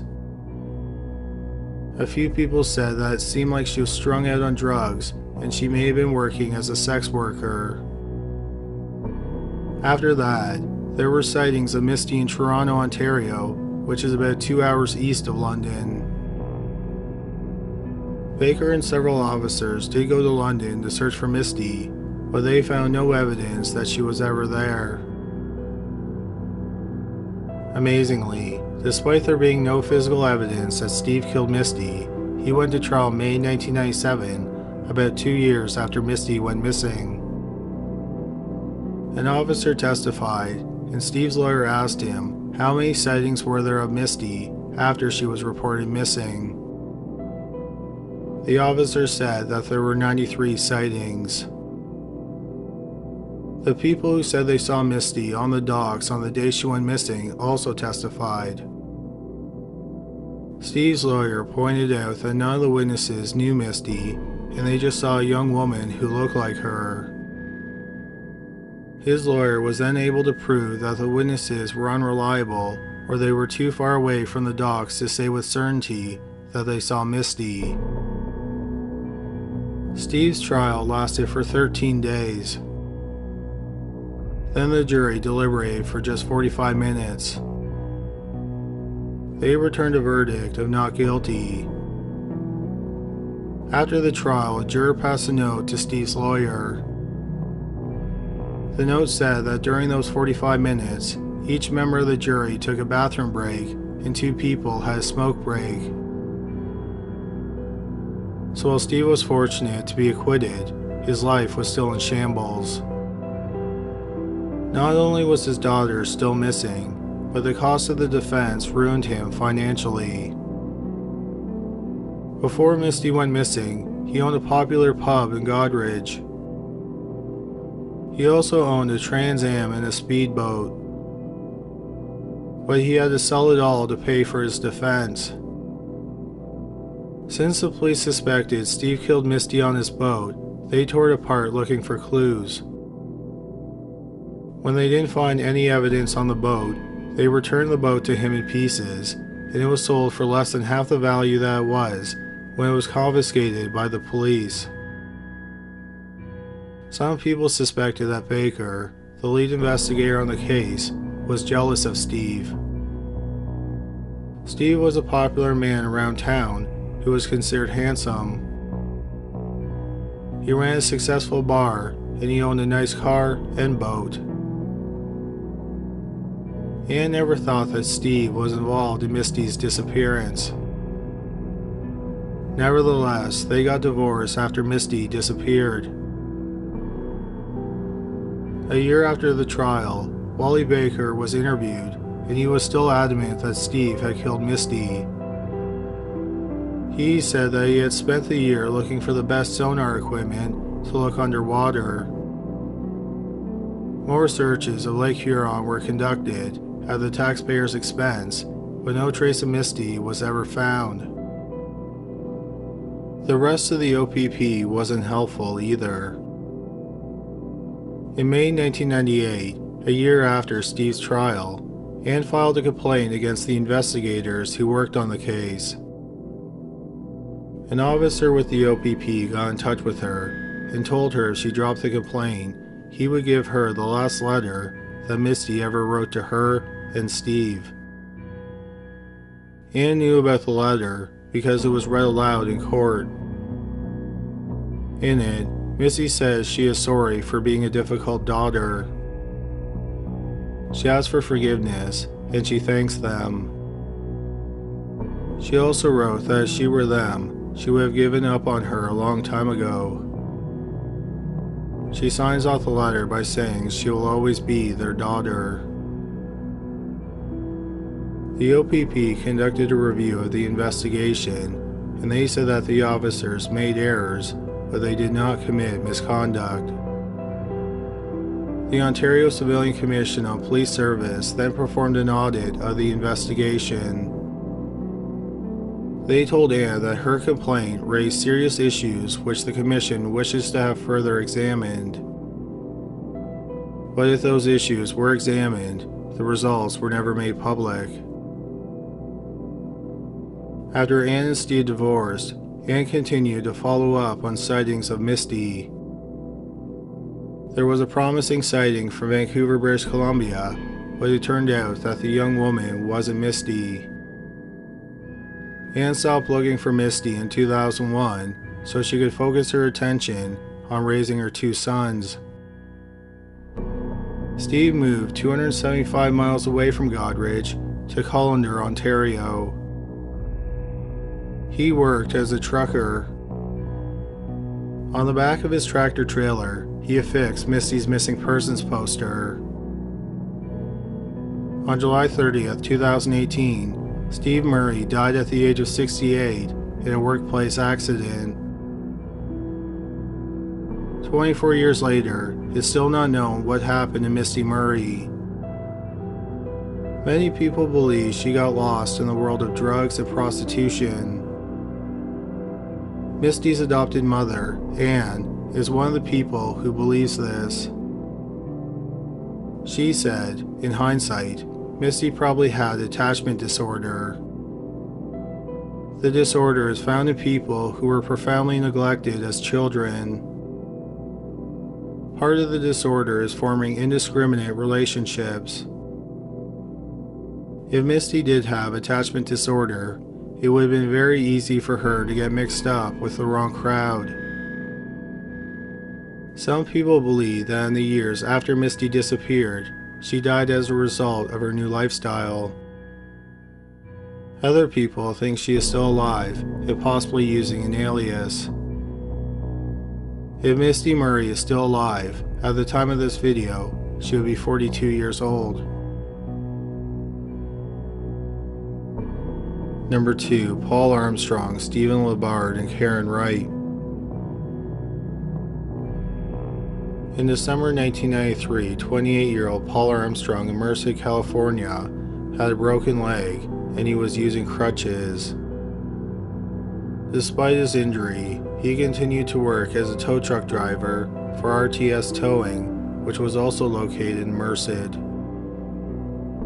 On the morning of December 17, 1993, he said goodbye to his girlfriend and he left his home to go to work. About an hour later, Armstrong's brother stopped by his home. His brother went inside but found no one home. But he did find Armstrong's wallet inside the home. Armstrong was supposed to meet his girlfriend for lunch, but he didn't show up. He also didn't come home that evening. On that same morning, about two hours after Armstrong left for work, 34 year old Stephen Lombard arrived at RTS Towing to pick up his paycheck. Like Armstrong, Lombard was a tow truck driver. Lombard planned on doing some Christmas shopping and then he was going to meet up with his wife. But there was supposedly a clerical error and his paycheck wasn't ready. Apparently, after he couldn't get his paycheck, Lombard left the tow yard. But he did not meet up with his wife, and he did not return home. Armstrong and Lombard were both reported missing. While both men were co-workers, they weren't friends, so their families didn't think that they would go anywhere together.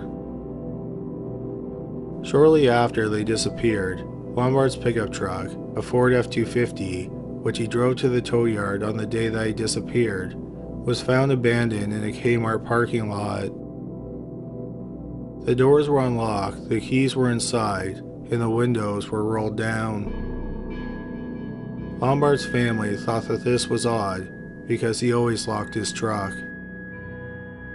The truck was the only trace of either man that was found after the morning of December 17th. The police thought the disappearances were suspicious, and they investigated the disappearances as a double homicide. Unfortunately, they did not find any concrete leads, and it wasn't long before the cases went cold. Then, just over 15 years later, another person connected to RTS Towing mysteriously disappeared. On February 12, 2009, the owner of RTS Towing, 59 year old Randall Wright, called the sheriff's department in Merced. He told them that he thought that someone had broken into his home. Sheriff's deputies went to his home to write a report. When they got there, Randall mentioned that his wife of 12 years, 50 year old Karen Wright, was supposed to return from Mexico, but she never did. Randall explained that they had a vacation home in San Felipe, Mexico. Randall said that he talked to Karen on February 9th, which was three days earlier, but he had not heard from her since. The sheriff's office got in contact with Karen's family, and the last time they talked to her was also on February 9th. She had called them from the vacation home in San Felipe the sheriff's office thought that Karen's lack of communication was worth sending deputies to San Felipe to investigate. The deputies who were sent to San Felipe were surprised to learn that Randall didn't file a missing persons report with the local police. The sheriff's office also learned that Randall and Karen's relationship was nearing its end. Several months earlier, in October 2008, Karen had filed for divorce. In the court documents, Karen alleged that Randall was abusive. She claimed that he had ripped chunks out of her hair and he had broken her hand. He had also threatened to kill her several times. He supposedly told her that he could murder her and nobody would know. Karen also alleged that Randall talked about how he joined a motorcycle club and if she divorced him, then the motorcycle club would kill her so that he wouldn't have any blood on his hands. After Karen filed for divorce, there was a ruling that no construction work could be done on the vacation house.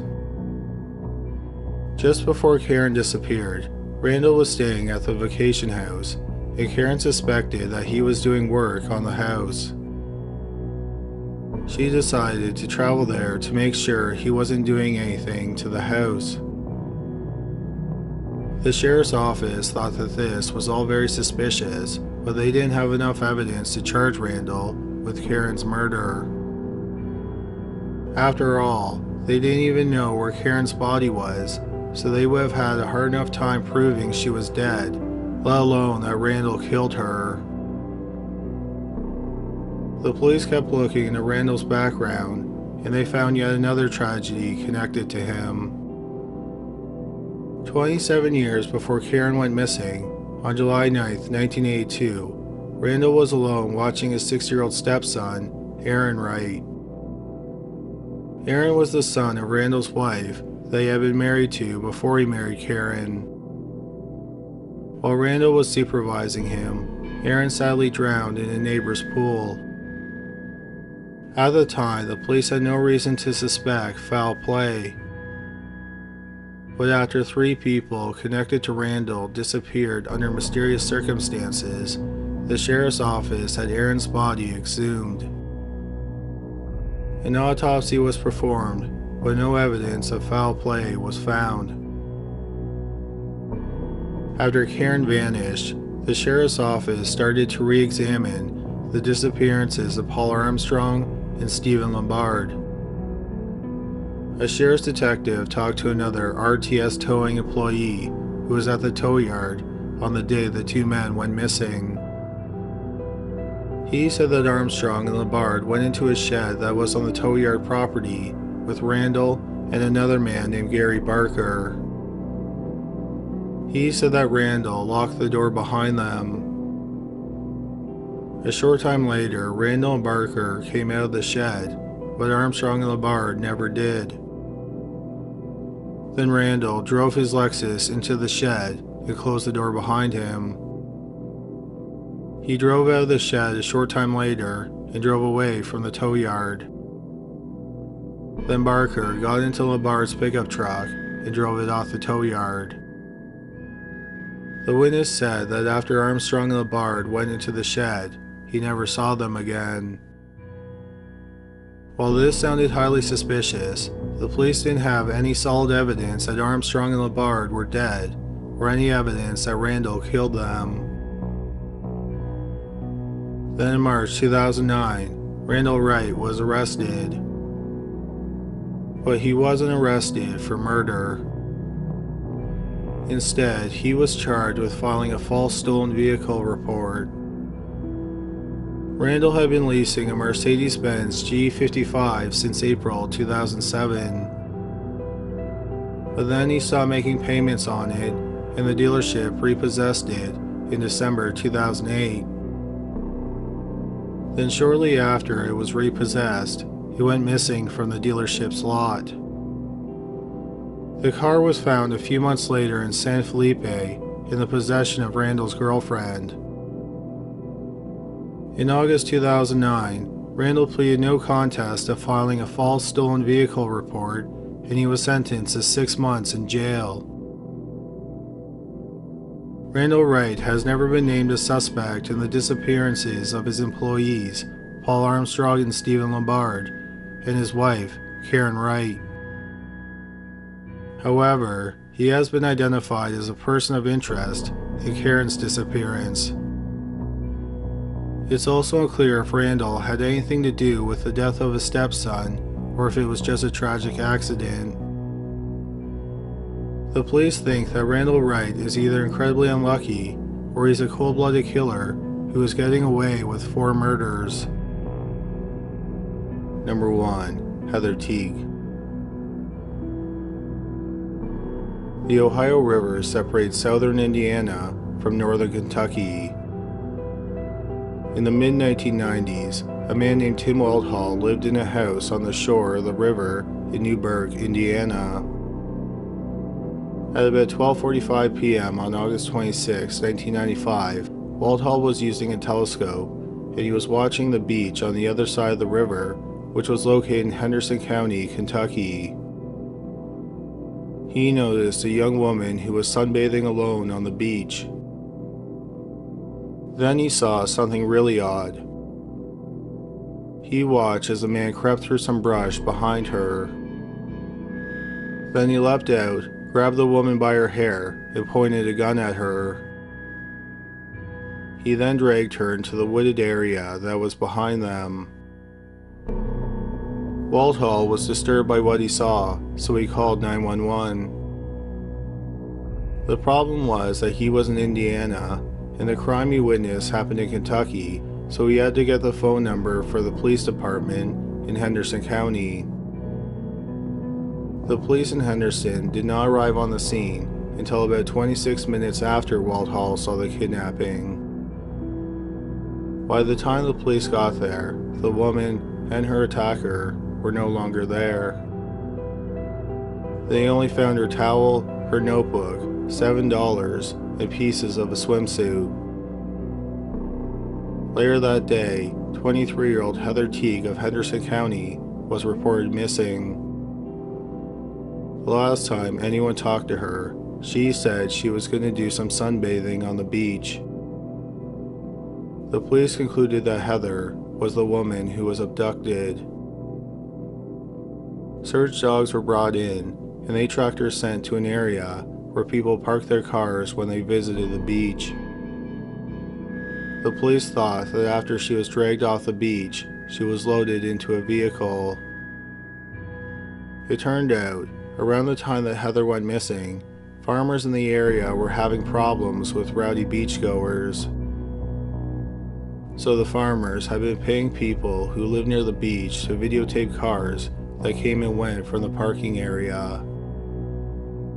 The police found someone who had recorded Heather's car arriving that morning. Then later, a red and white Ford Bronco was videotaped driving by her car. Four days after Heather disappeared, the police brought in Tim Waldhall, who witnessed the abduction.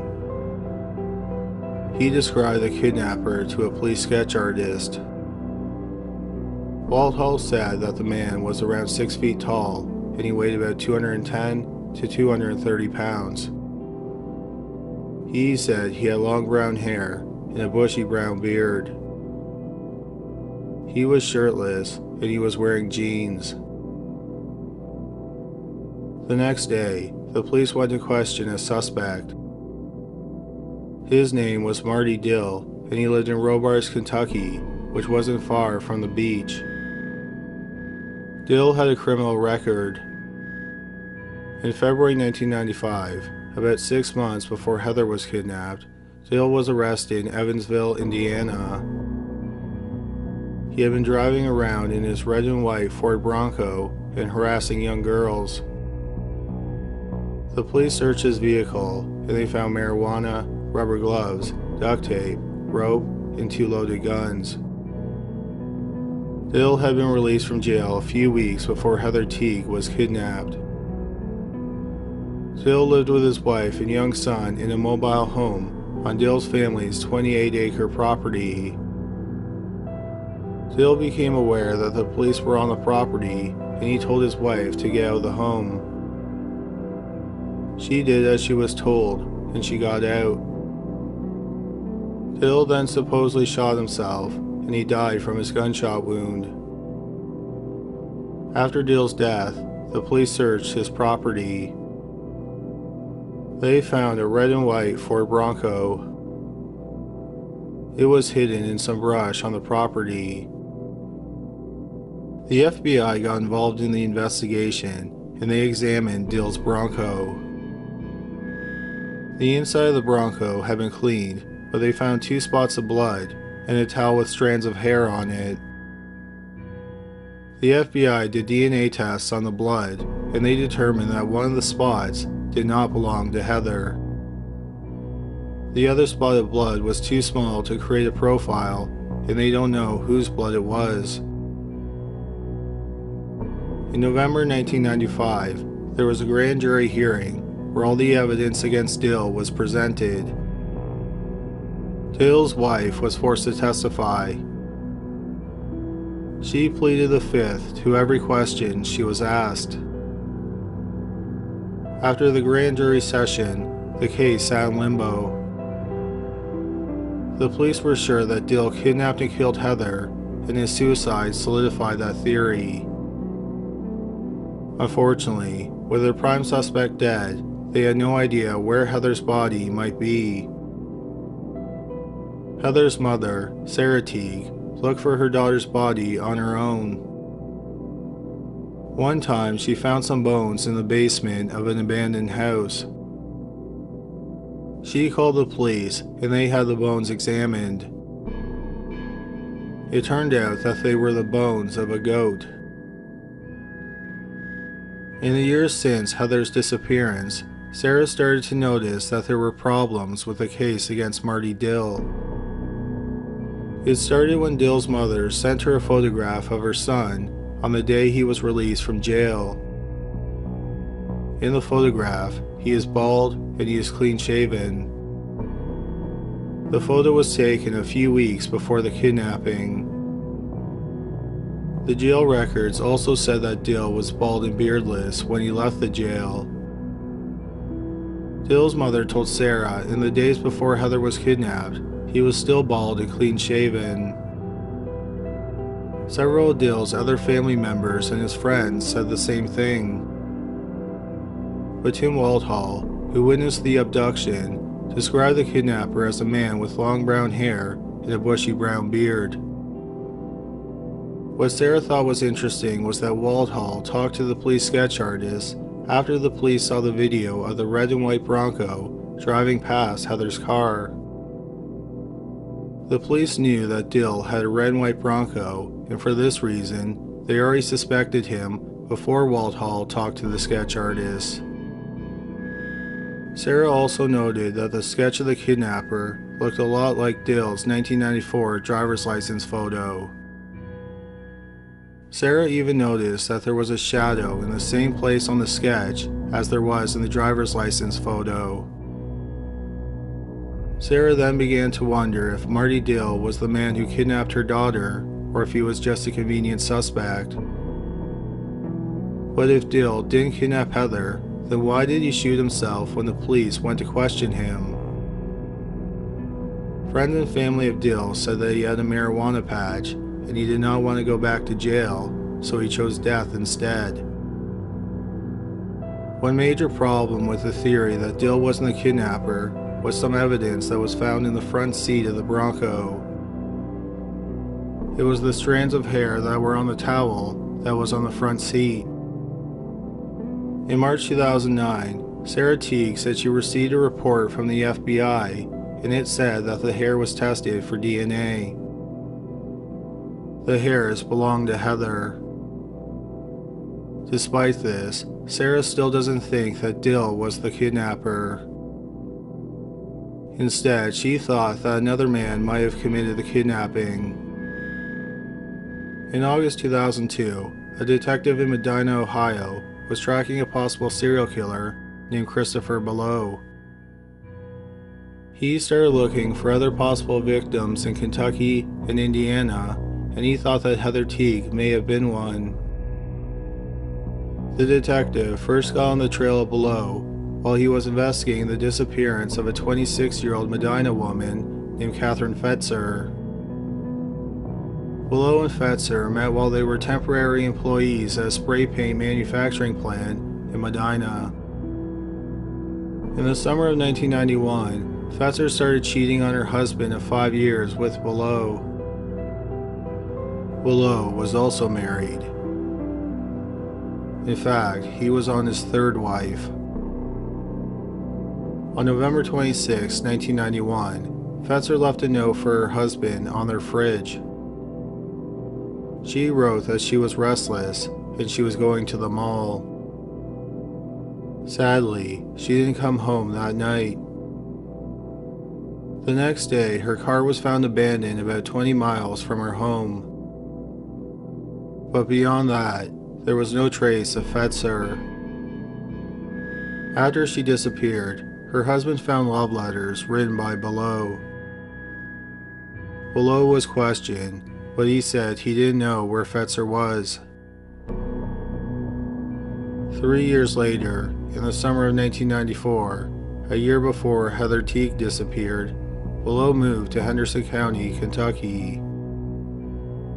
Eleven months later, he moved to Georgia with his fourth wife.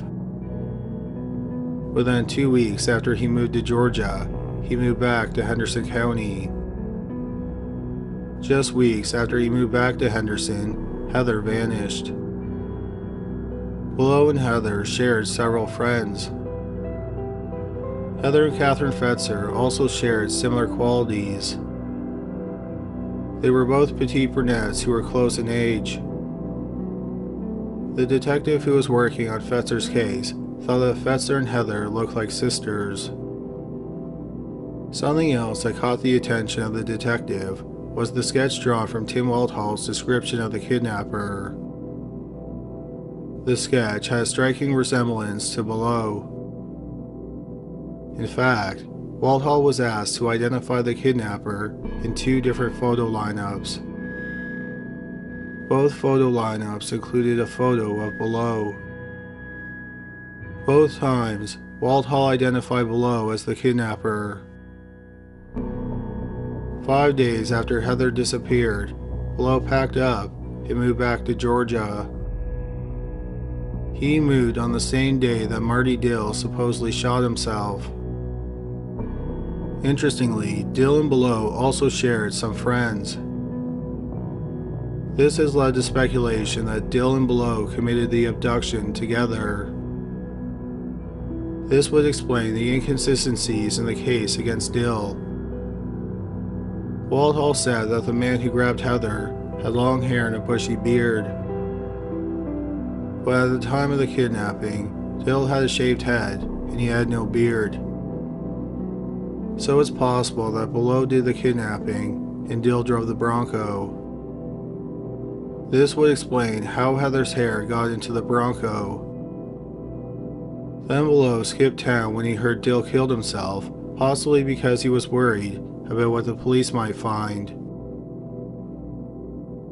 After Heather disappeared, Below continued to live in Georgia, where he worked as a truck driver. He often made trips to North Carolina, South Carolina, Florida, Louisiana, and Alabama.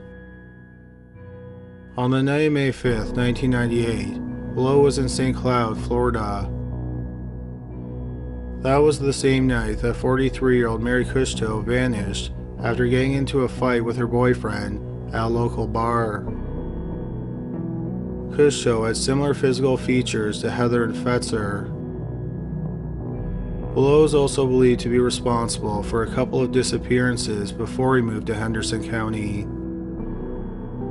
On August 8, 1994, a year before Heather Teague vanished, 18 year old Shailene Farrell left her family's home in Piqua, Ohio. She told her family she was driving to a nearby store to buy a drink. She did not return home or show up for work that night, so her family reported her missing. The car she was driving was discovered abandoned in a parking lot on the same day she disappeared. At the time, Below was living in Lodi, Ohio, and he was working as a truck driver.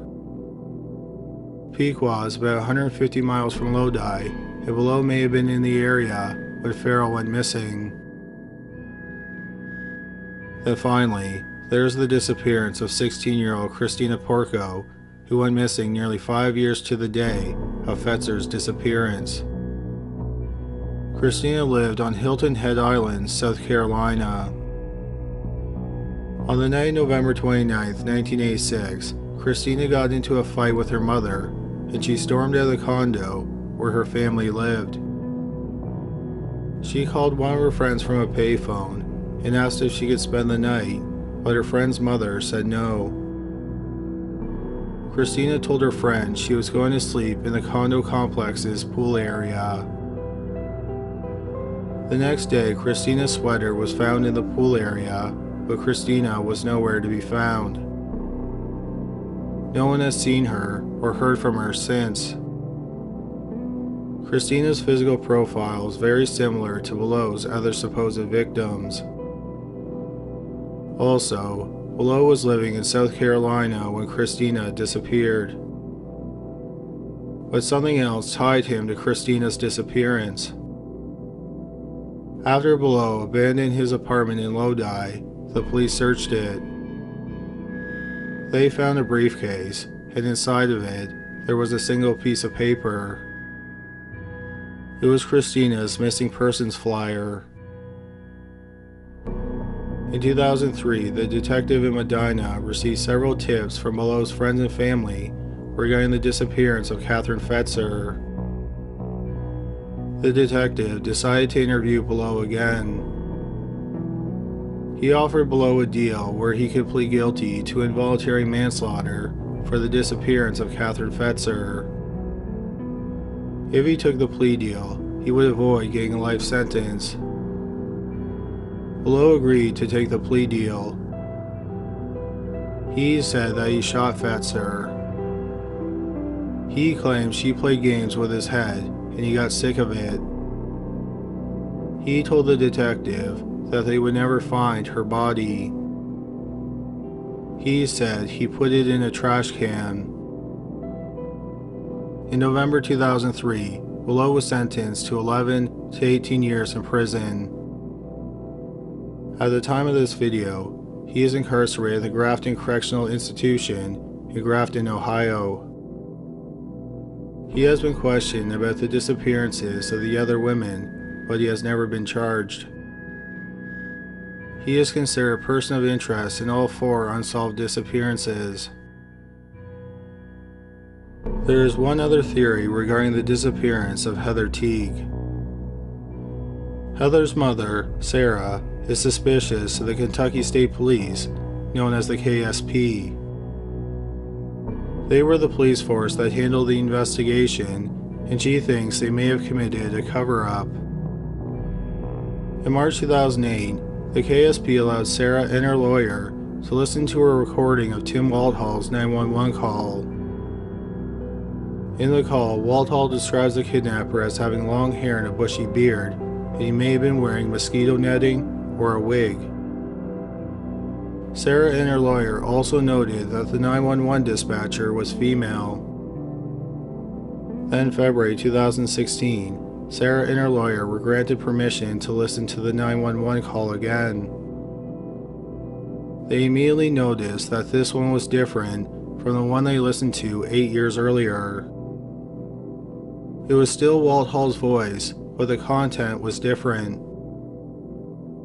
Notably, in the second recording, Waldhall leaves out the description of the kidnapper. Also, the dispatcher in the second recording was male. The KSP denied that there was more than one recording of the 911 call. They said that the recording of the call that Sarah and her lawyer heard in 2016 was the same one they heard in 2008. Sarah and her lawyer are convinced that there are two different recordings. They think that after the initial call, the police convinced Waldhall to record a second one to build a stronger case against Marty Dill. Either the first one they heard in March 2008 was the fake one, and the police got Waldhall to describe Dill based on his 1994 driver's license photo. Or the second call, which they listened to in March 2016, could have been the fake one. In the second recording, there is no description of the kidnapper. This could have been recorded when the police realized that Dill was bald and clean shaven. Something else that was odd about the investigation was the Ford Bronco. The Bronco had been cleaned, but yet, a towel with strands of Heather's hair on it was left in the front seat. Why would Dill go to all the work to clean up the other forensic evidence and dispose of the body in a way that it has been found in decades, but then leave a towel with Heather's hairs on it in the front seat of the Bronco? In May 2016, Sarah's lawyers sanctioned the KSP to release Marty Dill's mugshots, recordings of both 911 calls, and a record of who accessed the 911 calls. The KSP flat out refused to give them what they wanted, despite the fact that the information should have been released under the Freedom of Information Act. So Sarah's lawyer filed a lawsuit against the KSP. In January 2018, Sarah won her lawsuit, and the KSP was ordered to release all the information that she had requested. The KSP were also ordered to pay Sarah nearly $24,000 for her legal fees. The KSP appealed the ruling. In February 2019, the Kentucky Court of Appeals upheld the ruling. They said that the KSP lacked plausible justification for withholding the documents and acted in a conscious disregard to Sarah's right to access the information. If the information that Sarah sued to get released was handed over to her, she has not made that information public. A major question is why would the police want to cover up the disappearance of a 23 year old woman? Sarah found a possible explanation in the FBI's files on the case. They thought that Heather's disappearance was possibly linked to drugs, prostitution, and public corruption in Henderson County. So Heather may have been killed to silence her, and then the crime was pinned on Marty Dill. Something worth noting is that the FBI's file on the case said that Dill allegedly died by suicide. This suggests that they aren't entirely convinced that Dill shot himself. If there was a cover up and Dill was set up to take the fall, his death would have been beneficial to the people who did the cover up. His death ensured that there was no trial where the case could be examined more thoroughly. He was also not able to proclaim his innocence or say he was set up. Instead, Dill's death actually made him look guilty and effectively closed the case. Had Sarah not begun investigating the disappearance of her daughter, people would have just gone on assuming that Dill was the one who kidnapped her. Sarah also thinks that a police cover up explains why Dill's girlfriend pleaded the fifth when she testified at the grand jury. Sarah thought she could have been threatened or at the very least, she was too scared to say anything. This would have been especially true if she knew that Dill didn't take his own life, but instead, he was murdered. Something else that bothered Sarah is that the KSP never seemed to cooperate with her. Besides not giving her the recordings of the 911 calls and Dill's mugshots, they wouldn't search areas where Heather's body might be hidden. They wouldn't even search Dill's family's property, which has a pond. However, this is mostly speculation, and the Kentucky State Police and officials in Henderson County have adamantly denied that there was a cover up, and they have said that there is no corruption in Henderson County. Sarah Teague still holds out hope that her daughter, Heather, is still alive, and one day she'll come back home. If Heather Teague is still alive, she would be 47 at the time of this video. Number 3. CJ and Billy Vossler. In 1980, Ruth Parker was living in Madison, Wisconsin. One day, she was looking through personal ads in the magazine Mother Earth News. She came across an ad that caught her attention, and she wrote to the man who placed the ad. His name was Charles Vossler, and he lived in Newton, New Hampshire. Over the next year, Ruth and Charles exchanged letters and phone calls. Ruth then moved to Newton, and the two got married. After they got married, they would buy rundown houses, live in them, and then flip them for money. On December 9, 1982, Ruth gave birth to a son who was named Charles after his father.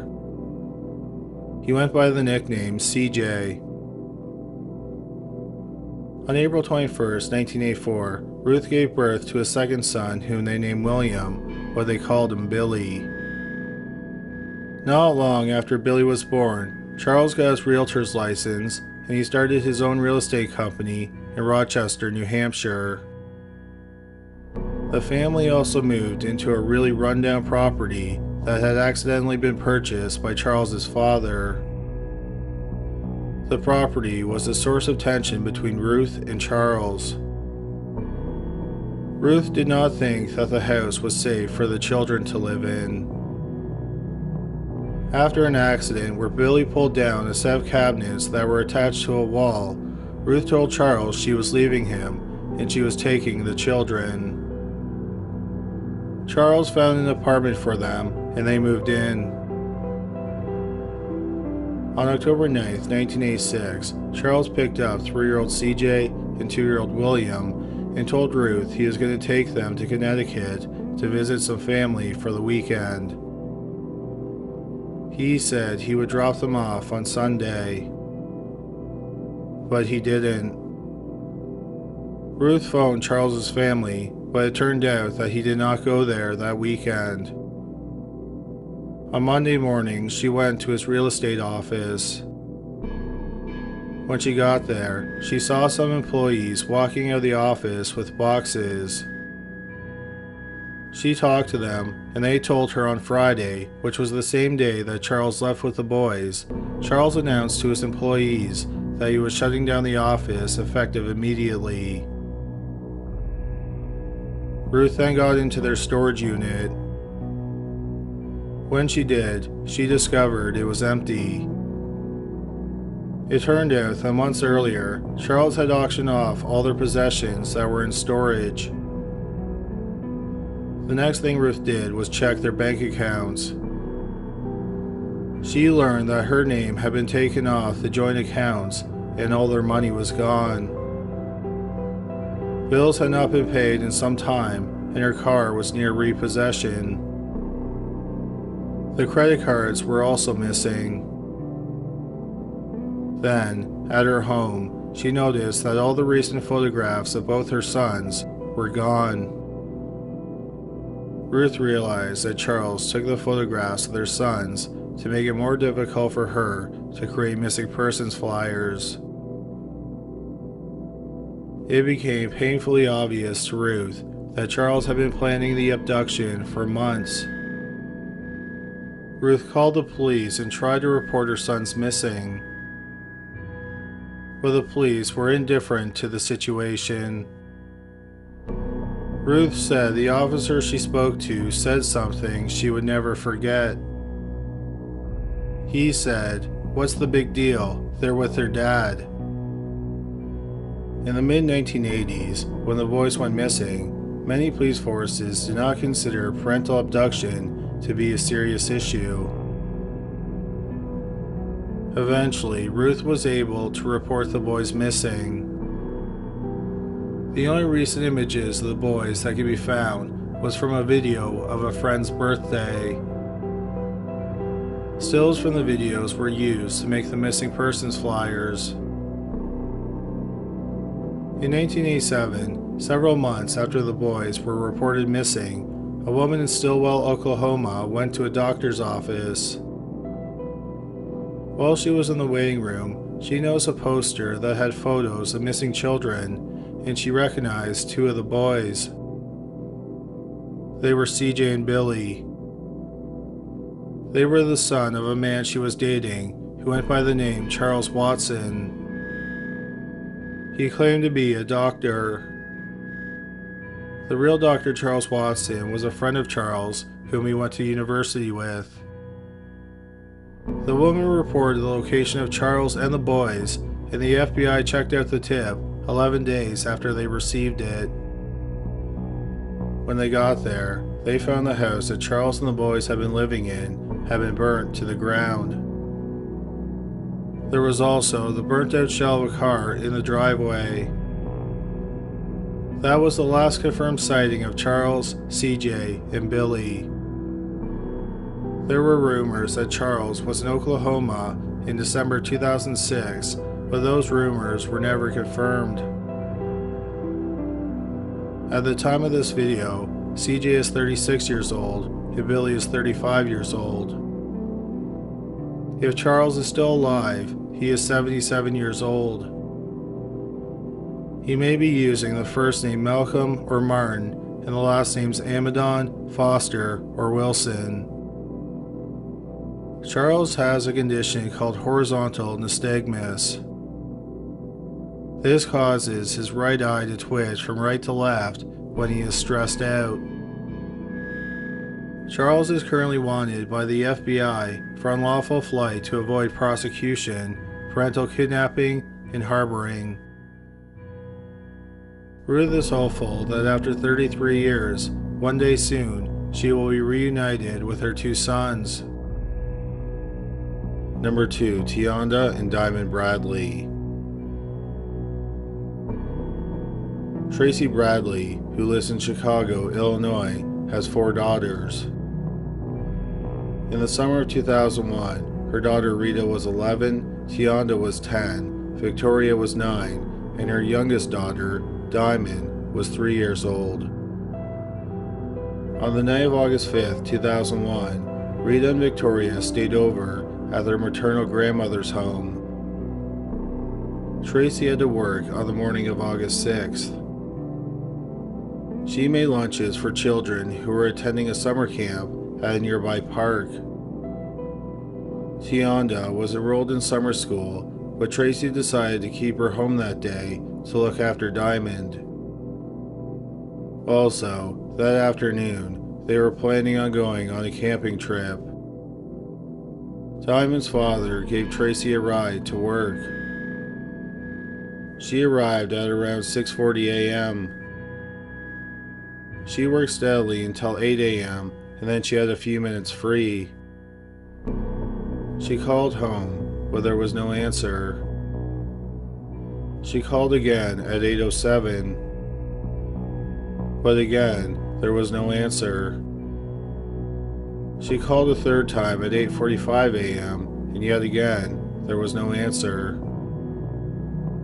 Tracy just assumed that Tionda and Diamond were still sleeping.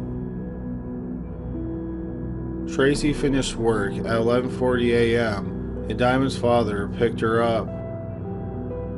He took her to a grocery store and then he drove her home. Tracy arrived at her apartment at around 12:40 p.m. When she got into the apartment, she found a note on the kitchen table. She thought that the note was in Tionda's handwriting. The note said that Tionda and Diamond were going to the store and to the playground. When the two girls didn't come home, Tracy went looking for them. But she could not find them. After searching for hours, that evening she reported them missing. A massive search was launched, but no trace of the girls were found. This led to an extensive kidnapping investigation. But despite the police's best efforts, they couldn't figure out what happened to the girls. A handwriting expert analyzed the handwriting on the note and they believe that Tionda wrote it. Supposedly, at times, The relationship between Tracy and the police was complicated. The police have accused her of not cooperating with the investigation, but Tracy has denied this. She took a polygraph exam and denied having anything to do with the disappearance of her daughters. She passed the exam. The police have stated that Tracy is not a suspect in the disappearance of her daughters. The police did develop one plausible suspect. Tracy has never publicly revealed the identity of Tionda's biological father. One man who was thought to be the father was a man from North Africa. According to the website, The Charley Project, up until 2001, shortly before the girls disappeared, the man had been paying child support. The police theorized that he found out that he may not have been the father and he became angry. So he kidnapped the girls. Detectives from Chicago traveled to Morocco to investigate the theory but they did not find any evidence that the girls were ever in the country. For nearly two decades, the case has remained cold. Then in the spring of 2018, the family of the girls got a message on Facebook from a woman in Texas calling herself Lele Rodriguez.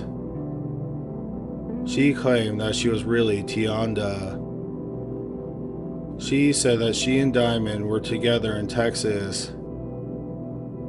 She claimed that they both had kids and that Diamond was enrolled in college. The woman knew a lot about the case, but everything she told them was already public knowledge. The woman was adamant that she was Tionda, and she even volunteered to take a DNA test. The family got in contact with the FBI and they investigated the woman's claims. It turned out that was just a disturbing hoax. The woman was not Tionda. The family of Tionda and Diamond are still holding out hope that they are still alive and one day they'll be reunited with them. If the girls are still alive, at the time of this video, Tionda is 28 and Diamond is 21. Number 1. Annette and Mylette Anderson. Elizabeth and Jack Anderson, who lived in Jacksonville, Florida, had three children. In the summer of 1974, their daughter Donna was 13, Lillian, who went by the name Annette, was 11, and Mylette was 6 years old.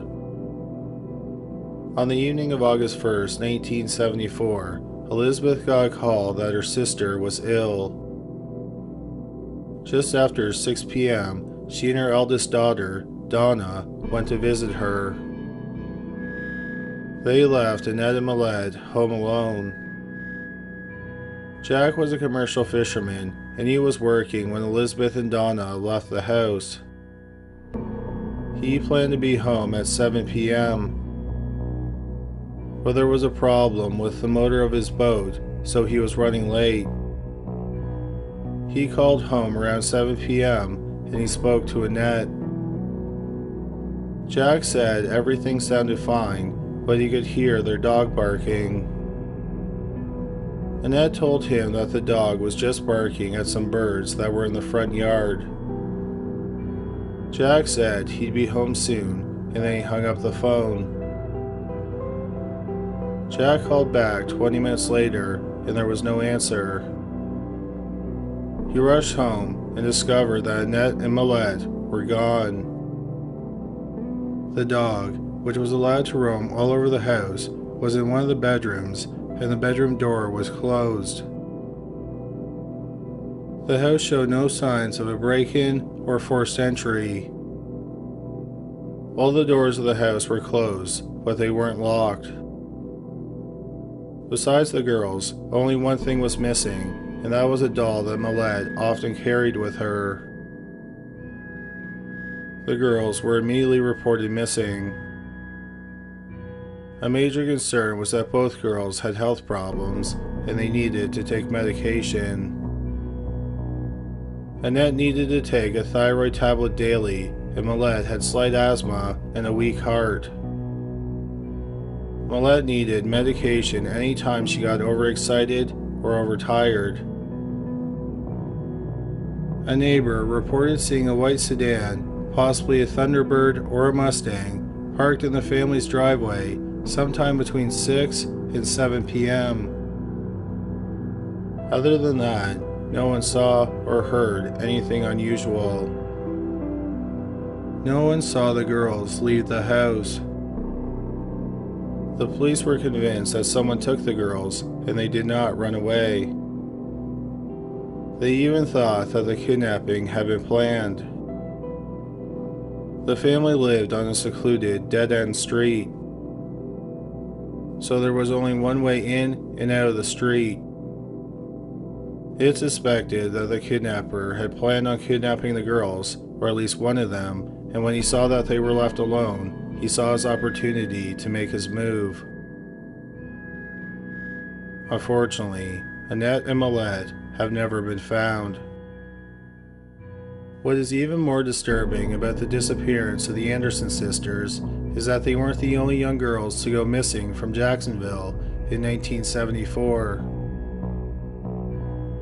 Just a week and a half before the sisters went missing, on July 21st, nine year old Jean Schoen left her grandmother's house to go to a variety store, which was two blocks away. Sadly, she never returned to her grandmother's home and she was reported missing. The police were able to piece together Jean's last known movements.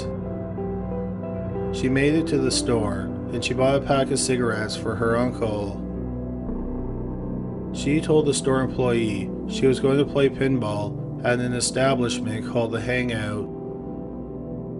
The police interviewed the owner of The Hangout. He told the police that Jean had come to the hangout, but he told her that it was closed because he had just washed the floors.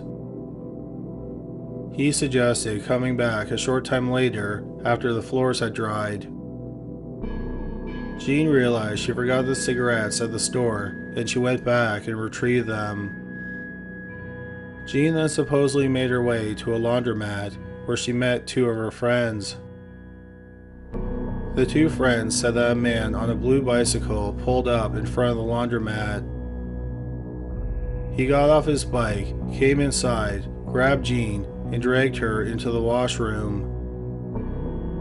They emerged not long afterward and Jean was crying. Jean did not scream or try to fight off the man. The man forced her to get on his bike and then he rode off with her. Jean's two friends said that they ran after them, but they couldn't keep up. This was the last time anyone who knew Jean saw her alive. Jean's two friends said that the man who kidnapped her was white and had light hair that was styled in a way that was similar to Elvis Presley's. Jean Schoen has never been found dead or alive. On September 27, 1974, two months after Annette and Mylette went missing, 12 year old Virginia Helm left her family's home in Jacksonville to go to a variety store to buy some soap. The entire trip should have taken her about 20 minutes. When she didn't come home after 45 minutes, her father started searching for her. But he could not find any trace of her, so she was reported missing. The police canvassed the area between Virginia's house and the store, and they interviewed many people. Several people reported seeing a red compact car in the area, the red compact car would become an important part of the investigation. A day before Virginia went missing, her friend, who lived in the same neighborhood, was approached by a man in a red compact car. He told her to get in the car or he would kill her. Instead, she ran and found help. Three days after Virginia went missing, a couple went to the police and reported an odd encounter that they had that day. They were driving and they noticed a red Volkswagen bug pulled over on the side of the road near the border of Duval County, where Jacksonville is located, and Nassau County. A man was standing outside of the car. The couple asked the man if he needed help, and then they looked in the back seat. They saw a young girl who looked like Virginia on the floor in the back seat. She was on her knees and she was pulling herself up by pushing down on the back seat. The couple noticed that the girl's pupils were dilated. She also looked afraid. She was rapidly looking back and forth. The couple asked the man about the girl, but he did not respond to them. Instead, he quickly got into his car and drove off. As he drove away, a bag fell out of his car. The couple grabbed the bag and they gave it to the police. The bag was checked for fingerprints, but no viable prints were found. Just over three weeks after Virginia disappeared, on October 16, 1974, 12 year old Rebecca Green left her home in Jacksonville to go to a variety store that was only five blocks from her home. Just like Jean and Virginia, she did not make it home from the store. The police interviewed the store employee and he said that Rebecca bought some soft drinks and then left. The police canvassed the area, but no one saw what happened to Rebecca after she left the store. On October 25th, nine days after Rebecca went missing, the remains of a young girl were found in a wooded area near the University of Florida in Jacksonville. She was buried in a shallow grave and she was just wearing a blouse. She had been shot once in the head with a 22 caliber handgun. The parents of all five missing girls waited with bated breath to see if it was their daughter. It turned out that the body was Virginia Helm, who went missing a month earlier. The last confirmed sighting of her was less than six miles away from where her body was found. The area where Virginia's remains were found was searched, but no traces of the other four girls were found. Some of the other girls' parents said that they were a bit relieved after hearing the news. They said that they went back to hoping that their daughters were still alive. Then, after that, girls in Jacksonville stopped disappearing. Nearly three years later, on August 2, 2019, some remains washed up on Little Fort George Island, which is about 20 miles from Jacksonville. Once again, the parents of the girls dreaded the medical examiner's results. It turned out that the skeletal remains were 12 year old Rebecca Green. Because of the state of the remains, the cause of death could not be determined. The police in Jacksonville are pretty sure that all five cases are connected. All the girls were between the ages of 6 and 12, and they all went missing within two and a half months of each other. Besides the Anderson sisters, they were all kidnapped before or after they visited a variety store. However, the police have never been able to make an arrest in any of the cases. But the police do have a suspect in one of the cases. That is the disappearances of Annette and Mylette Anderson. The suspect's name is John Paul Knowles. Knowles was born in April 1947 in Orlando, Florida, but he grew up in Jacksonville. He was a problem child, and his parents had a hard time controlling him. By the time Knowles was 17, he had been sent to a boys' reformatory school six times for crimes like theft, and breaking and entering. In the spring of 1965, when Knowles was 19 years old, a police officer pulled him over while he was driving a stolen car.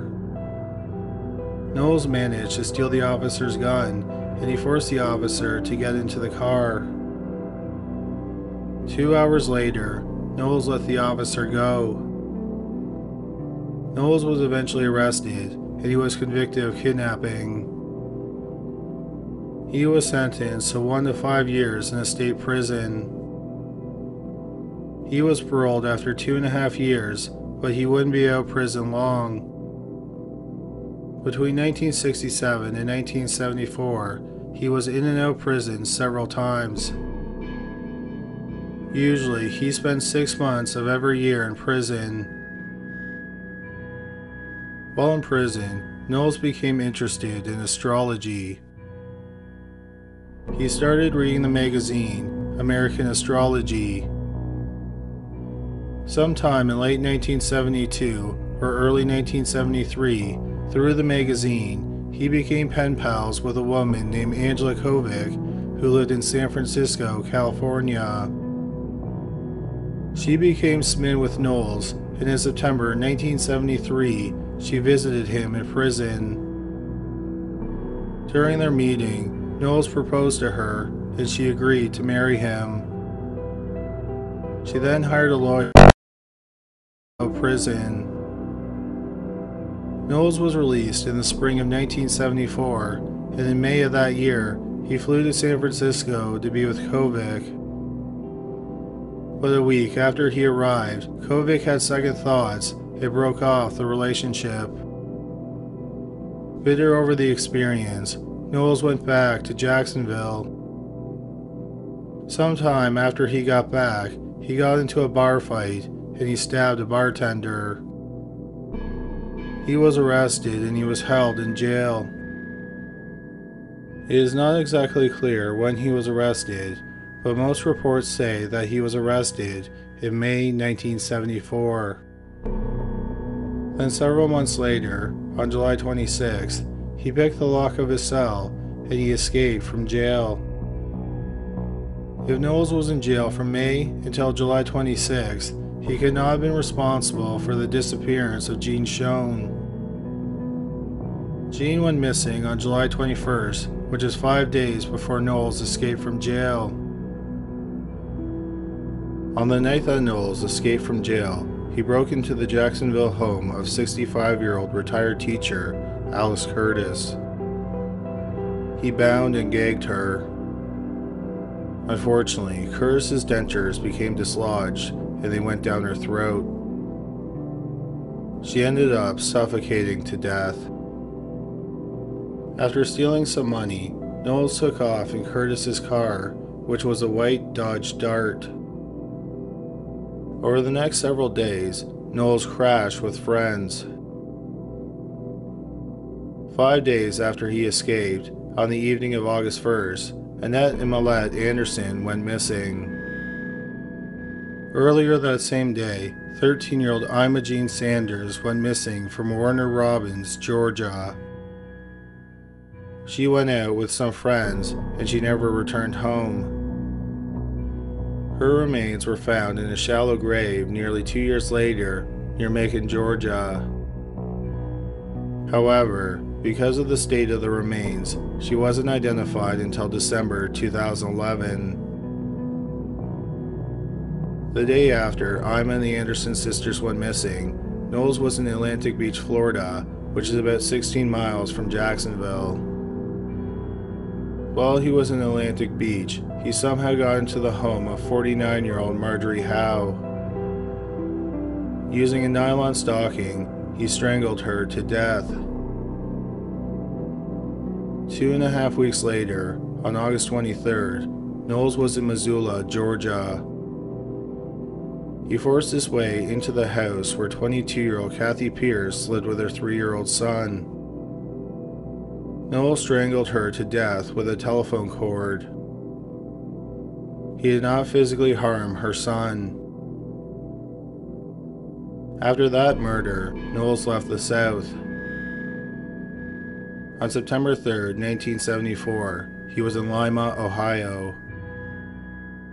He went to a bar and he met 32 year old William Bates. They left the bar together. Bates' wife reported him missing when he did not come home. Not far from the bar, the police found Alice Curtis's Dodge Dart.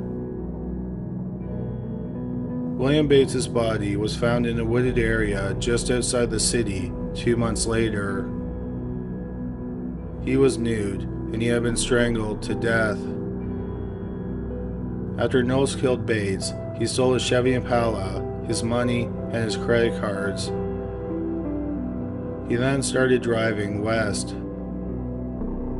Somewhere in his travels, he purchased a gun. On September 12, 1974, he encountered 62 year old Emmett Johnson and his 59 year old wife Lois, who were camping in Ely, Nevada. He shot them both in the head, and then he stole their credit cards and money. Their bodies were discovered six days later. By then, Knowles was long gone. On September 21, 1974, Knowles encountered 42 year old Charlene Hicks near Seguin, Texas. He either met her at a rest stop or he found her on the side of the road after her car broke down. When Hicks encountered Knowles, she was on her way to a family chili cookout. Her family reported her missing when she didn't show up. Four days later, her nude body was found in a field. She had been strangled to death. On September 23, 1974, two days after killing Hicks, Knowles met 49 year old Ann Dawson in Birmingham, Alabama. He was able to convince her to go on a road trip with him. But then, six days later, while they were in Mississippi, Knowles strangled Dawson and then dumped her body. Her body has never been found. Just over two weeks later, Knowles was in Marlborough, Connecticut. He knocked on the door of the home where 35 year old Karen Wine lived with her 16 year old daughter, Dawn Wine. At the time, Dawn was the only one home. When Dawn opened the door, Knowles forced his way in. He then sexually assaulted Dawn. When Karen came home, he sexually assaulted her as well. He ended up strangling them both to death with a pair of silk stockings. Three days later, Knowles forced his way into the home of 53 year old Doris Hovey, who lived in Woodford, Virginia. Knowles grabbed Hovey's husband's rifle and he shot her in the head. He did not sexually assault her or steal anything from her house. He even left the murder weapon behind. Knowles then drove to Florida. In one of his home invasions, Knowles had stolen a tape recorder. As he traveled, he used the tape recorder to record his confessions. When Knowles got back to Florida, he went to see the lawyer that Covic had hired to get him out of jail, Sheldon Yavitz. He confessed to Yavitz that he had killed a lot of people. Yavitz told Knowles to turn himself in, but Knowles said that he would rather go out in a blaze of glory. Knowles gave Yavitz the recording of his confessions, and they left for Macon, Georgia. Yavitz held onto the recording, and he did not contact the police. As Knowles drove to Macon, it's believed he picked up two hitchhikers, 23 year old Edward Hilliard and 20 year old Debbie Griffin. Hilliard's body was found two days later in a wooded area near Macon. He had been shot multiple times in the head. Griffin's body was not found, but her purse and some of her clothing were found near Hilliard's body. They were all splattered with blood. Debbie Griffin's body has never been found. Knowles has never been definitively tied to the murders, but he is the prime suspect. On November 6, 1974, four days after it's believed he killed Hilliard and Griffin, Knowles went to a gay bar in Macon where he met 45 year old Carswell Carr. Carswell was married, but that night, his wife, who was a nurse, was working the night shift at the hospital. They went back to Carswell's house, which was in the neighboring city of Milledgeville. Knowles tied up Carswell and then started torturing him by stabbing him with a pair of scissors. Knowles' 15 year old daughter, Amanda, heard her father screaming and she went to his bedroom to investigate. When she got there, her father was dying from a heart attack. Knowles strangled her to death with a silk stocking. He then left, and Carswell died from the heart attack. Carswell's wife and Amanda's mother discovered the bodies when she returned home from work. The same morning that their bodies were found, Knowles checked into a hotel in downtown Atlanta, Georgia. He went to the hotel bar where he met a British journalist named Sandy Fox. They had an affair that lasted for nearly a week.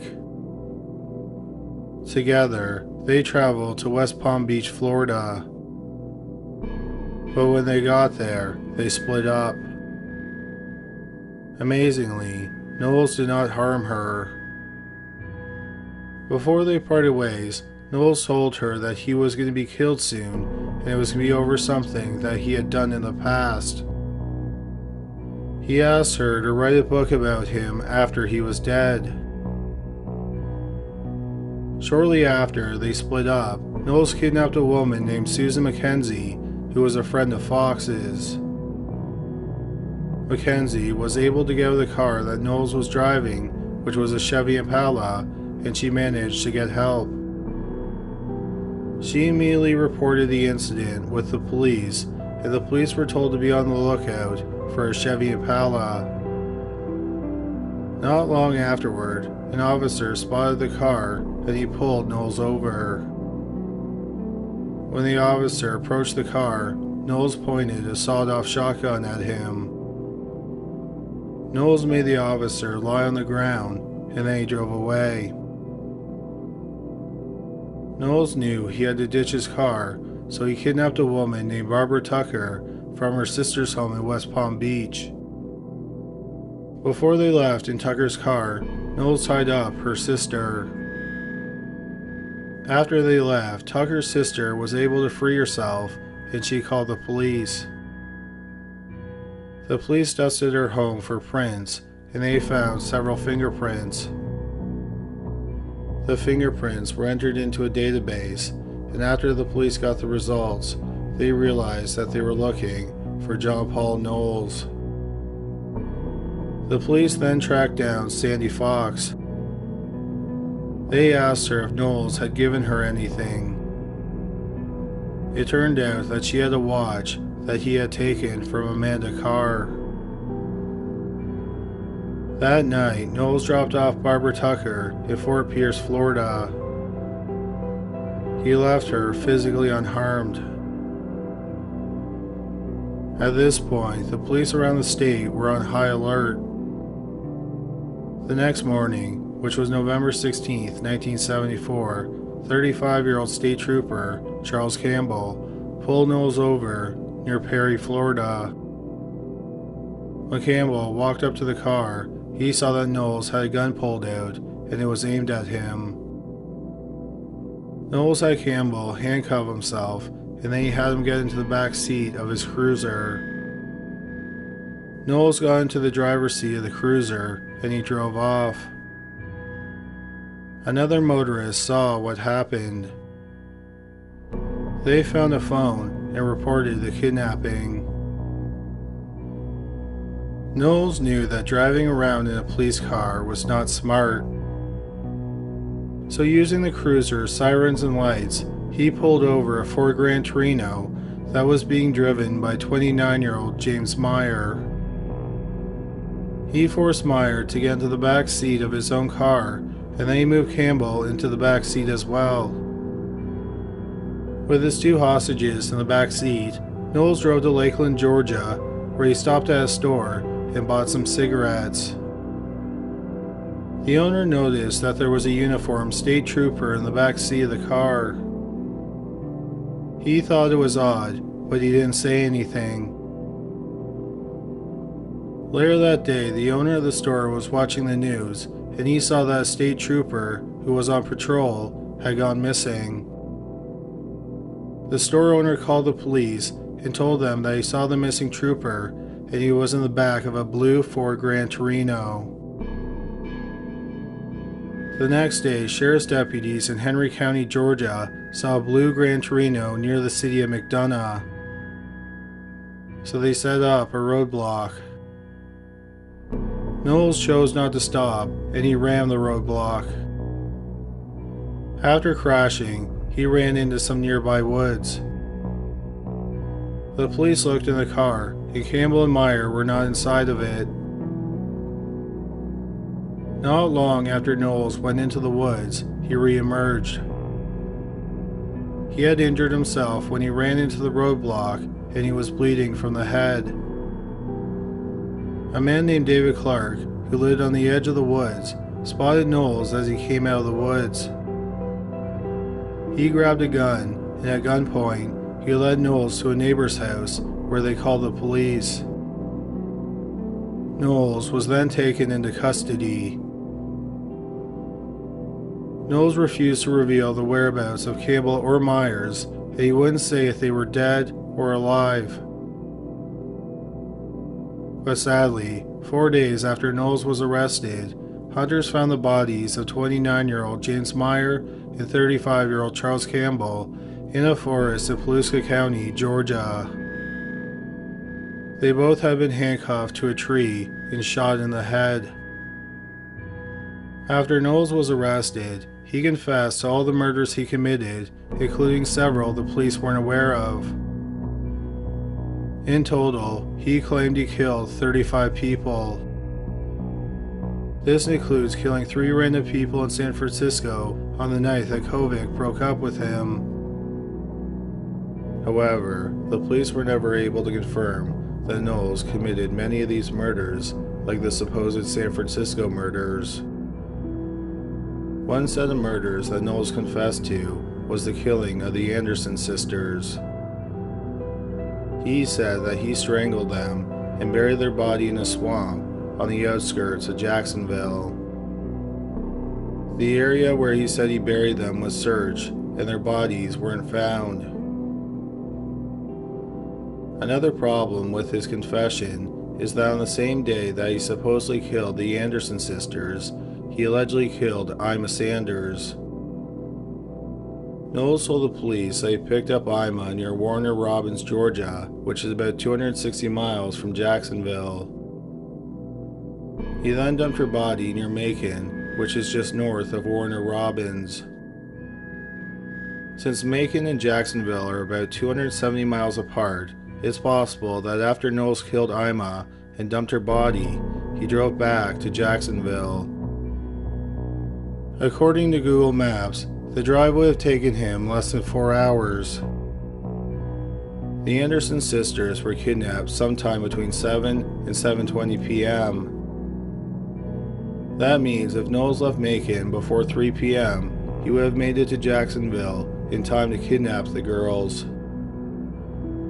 Unfortunately, the timetable of Ima's murder isn't known, and Knowles was vague on details pertaining to both kidnappings. People who think that Knowles killed the Anderson sisters point out that when they were kidnapped, Knowles was driving Alice Curtis's white Dodge Dart. A neighbor of the Andersons reported seeing a white sedan in their driveway shortly before the girls went missing. Also, the day after Annette and Mallette went missing, Knowles was in Atlantic Beach, Florida, which is only 16 miles from Jacksonville. That means if he really did kill Ima Sanders, he made his way back towards the Jacksonville area after he did it. So was Knowles telling the truth about the Anderson sisters? Was he telling the truth about killing Ima Sanders? A big problem for investigators is that Knowles wanted to be an infamous killer. Because he wanted notoriety, they think he inflated his victim count. According to First Coast News, the current investigator on the Anderson case does not believe that Knowles killed the Anderson sisters. He thinks that Knowles was just lying to make himself look more notorious than he really was. He points out that Knowles never said anything about the case that wasn't already public knowledge. Also, no physical evidence links him to the kidnapping. Another reason he believes that Knowles did not kidnap Annette and Mallette is that it's believed that one killer is responsible for the murders of the Anderson sisters, Jean Schoen, Virginia Helm, and Rebecca Green. Knowles was either in jail or out of state when the other girls went missing or were killed. But other people point out that the Anderson sisters' kidnapping is different from the other three cases. Annette and Mallette were kidnapped from their home, while the other girls were abducted in public after they visited a variety store. The police were not able to question Knowles further and get more details from him regarding his confessions. On December 18th, the sheriff of Douglas County, Georgia, Earl Lee, and FBI agent Ron Angel escorted Knowles away from the Douglas County Jail. Knowles had promised to show them where he ditched the gun that he used to kill Trooper Charles Campbell and James Meyer. While they were driving, Knowles supposedly tried to grab Lee's gun, so Angel shot him three times. John Paul Knowles, who was nicknamed the Casanova Killer, was dead at 28 not including Annette and Mallette Anderson, is strongly suspected that Knowles killed 16 people. With so many questions surrounding the disappearance of the Anderson sisters, we may never know if Knowles was truly responsible. Their family, and the families of Jean Schoen, Virginia Helm, and Rebecca Green, are all hoping that they'll get some closure in their cases. But after 45 years, they understand that the cases may never be solved. During his four month killing spree, Knowles had a short affair with journalist Sandy Fox. He had asked her to write a book about him. She ended up doing just that. Three years after Knowles' killing spree, in 1977, her book, Killing Time, was published and it was a bestseller. Number 3. Sarah Boyd, Kimberly Boyd, and Linda McCord. In the spring of 1987, Sarah Boyd was 32 years old. She was living in Harleyville, South Carolina, with her husband, Philip Boyd, and their two and a half year old daughter, Kimberly. On the night of April 3, 1987, Sarah and her friend, 32 year old Linda McCord, attended a gospel concert at a church in Walterboro, South Carolina. Walterboro was about 30 miles from their home in Harleyville, South Carolina. They were driving a blue Lincoln that was owned by McCord's husband. They brought Sarah's daughter, Kimberly, with them. Sarah, Kimberly, and McCord were all seen at the concert between 10:30 and 11 p.m. At around midnight, Linda McCord's husband returned home from work and he was surprised to find that his wife was not home yet. At first, he was not too concerned. He just assumed she was at the Boyd's home or she was with a relative. But hours went by and she didn't return home. So he reported the missing that morning.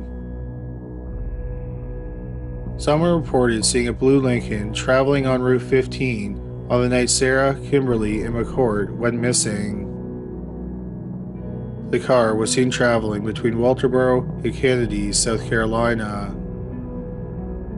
The motorist was driving under the speed limit and another car was following it. But the witness could not remember anything about the second car and they did not get a good look at the driver. The day after the trio was reported missing, the police were notified that blue Lincoln had been abandoned on the outskirts of Holly Hill, South Carolina. The person gave the police the license plate number and they learned that the car belonged to Linda McCord's husband. An officer drove McCord's husband out to the car to retrieve it. They opened the hood and discovered that a freezer plug had been blown out and the engine had overheated. When the car was discovered, the police did not consider the disappearance of the trio a crime, so the car was not examined for evidence. What was odd was the location where the car was found. After the trio didn't return home, the assumption was that they were traveling in the car and they started to have engine trouble. This would explain why they were driving slowly. The car broke down, then they left their vehicle to go call for help. Then something might have happened to them after they left the car. What was strange was that the women were driving north from Walterboro to their home in Harleyville. But for some reason, their car was found immobile less than 15 miles north of Harleyville.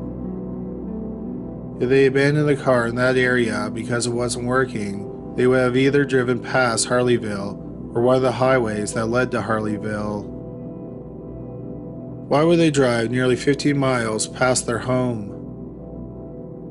This is even odder if the women really were having car problems within 10 miles of Walterboro. The police also thought that if the car broke down, they would have called someone for help. But no one had heard from the women. The police conducted several land and air searches, but no other trace of the women or the toddler were found. The FBI was also brought in to aid in the investigation.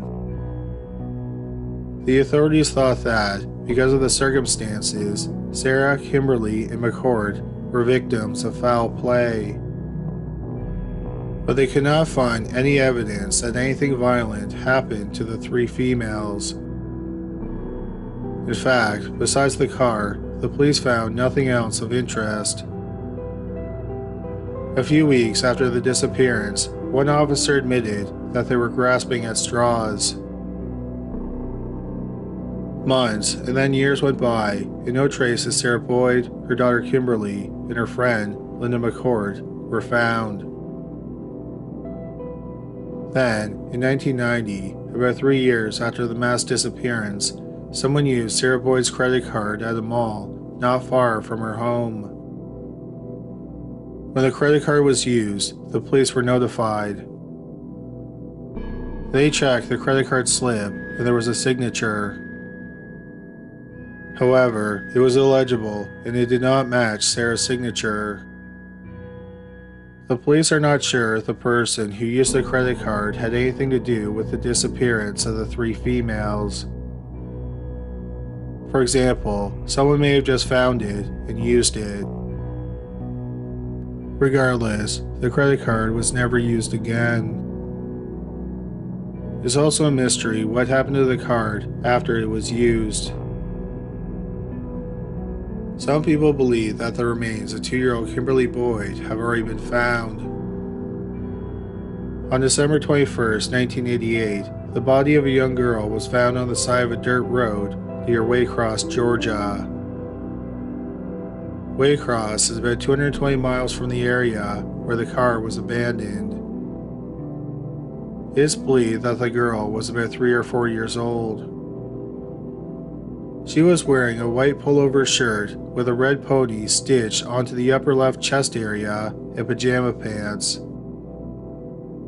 The medical examiner was not able to determine the cause of death. Someone had gone to a lot of trouble to hide the body. It had been wrapped in a brown blanket and placed in a gym bag. The bag was put into a steel suitcase and then cement was poured into the suitcase. The suitcase was placed into a TV console and then the console was boarded up with plywood. People have noted the physical similarities between Kimberly Boyd and the girl known as Baby Jane Doe.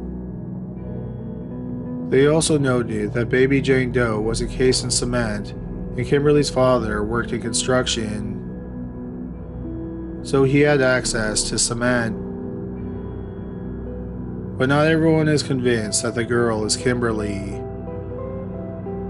Notably, baby Jane Doe had been dead for about one to two months before her body was found.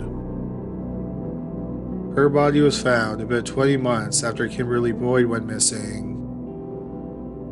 But people point out that Kimberly only went missing then, and there was no evidence that she was killed at that time. She could have been kept alive up until a few months before the body of baby Jane Doe was found. The police have never publicly spoken about the possibility of baby Jane Doe being Kimberly Boyd. In 2017, the police released a new 3D model of baby Jane Doe's head in the hopes that someone might recognize her. The disappearance of Sarah Boyd, her daughter Kimberly, and her friend Linda McCord is considered cold. The police are hoping for a break in the case but they have very little physical evidence to suggest what might have happened to the trio. If they are alive today, Sarah Boyd and Linda McCord would be 64, and Kimberly Boyd would be 32, which is the age her mother was when they went missing. Number 2. The Martins. In 1958, the Martin family lived in Portland, Oregon. Kenneth Martin, who was 54 years old, and his wife, 48 year old Barbara, had four children. Donald was 28, Barbie was 14, Virginia 13, and Susan 11. In December 1958, Donald was serving in the Navy and he was stationed in New York. On the night of December 6, Kenneth and Barbara attended a Christmas party no one noticed anything off about the couple. Kenneth and Barbara returned home that night. The next afternoon, Kenneth, Barbara, and their three daughters piled into their 1954 Ford Country Squire. They had told people they were planning on driving out to the Columbia River Gorge to collect greenery to make Christmas decorations. The next morning, Kenneth did not show up for work. His employer thought that this was very strange because Kenneth was incredibly reliable. The girls' schools also noted that the girls were absent. That night, a friend of the family called the police and reported them missing.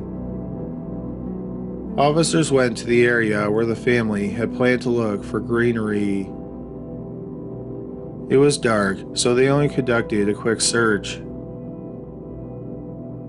Meanwhile, other officers went to the family's home with some friends of the family. They found nothing out of sorts, and by all appearances, it seemed that the family planned on returning. Hundreds of volunteers looked for the five missing members of the Martin family. But notably, the eldest Martin child 28 year old Donald, did not return home to join the searches. One problem that the investigators had was that they couldn't find any evidence that the family actually made it to the Columbia River Gorge on the day they went missing. They told people that they were going there, but they could have stopped anywhere along the way. Or they could have simply changed their plans and went in a completely different direction so they didn't even know what area would be best to search. On December 23, 1958, a little over two weeks after the family went missing, a credit card bill arrived at the family's home. On the day the family went missing, the credit card was used to buy gas in a small town called Cascade Locks, which is near the gorge. The police received a lot of calls from people who said that they saw the family. Several people recalled seeing a family that matched the description of the Martins at a restaurant in Hood River. A waitress said she was sure she had served the family burgers and fries. They spent about an hour in the restaurant and left at about 4:30. Several other people also reported seeing the family in the restaurant around the time the waitress said she had served them dinner. The family was traveling eastward. If it was the Martins who stopped at the restaurant, that would indicate that they were driving back home. Then in January 1959, a few weeks after the family disappeared, a man who was looking for traces of the family was searching a bluff near the Dalles Dam. He found tire tracks in the dirt that led off the bluff. There were also some white paint chips found on a rock near the tire tracks. It looked like a vehicle had either driven over or was pushed over the bluff into the Columbia River. Then, weeks later, on January 18th, a handgun was found under a rock in Cascade Locks. The butt of the gun was damaged and it was covered in blood. Someone who saw the gun thought it looked like it had been used to club something or someone to death. The serial number of the gun had been filed off. The lead detective on the case, Walter Graven, was able to trace the gun back to a sporting goods store in Portland. In September 1955, an employee had been accused of stealing about $2,000 worth of merchandise and the gun was one of the items he was accused of stealing. When the employee was confronted about the theft, he admitted that he stole the items. The employee was Donald Martin, the eldest of the Martin children. It turned out that Donald had a strained relationship with his family. He said that it stemmed from the fact that he was gay and his parents did not accept his lifestyle. He also said that his parents were fat slobs and his sisters were going to turn out just like them. In May 1959, about six months after the Martins disappeared, a tugboat was in the area where the tire tracks were found on the bluff. They dropped a two ton anchor and they heard it hit something that was metal. They looked, and on the floor of the river, there was an object that was about the size of a car. Then they saw what they thought were clothes rise to the surface, and then the clothes were taken away with the current. A scuba diver was sent into the river where the tugboat operators thought that the car was located. But the scuba diver nearly died, so the search was called off. Days later, on May 4, 1959, some men working on a tugboat near Camas, Washington, found the body of a young girl floating in the Columbia River. It turned out to be the body of the youngest Martin, Susan. The next day, floating in a spillway about 25 miles from Susan's body, the body of another young girl was found. Her body was found near Cascade Locks, which is where the family got gas. With the help of dental records, the body was identified as Virginia, the second youngest Martin. The medical examiner said that the cause of death for both girls was drowning. But this ruling is inaccurate. For drowning to be the official cause of death, all other causes of death needed to be ruled out. This couldn't happen because of the state of the remains. Drowning was put down as the cause of death because it was the most probable cause of death since the girls were found in the river. A sheriff's deputy who photographed the bodies noted that both girls had identical holes in their heads above and behind their right ears. The medical examiner was able to examine the stomach contents of both girls. Within two hours of their deaths, they had eaten burgers and fries. This seemed to verify the witnesses' accounts that the family had stopped for dinner in Hood River. The lead detective on the case, Walter Graven, noted that witnesses said that two ex convicts, Roy Light and Lester Price, were also in the restaurant when the family was there. They left the restaurant around the same time as the family. A stolen car that was driven by the two men was found abandoned in Cascade Locks after the family disappeared. The car was parked a short distance away from where the gun was found. Detective Graven knew that Donald could not have killed his family because he was over 3,000 miles away when they disappeared.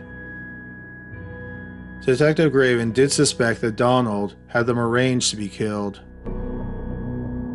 Not only did Donald not like his family, but with all of them dead, he was the sole inheritor of their estate. Donald Murn came back to the area for the first time in June 1959, over seven months after his family went missing. He had planned on attending the memorial service for his sisters, but there was apparently a scheduling problem, and he arrived in Portland the day after the service. Detective Graven questioned Donald, and he could not think of anyone who would want to hurt his family. He also couldn't see how his father could have accidentally driven off a cliff.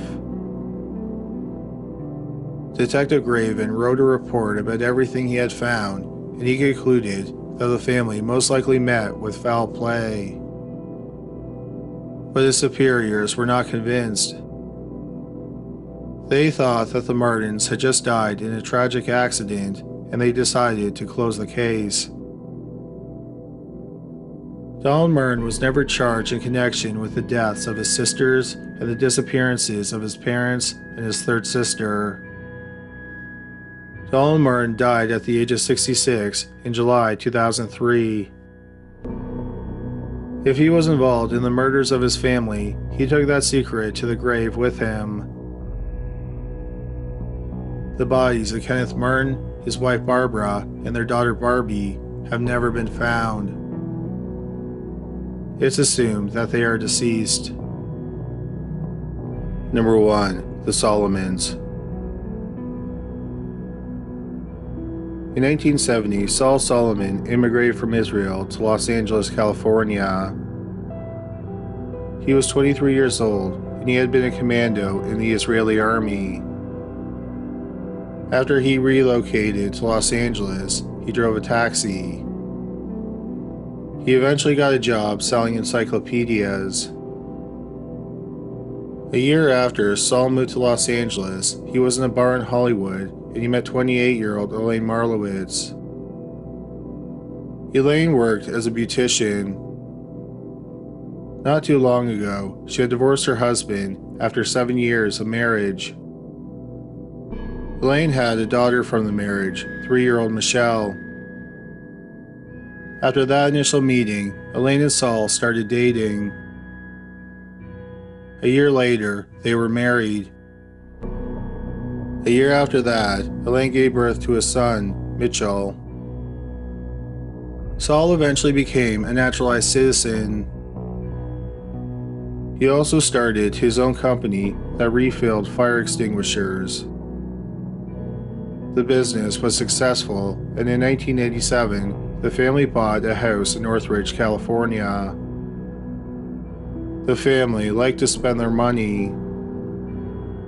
They dined at fine restaurants, and they always had the newest gadgets. They also owned a Mercedes Benz and a Rolls Royce. In the autumn of 1982, by most appearances, things were going well for the family. Saul was 35 years old and his business was doing well. His wife, Elaine, was 39 years old, his stepdaughter, Michelle, was 15, and his son Mitchell was 9. On October 12, 1982, Saul left the family's home, supposedly to go to a car auction with a man named Harvey Rader. Rader, who had moved to the United States from England, owned a car dealership called Mr. Motor. Hours later, Saul had not returned home. Around 11:30 p.m., Elaine was on the phone with a friend. The doorbell rang, and Elaine told her friend that Harvey was at the door. She then hung up the phone. The next day, the neighbor who lived behind the Solomons called a family who lived on their street. She said that the Solomons pool was overflowing and flooding her backyard. She did not know the Solomons, but the family she was calling did know them. She wanted them to go talk to the Solomons. So they made their way over and found no one home. The family owned three vehicles a Rolls Royce, a Mercedes Benz, and a white work van that Saul used for his business. The Mercedes and the van were parked in the driveway, but the Rolls Royce was gone. The doors were all locked, and there were no lights on in the house. They went around to the backyard, and the pool was indeed flooding. The family's garden hose was on, and it was in the pool. The family's dog was also tied up in the backyard. The neighbors thought that the scene was strange. They went home and called some mutual friends and neighbors. No one had seen or heard from any of the Solomons that day. Elaine volunteered at a clinic and she didn't show up or call to say that she wasn't coming in. Michelle and Mitchell also didn't attend school that day. The neighbors decided to call the police. The police arrived at the family's home and they found no signs of a break in or forced entry. When they got inside the home and started searching, they were disturbed by what they found. In 15 year old Michelle's bedroom, the bed was broken and some bedding was missing. There were also some bloodstains on the wall. Later, the chief of police was asked how much blood was found. He said it was more blood than he would want to lose. A piece of the carpet in Melissa's bedroom had been cut out and a bath mat had been placed over it. A baseball bat was also found near the family's bar.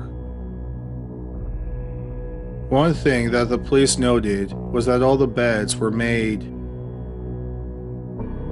Several people who knew the family thought that this was incredibly odd because the family never made their beds. Because of what they found in the home, the police suspected that the family had been victims of foul play. Four days later, a road worker found some personal belongings of the family scattered along a freeway near Acton, California. This included family photos, their wallets, and their passports. There was some speculation that the family was killed by the Israeli mafia. There were also rumors that Saul might have been involved in the sale of illegal firearms. But it wasn't long before the police began to suspect that Harvey Rader might have been involved in the family's disappearance. It turned out that Saul had invested $20,000 into Rader's business, Mr. Motor.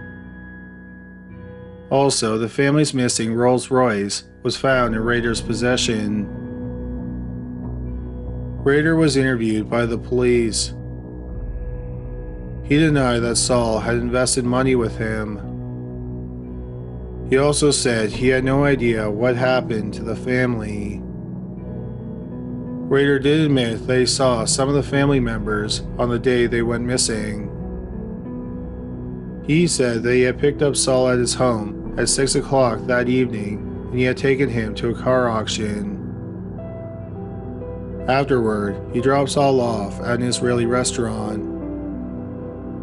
Rader said that after that, he went over to Saul's house to pick up the Rolls Royce because he had to do some maintenance on it.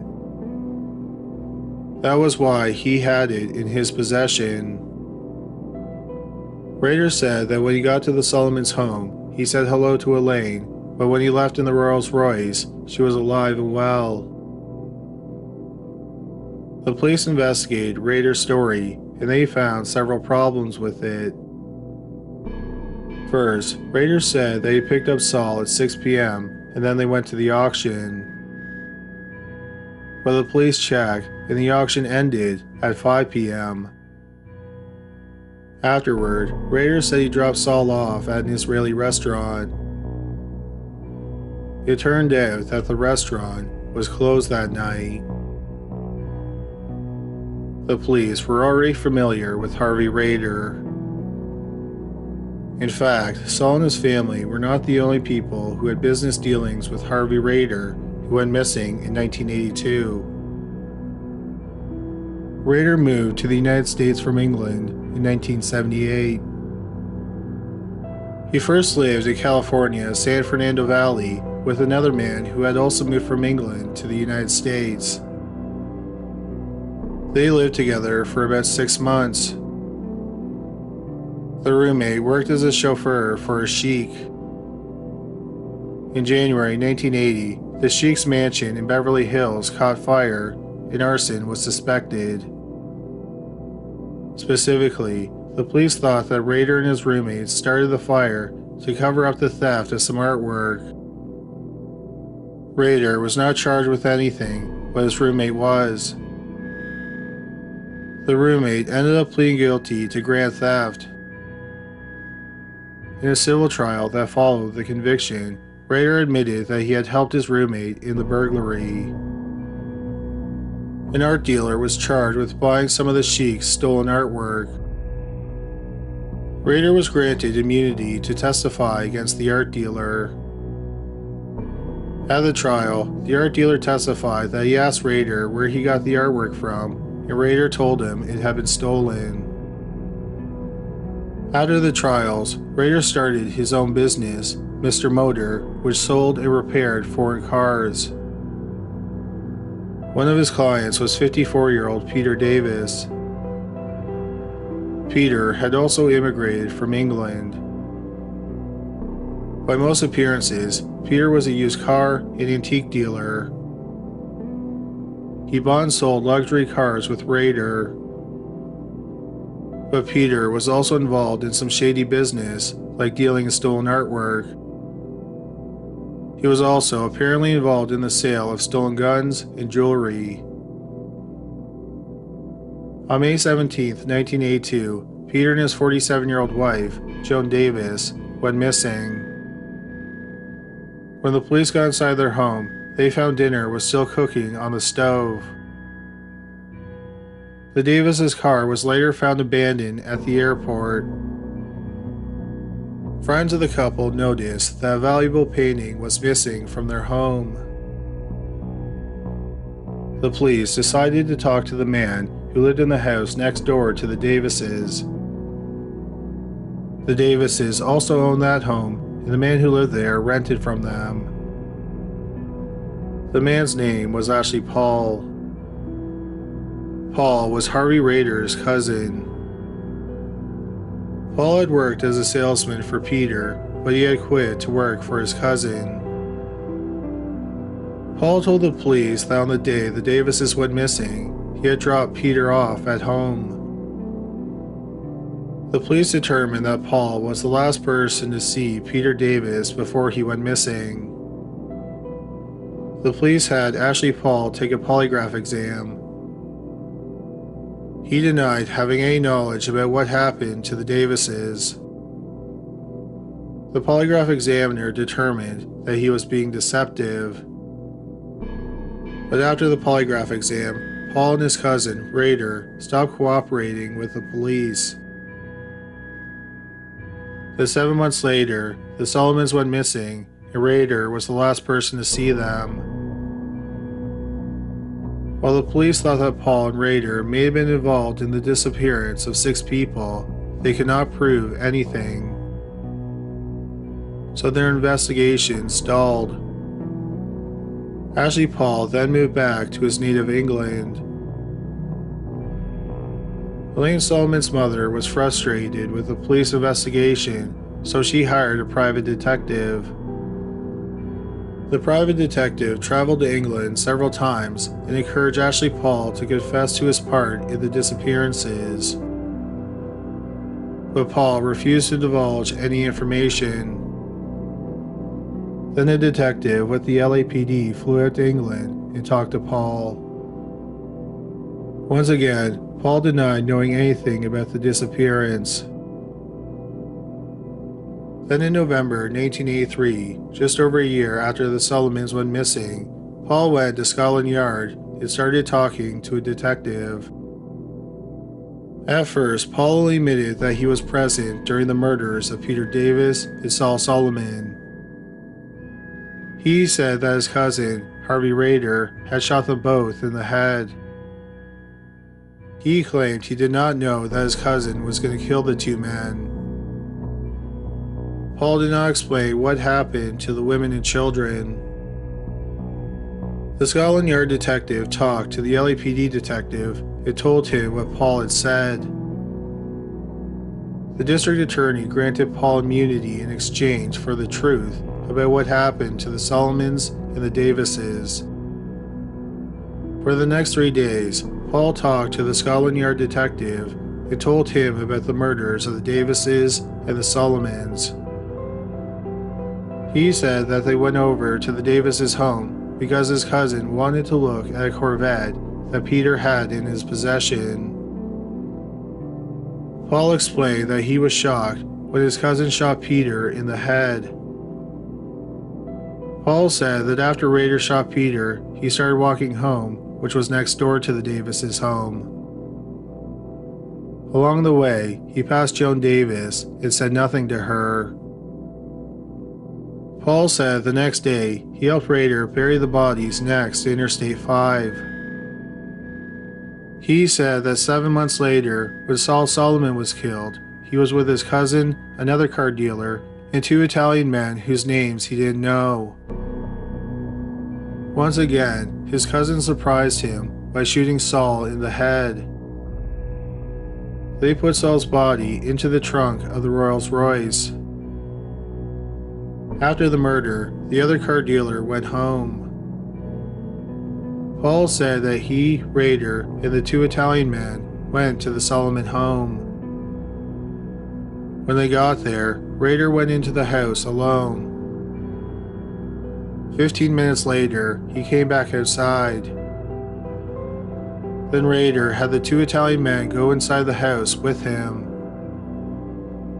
Then Rader and the two men came outside with the three bodies wrapped in blankets. They placed the bodies in the trunk of the car. Rader went back into the home for a third time and stole some items. He also took a receipt, and he was apparently quite happy that he had found it. The police think that the receipt is the one Rader wrote out for Saul for Saul's investment in his business. Paul claimed that the next day he watched Rader and the two Italian men bury the bodies off an interstate near Acton, California. Acton is close to where the family's wallets and passports were found. Paul also told the detectives that his cousin had committed a seventh murder. He said he had killed 27 year old businessman Ronald Adib. In January 1982, about four months before the Davises went missing, Adib told his family he was going to meet a man to discuss some luxury foreign cars. Ronald Adib was never seen again. The police learned that, like Saul Solomon, Adib had invested money with Rader. The police concluded that Saul and Adib may have asked for their money back, and Rader either didn't have the money or didn't want to give it back to them, so he killed them instead. Rader then killed Saul's family because he considered them witnesses. After confessing, Ashley Paul voluntarily traveled back to the United States. When he did, his cousin, Harvey Rader, was arrested. The police drove Paul out to the places where he said the bodies were buried, but they did not find any human remains. However, Paul did lead them to an area where some bed sheets were buried. Friends and family of the Solomon were shown the bed sheets, and they said that it might have come from the family's home. The bed sheets were the only items of interest that were found. Although Ashley Paul had been granted immunity, the district attorney decided to revoke the immunity and charge him with the murders of the family. They revoked it because they did not think that Paul was telling them the truth. They also released Rader from custody. Paul then told the police a news story regarding the disappearances. He admitted that he knew beforehand that his cousin was going to kill Peter Davis and the Solomons. He also said that he was in the Solomon home on the night of the murders. He admitted that he lied about the other auto dealer and the two Italian men being present during the murders. He said that he and Rader worked alone. Rader had ordered him to collect valuables in a garbage bag. Paul said that Harvey killed Elaine by hitting her head into the family's marble top bar. He then bludgeoned Mitchell with a baseball bat and he strangled Michelle. A judge later dismissed the charges against Paul because his immunity had been improperly revoked. After that, Ashley Paul went back to England and he never returned to the United States. His current whereabouts are unknown. Without Paul, there was not much of a case against Rader. The police could not even prove that the Davises, the Solomons, and Ronald Deeb were dead. In December 1986, Harvey Rader was deported. When he immigrated to the United States, he said he did not have a criminal record. But he actually had 13 convictions, including theft, possession of a firearm, and stealing a motor vehicle. Months later, Rader illegally re entered the United States and he tried to get a fake passport. Rader was arrested, and in August 1987, he pleaded guilty to making a false passport application. He was sentenced to two years and nine months in a federal penitentiary. Then in August 1988, just after Harvey Rader was released from prison, he was charged with the murders of the Solomons. His trial started in May 1989. All the evidence against him was circumstantial. The trial lasted for two months. The jury deliberated for three and a half weeks, but they could not come to a unanimous decision. The vote was deadlocked at 11 to 1 to convict. The judge declared a mistrial. Harvey Rader went to trial again in January 1990.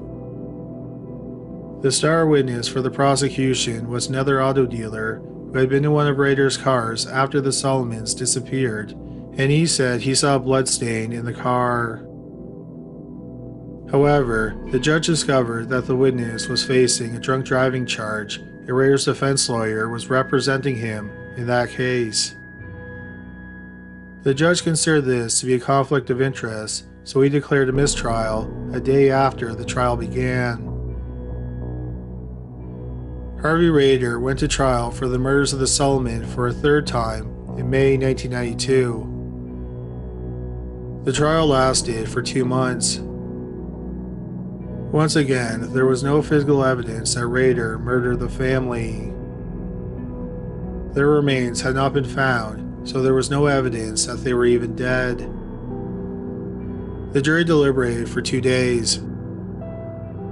They ultimately found Rader not guilty on all charges. It's unclear what happened to Harvey Rader after the trial. Anyone who associated with him during his trials has lost contact with him. His current whereabouts are unknown. The whereabouts of Ronald Adib, the Davises, and the Solomons are also a mystery. Many people, particularly those who worked on the case, think that Harvey Rader got away with seven murders. Number 3. Randall Gary In the spring of 2003, Randall Gary was 50 years old and he lived in Toronto, Ontario, Canada. He had been divorced for many years and he had a 26 year old daughter. For years, Gary worked in the restaurant industry. In his late 40s, he wanted a more meaningful job, so he trained to become a psychotherapist. In the spring of 2003, he established a practice called Quick Fix in Toronto. The business was off to a slow start, but Gary wasn't feeling pessimistic. On May 7, 2003, he purchased 100 advertising spots on a Toronto radio station. Two days later, on Friday, May 9, 2003, Gary flew across the country to Vancouver, British Columbia. There, he boarded the Holland America cruise ship, the Veendam. Gary had planned to take an Alaskan cruise before getting heavily involved in pushing his new business. He also mentioned to a friend that he hoped to meet a woman on the ship. Several people on the ship remembered Randall Gary. He told some people it had been a lifelong dream to take a trip to Alaska. But what was odd was that when the ship docked in Juneau and Skagway, Alaska, he didn't get off the boat. He only disembarked at one port. That was in Ketchikan, Alaska. However, he did not do any sightseeing. Instead, he just bought 13 postcards and mailed them to friends and family. Most of the postcards simply read, Love Randy, Later that same day in Ketchikan, Gary got off the ship again at 6:19 p.m. He got back onto the ship just 9 minutes later. It's not known why he got off the ship and what he did in those 9 minutes. After the stop at Ketchikan, which was on Friday, May 16th, the boat headed back to Vancouver. Saturday was a day at sea, and then the boat was scheduled to arrive in Vancouver on the morning of Sunday, May 18th. During Gary's trip, he spent most of his evenings in the boat's casino. He often slept in. Something else that was odd was that Gary tried to keep the crew out of his cabin. He always kept his do not disturb sign on his door. One time, he got the steward in his room and he sternly told him to get out. Gary's attempts to keep the steward out of his room became such a big problem that the steward complained to his supervisor because he couldn't do his job. On the evening that they departed from Ketchikan, Gary ate dinner and they went to the casino. On the morning of Sunday, May 18th, Gary was supposed to disembark in Vancouver because it was the end of the seven day cruise. Before he was to leave the ship, he was supposed to settle his bill for $127. But he never made his way to the customer service desk. A crew member went to his room and found the Do Not Disturb sign hanging on the doorknob as it had been all week. The crew member got inside. It looked like someone had laid down on the bed but it appeared it had not been slept in. The room did not have a balcony, there was just a sealed window. All of Randall Gary's possessions were in the room. This included his passport, his credit card, his cash, his driver's license, and even the key card to his room. Gary had diabetes and his insulin was in the room, as was his blood sugar log. The last entry in the log was made on Thursday. There was also a box of Viagra and one pill was missing. It also appeared that someone had been drinking in the room. There was an empty bottle of expensive champagne, a half empty bottle of red wine, and a partially drank bottle of rye. However, there were no drinking glasses in the cabin. A search of the ship was conducted, but no other trace of Randall Gary was found. He has never been found dead or alive. There are several theories about what happened to Randall Gary. The first is that he died by suicide by jumping off the ship but his friends and family do not believe that this is what happened. No one thought he was suicidal, and he did not have a history of mental illness. He was also looking forward to running his new business. Also, if he did want to die by suicide, he could have overdosed on his insulin, which would have been relatively painless as opposed to jumping into the frigid Pacific Ocean. Another theory is that Gary accidentally fell overboard. For example, he could have become disoriented because of his diabetes and he went over the railing. Or he could have been too drunk from the alcohol and he went overboard. But his family said he was always careful with his diabetes. An investigator said that he inspected the ship's rails and they were designed to be exceedingly difficult for someone to go overboard. Gary's family also don't think it was him who drank the alcohol. Since he was a diabetic, he didn't drink much. His family also said that he hated champagne and he would not have drunk it. He was also allergic to rye, so they know he didn't drink that. The investigators do not know with certainty if Gary went missing on Friday, Saturday, or Sunday. They thought that he likely went missing on the Friday night after he went to the casino. But three people said that they saw him on Saturday. One woman said she talked to him while they were waiting for an elevator. Another person said that they saw him talking to a blonde woman at the afternoon tea.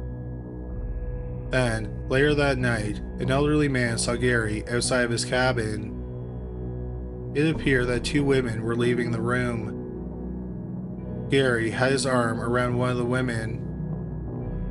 She was described as being in her 30s and she had shoulder length blonde hair. The women have never been identified.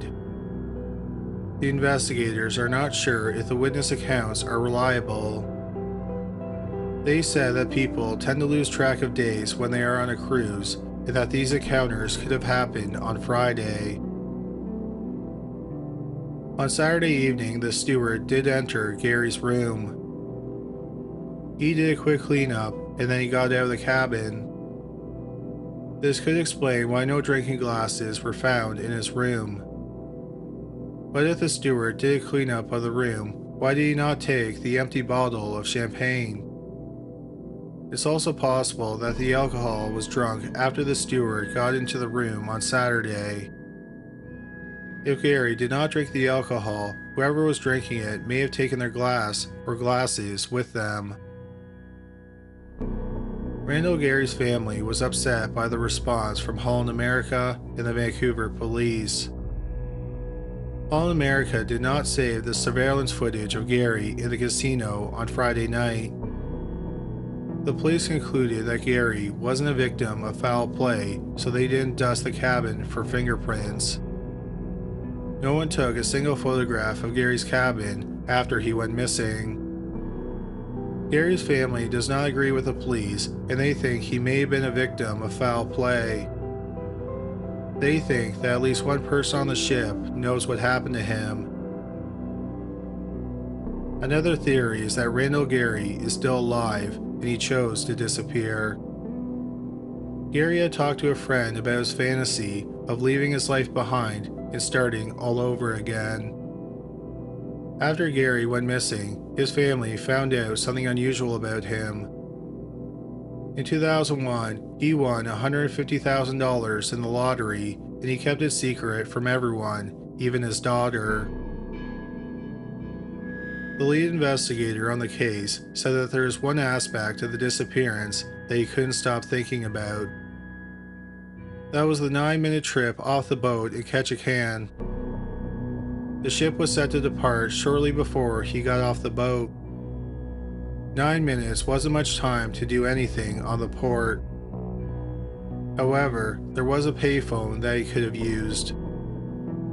Did he use the nine minutes to run down to the payphone and call someone? If he did, who did he call? Did his trip off the boat have anything to do with his disappearance? The detective thinks if he did make a phone call, the call was important enough that he would risk missing the last leg of his trip.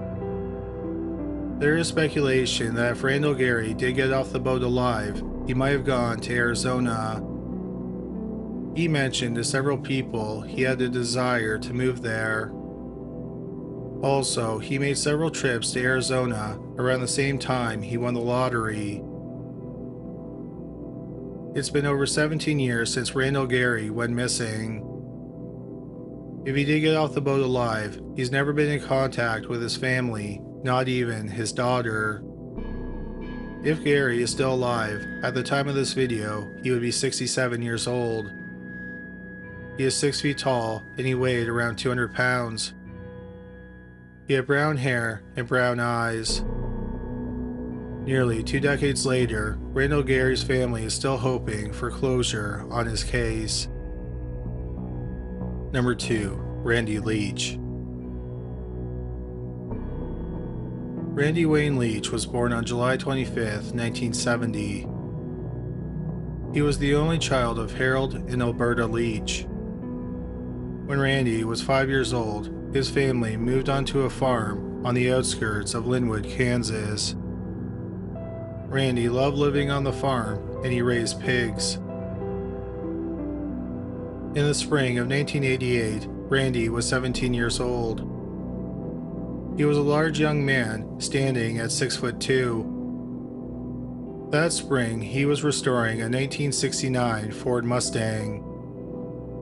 When he was done, he wanted to paint it cherry red. In the summer of 1988, Randy was going to generate income by mowing lawns. His parents bought him a riding lawnmower as a high school graduation present. In the fall, he was planning on attending a trade school. On April 15, 1988, Randy was three weeks away from graduating high school. That day, he mowed some lawns. That evening, one of his friends, who lived on a farm about five miles from his own farm, was having a pre graduation party. After mowing the lawns, Randy went to a nearby convenience store where he bought some candy and soda. He also put $3 worth of gas into the car he was driving, which was his mother's gray four door 1985 Dodge 500 sedan. He then drove to a body shop in DeSoto, Kansas to check on the Mustang he was working on. He then drove to the party. It's not exactly clear when he arrived at the party but it's believed he got there sometime between 9.30 and 10 p.m. There were about 75 to 150 people at the party. A lot of the people were drinking, and some of them were using drugs. It's not clear if Randy was drinking or doing drugs at the party. But the mother of the person hosting the party said that she saw Randy and it looked like he was having trouble walking. However, she noted he didn't have a drink in his hand and he didn't appear to be drunk. Also, no one remembered Randy drinking that evening. At around 1:30 a.m., one of Randy's friends was going to drive him home, but Randy couldn't find his keys. So the friend promised to return to drive Randy home, and then he drove someone else home first. At 2:05 a.m., the mother of the party host saw Randy lining up to use the washroom. Randy's friend returned around 2:30 a.m. Randy and the car he was driving were not there. No one saw Randy leave the party. The next morning, at around 6 a.m., Harold and Alberta Leach woke up and discovered that Randy had not come home. They went outside to see if the car was parked somewhere on their property. They saw a man who was an acquaintance of Randy driving slowly down their road. Later, when they thought about it, they realized it was very strange that he would be driving by their home so slowly. They also thought it was odd that he would be out driving that early in the morning. It turned out that the acquaintance was one of the last people to see Randy at the party. Harold and Alberta assumed that Randy had been in a car accident. They called around and learned that no accidents had been reported in the area. Alberta's brother was a police officer in nearby Lawrence, Kansas. She called him and asked him to go to the farm where the party was held. When he got there at around 7 a.m., he discovered that the party had been cleaned up. If there was any evidence as to what happened to Randy, it was gone. Randy's parents reported him missing after the 24 hour mandatory waiting period. Harold and Alberta were sure that he did not run away. He had money in his bank account and it was untouched. Also, Randy was extremely excited at the prospect of finishing restoring his Mustang. The Kansas Bureau of Investigation agrees with his parents and they do not think he left the area on his own volition. They think it's possible that he was a victim of foul play. There are several strange events surrounding Randy's disappearance. For example, not long after he disappeared, the house on the property where the party was held burned to the ground. This was not the only mysterious fire connected to Randy's disappearance. The car that Randy was driving on the night he went missing was never found, so Harold and Alberta replaced it with a Chrysler LeBaron. The car only had about 40,000 miles on it. Shortly after they bought the car, while it was parked in their backyard, it burst into flames. An investigator said that the fire was started because there was a rupture in the gas line. The Leaches think that the cause of the fire was arson. At the time of Randy's disappearance, he owned a German Shepherd named Crackers. He had the dog for about four years. Four months after Randy vanished, Crackers went missing too. Like Randy, Crackers has never been found. Before Randy vanished, there were rumors that there was a satanic cult operating in Linwood. There were also rumors that some of his friends were Satanists. So there were rumors that Randy was killed by the cult. Several months after Randy disappeared, a man went to the police and told them a strange tale. He said that he had been abducted by a group of Satanists. They took him to a cave outside of Linwood. In the cave, they threatened to cut off his left arm. To prove they were serious, they showed him a dead body that was hanging in the cave. The police thought it could have been the body of Randy Leach. But they searched the caves and found nothing. They concluded that the man had hallucinated the experience because he was on drugs. In the years since Randy's disappearance, the entrance to the caves has been bulldozed. Then in March 1989, about 11 months after Randy disappeared, one of the partygoers got in contact with the police. The man led them to the banks of the Kansas River he had found a dismembered foot in a tennis shoe on the banks of the river. The police searched the area for the rest of the body, but found nothing. They determined that the foot did not belong to Randy. It's not known who the foot belongs to or where it came from. What is notable is that the person who found the foot was one of the last people to see Randy at the party. He was also the person that his parents saw driving by their house early on the morning that they realized he was missing. In the ensuing years, the man has died. It was never determined if he had anything to do with Randy's disappearance. In 1993, a man going by the names Terry Martin and Lee Harper got in contact with the Leaches. He told them he was a research journalist and he offered to investigate Randy's disappearance. It had been five years since Randy went missing, and Harold and Alberta were desperate, so they accepted his offer. For several months, the man interviewed people who were at the party. He then brought all the information he collected to a detective with the sheriff's department. They pooled their information together. Based on that information, in August 1993, the detective arrested three men. One of the men was a suspected Satanist who was at the party on the night Randy vanished. But then the county attorney went over the information and he did not think that the evidence showed probable cause. So the three men were released within 24 hours of being arrested. No other arrests have been made in the case. The Leaches have complained that the Sheriff's Department and the Kansas Bureau of Investigation have not been forthcoming with information.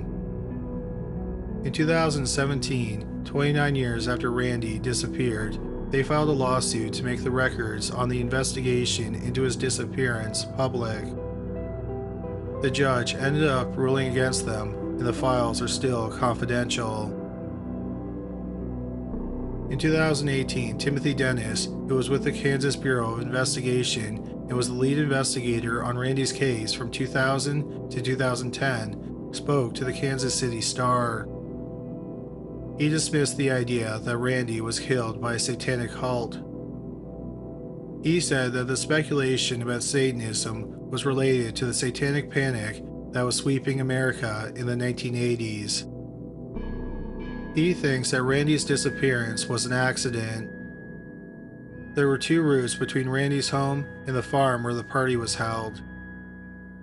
One was a main highway, another was a back road. If Randy was intoxicated, he probably would have driven home on the back road to avoid being pulled over by the police. On that road, there was a single lane bridge that went over a stream of water called Stranger Creek. There were no guardrails on the approach to the bridge. Timothy Dennis believes that Randy drove off the road and into the creek. He learned in the 10 years after Randy went missing, Stranger Creek was not searched. When it was searched, no trace of the car or Randy were found. However, Dennis believes that the car and the body were pushed downstream or the car is sunk in the sediment, making it impossible for searchers to find. The Leaches do not think that this is what happened. They said that the creek was not searched because the water was too low and it would have been evident that a car was in the water. In 2019, Harold and Alberta Leach asked the new governor of Kansas to appoint someone from out of state lead a task force to investigate Randy's disappearance. The governor's office released a statement saying that the governor was sympathetic to the Leaches, but she did not have the legal authority to do something like that. It's been over 32 years since Randy Leach disappeared. Harold and Alberta Leach, who are now in their 70s, still hold out hope that they'll find out what happened to their only child. Number 1. Sarah Avon. July 21st, 1981 was an unusually cool summer night in Joliet, Illinois. Sarah Avon, who was six and a half years old, was playing outside with her younger sister and other neighborhood children. Sarah was described as feisty, but less outgoing than her five year old sister, Marie. Sarah's teacher thought she was hungry for attention. Sarah was involved in her church. She took swimming lessons, played soccer, and took ballet lessons. Sarah and her sister lived with their mother, Jane, and their stepfather, Francis. Jane and Francis owned and operated an auto body shop on the same street where they lived. At about 8:30 p.m., a neighbor came over for cake and coffee. Jane was about to call the girls in, but she remembered they wanted to stay out and catch fireflies. So she let them stay out and play. At 8:50, Jane called for Marie and Sarah to come inside. But only Marie came home. Marie was surprised that Sarah wasn't home because she hadn't seen her in a while. Sarah had gotten into an argument with another child and she stormed off. Neighbors heard that Sarah was missing and they began to search for her. At 9:10 p.m., James called the police and reported Sarah missing. Two officers came to their house, but they didn't think it was a big deal. They thought that Sarah had just fallen asleep in a bush somewhere and she would come home at any time.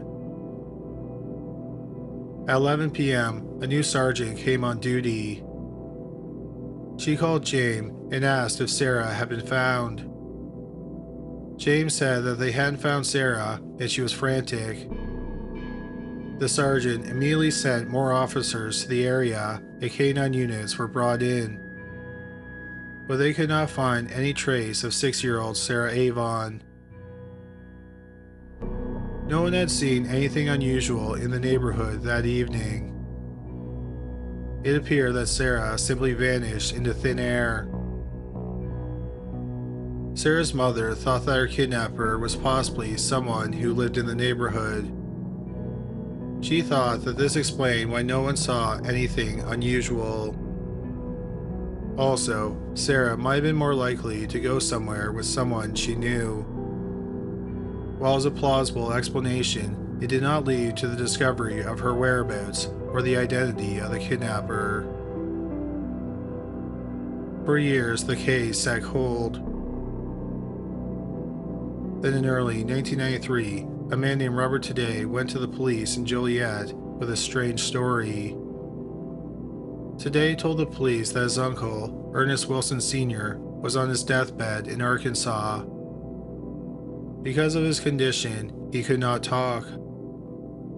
But it appeared he had something he wanted to communicate. So they gave him a piece of paper and a writing utensil. He drew a triangle and then he drew a circle inside the triangle. No one knew what it meant but then today remember that his uncle and his cousins used to live in Joliet. They lived on Miller Ave, about a mile and a half from Sarah's home. They moved out of state less than a year after Sarah went missing. Today told the police that his uncle had several children. He had one son and several daughters. His daughters would babysit Sarah Sarah was at their home two days before she went missing. The Wilsons' family house in Joliet was on a triangular shaped lot. They said that later, Wilson's only son confided in him. He was 15 years old at the time of Sarah's disappearance. Day said that his cousin had a history of mental illness. Before his uncle's death, his cousin had spent 12 years in a psychiatric hospital in California. Today said that his cousin told him that he and another boy took Sarah back to his house. He admitted that he sexually molested Sarah in the basement of their house. He said that afterward he went upstairs and she was still alive, and he said he didn't kill her. Today concluded that his cousin most likely kidnapped and killed Sarah, and that his uncle buried Sarah's body on the property to protect his son. He thought that the drawing was his uncle's form of a deathbed confession, and it indicated where Sarah's body was buried on the property on Miller Avenue. The police thought that Robert Today's story was interesting, even though they found holes in it When today approached them, the lot was vacant. There had been a fire two years earlier which destroyed the house, and then the basement was filled in. The police brought search dogs and special sonar equipment to the lot. They found nothing to indicate that a body had been buried on the lot.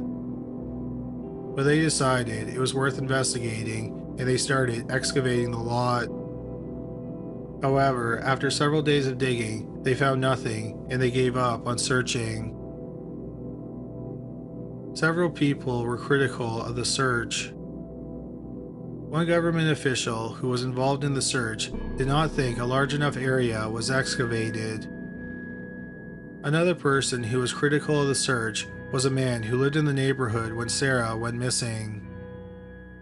He was a teenager at the time and he knew the Wilson family. He had been a frequent guest in their home he recalled that one night in 1981, which is the same year Sarah went missing, he was out on a late night walk and he saw Ernest Wilson Sr. doing something unusual. He was digging a large hole with a shovel. He was chest deep in the hole. He asked Wilson what he was doing. Wilson said he was digging a hole because he was planning on transplanting some sunflowers there. The man said that the incident happened so long ago that he didn't remember if he saw Wilson digging the hole around the time of Sarah's disappearance. The man also said that he went out another night and he saw Wilson doing some more strange yard work.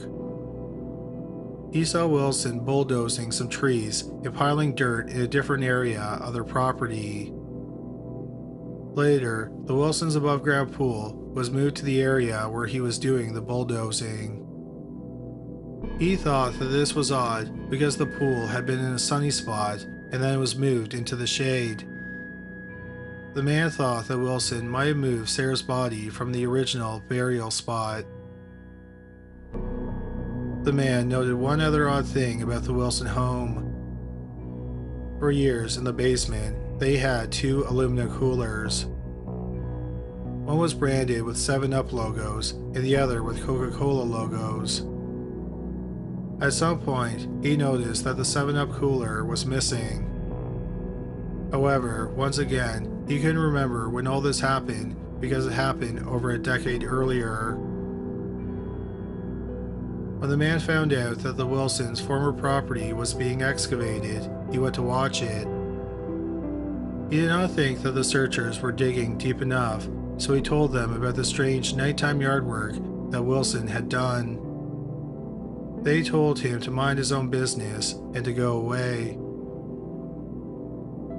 Nearly 40 years later, Sarah Avon has never been found dead or alive. If she is alive, she is 45 years old at the time of this video. Many people believe her body is in the 7 Up cooler and the cooler is buried on the lot where the Wilsons used to live on Miller Avenue. Number 3. Karen Beard In early 1991, Karen Beard was 35 years old. Karen had two daughters with her ex-husband, Reese Beard. Karen and Reese got divorced five years earlier in California. Their separation led to a bitter custody dispute. Both Reese and Karen accused each other of adultery, drug dealing, drug abuse, and alcoholism. In 1987, Karen missed a custody hearing, and the custody of the two girls was given over to Reese. Not long after Reese got custody, he and the two girls moved back to his hometown of Kingston, Tennessee. Kingston, which is in Roane County, had a population of about 4,500 people. Reese's parents were prominent citizens in the county.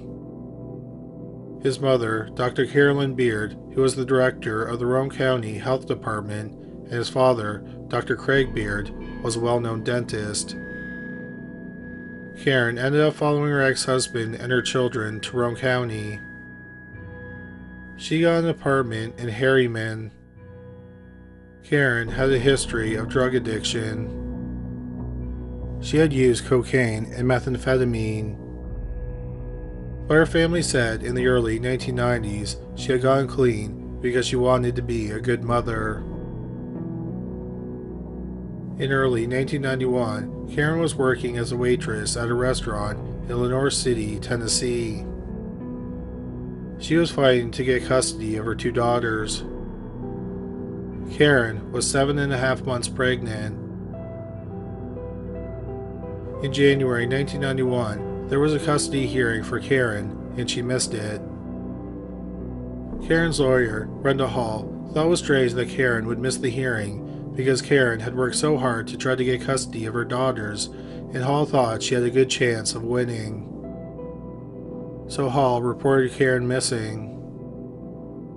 Hall went with the police to Karen's apartment. They got inside of it and found nothing was out of sorts.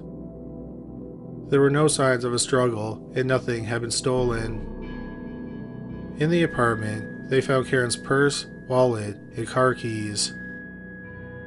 Brenda Hall said it was eerie, like a poltergeist took her away and left everything else behind. The police then tried to retrace Karen's last steps. The last time she was seen alive was over a week earlier, on January 15, 1991. She had dropped off her daughters at the home of her former parents in law. The next day, Karen was supposed to work, but she didn't show up for her shift. Her coworkers asked the police to do a welfare check. An officer went over to her apartment and knocked on her door. No one answered, so he left.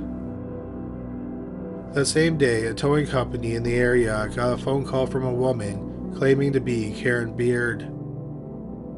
She gave them directions to her car and said she wanted it towed. But for whatever reason, the car wasn't towed.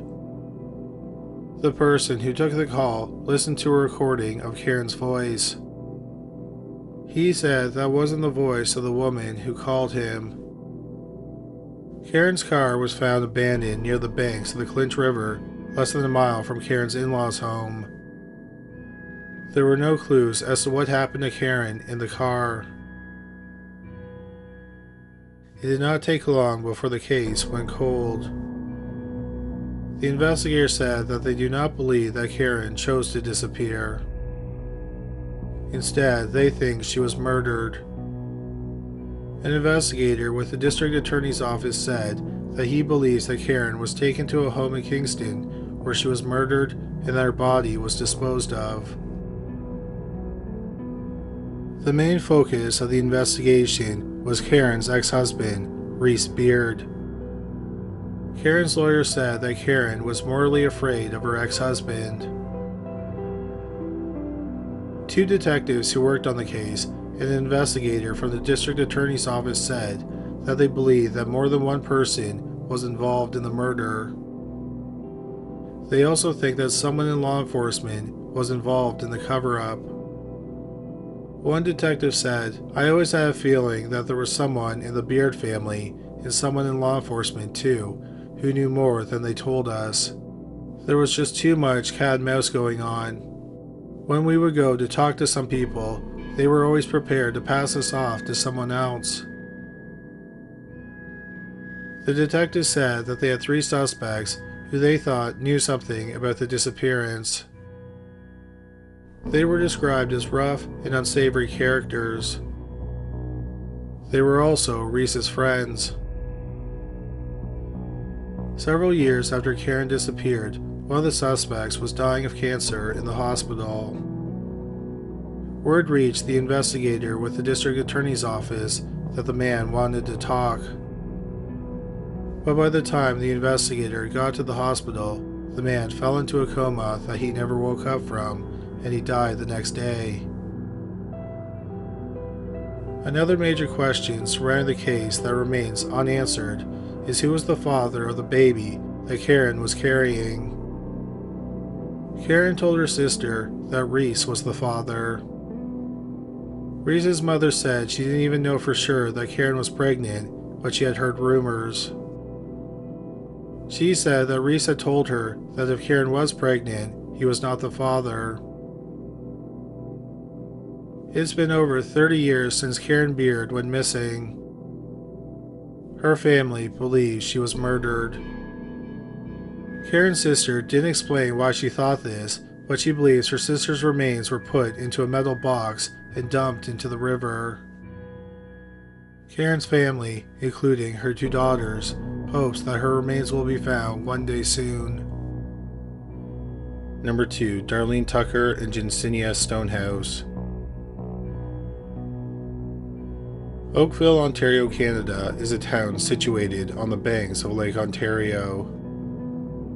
It's in between Hamilton and Toronto.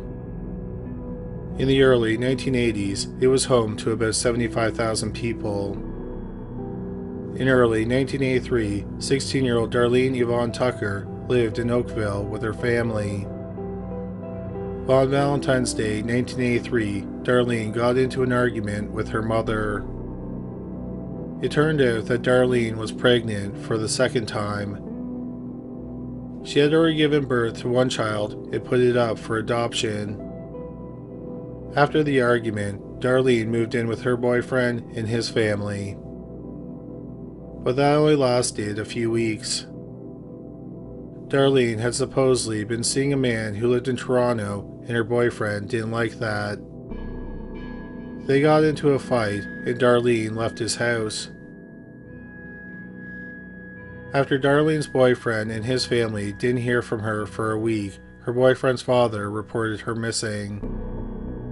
The police talked to Darlene's mother, Barbara, Barbara said that in the month after Darlene was reported missing, she called home several times. She had called collect from a payphone in Huntsville. Huntsville is a tourist town about 150 miles north of Oakville. But after those phone calls, Darlene fell out of contact with her family. Jensenia Stonehouse, who went by Jan, was a friend of Darlene's. Like Darlene, Jan was 16 years old. In the summer of 1983, Jan's mother was dying of liver cancer in the hospital. On August 19, 1983, Jan's father reported her missing. Jan's father heard that she may have run away from home because she was afraid because she was pregnant. Her brother said she was afraid of her mother dying. Jan's family was hoping she would visit her mother at least one more time. Sadly, Jan's mother passed away without seeing Jan. Jan did not contact her family in the wake of her mother's death. In fact, she never contacted her family again. In 1985, there was a confirmed sighting of Darlene Tucker. The police in Ontario consider a confirmed sighting to be someone who knew the subject before they disappeared. The witness said that Darlene was working as a waitress in downtown Toronto. There was one more confirmed sighting of Darlene, and that was two years later, in 1987. She was seen in the Huntsville area, which is where she made the collect calls in the month after she left her boyfriend's home. What is notable about the sighting is that Darlene wasn't alone. Supposedly, she was with Jan Stonehouse. Jan's family had a connection to Huntsville because they had a trailer there. Since then, there have been other sightings of the two women, but none of the sightings have been confirmed. Darlene had money in a trust account that would go to her when she turned 18 but she never claimed the money. The families of both women believe that they are still alive. In 2014, Darlene's mother, Barbara, had a message she wanted to tell Darlene and she told it through missingkids.ca. She said, We don't want to disrupt your life. We just want to know that you're alive and well. We miss you and we love you. We want her to know that we are still thinking of her. In the years since Jan went missing, her father has also passed away. Jan's surviving family members are hoping that she will contact them if she is still alive. After an article about the disappearances was published in 2014, several tips came into the police. One tip said that the women were alive and living in Ontario under different names. The police followed up on these tips, but they didn't find the women. The following are descriptions of the young women at the time they disappeared in 1983. Darlene Tucker was white with blue slash hazel eyes and dark brown shoulder length hair. She was 5 foot 4 and weighed 119 pounds. She had a 1 inch scar above her right eyebrow and another 1 inch scar above her right knee. One of her more noticeable features is a gap between her front two teeth. Also, Darlene had an allergy that caused the skin on her hands to blister. Jan Stonehouse was white with green eyes and wavy shoulder length blonde hair. She was 5 foot 4 and weighed 110 pounds. It's been about 38 years since the families of Darlene Tucker and Jan Stonehouse have seen or heard from them. If they are alive at the time of this recording, Darlene and Jan would be 54 years old. Their families are hoping that they are still alive and that they'll contact them. Number 1. Selena Mays Selena Mays was born on May 28, 1984, in Miami, Florida. Her mother, Lynn Vitale, was an exotic dancer, and her father, CJ Mays, was a part time musician. Selena weighed just two and a quarter pounds when she was born. Lynn and CJ were both drug addicts, and CJ also drank. Their relationship was rocky, and there were allegations of abuse. The family eventually moved to Palmyra, New Jersey. But Lynn and CJ did not end up staying together. After the split up, Selena lived with her mother, Lynn. Lynn managed to kick her drug habit in the early 1990s. She also managed to get a job as a custodian with the Palmyra School Board. Lynn and Selena attended church regularly and they did charity work. CJ also got heavily involved in religion. His sister was the leader of a Pentecostal church called the Gospel of Christ Ministries, Inc., and it was based in Mount Holly, New Jersey. The congregation had about 60 people. CJ got married, and his wife was the secretary of the church. CJ worked as the church's bookkeeper. In May 1994, Lynn suffered a brain aneurysm and died suddenly. Lynn's family fought for custody of Selena. But since CJ was her biological father, he was granted custody of her. Selena moved into her aunt's house in Willingboro, New Jersey, which isn't far from Mount Holly, where the church was located. Selena lived with her father, stepmother, aunt, cousin, and several other relatives. It was a strict household, and there were a lot of rules for Selena. For example, she was not allowed to go outside and play. Selena was also homeschooled. Despite the strict rules that surrounded her, something shocking happened just before Selena's 12th birthday. She became pregnant. She told the obstetrician that her boyfriend was 16 years old and not a member of the church. It's believed that's the only thing that Selena said about the father of the child. It was decided that Selena would keep the baby. Selena's due date was December 29, 1996. On December 13th, she went and saw her obstetrician. The next night, Selena was at home and she went to bed around 11 p.m. The next morning, CJ discovered that 12 year old Selena was missing. Pillows had been positioned under the blankets to make it look like she was sleeping in bed. She left behind some notable things, like her prenatal vitamins, her purse, and her favorite compact disc.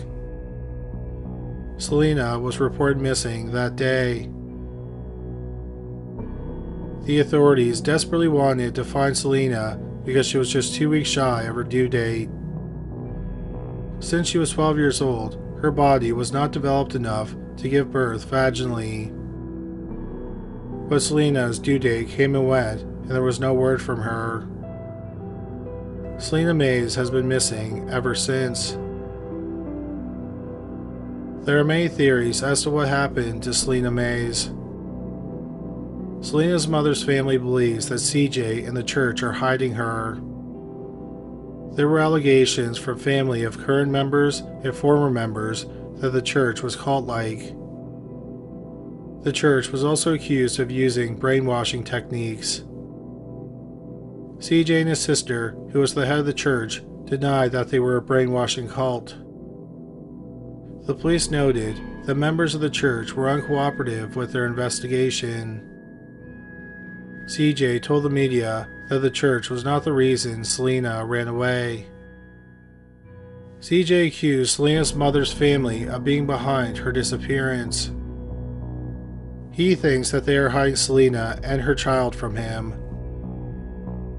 Before Selena disappeared, CJ told her several times that he would do paternity tests if she didn't tell him who the father was. Instead of going through all that, Selena simply ran away with her mother's family's help. Another theory is that Selena is dead. Some people have speculated that she died in an amateur abortion. Another possibility is that the baby's father killed her and then hid her body so she wouldn't reveal his identity. If he were older than 18, he could have been charged with rape. But there is no evidence to substantiate any of these theories. The identity of the father of Selena's baby is also a mystery. One relative believes that the father is a boy whom Selena met while roller skating. The police think that the father is Selena's 21 year old cousin who lived with her. The man had fathered seven children with four different women. He denied being the father of Selena's baby. The police know that someone knows something about Selena's disappearance. They are hoping that person will come forward and shed some light on the mystery.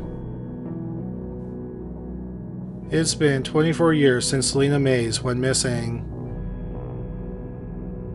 If she gave birth and the child is still alive today, they would be 24 years old. Selena would be 36. There have been a few sightings of Selena since she went missing, but none of them have been confirmed. Selena was 12 years old when she went missing. She was 5 feet tall and weighed 120 pounds, but that was when she was 9 months pregnant. She is biracial, with long black wavy hair and brown eyes. Her eyebrows grew into each other. Both sides of Selena's family said that they hope she is still alive and that she'll contact them just to let them know she's alive. Number 3. Pierre Merson In the fall of 1996, Pierre Merson was 21 years old and he lived in Thornhill, which is a city in the Greater Toronto Area. On Halloween night, Pierre was going out not just to enjoy the festivities, but he was also going out to celebrate recently graduating from a government course. That night, Pierre was dressed in green army fatigues, a green wool hat, an army poncho, and a long black wig. His mother, Norma, dropped him off at the Six Sports Bar in the neighboring city of Richmond Hill.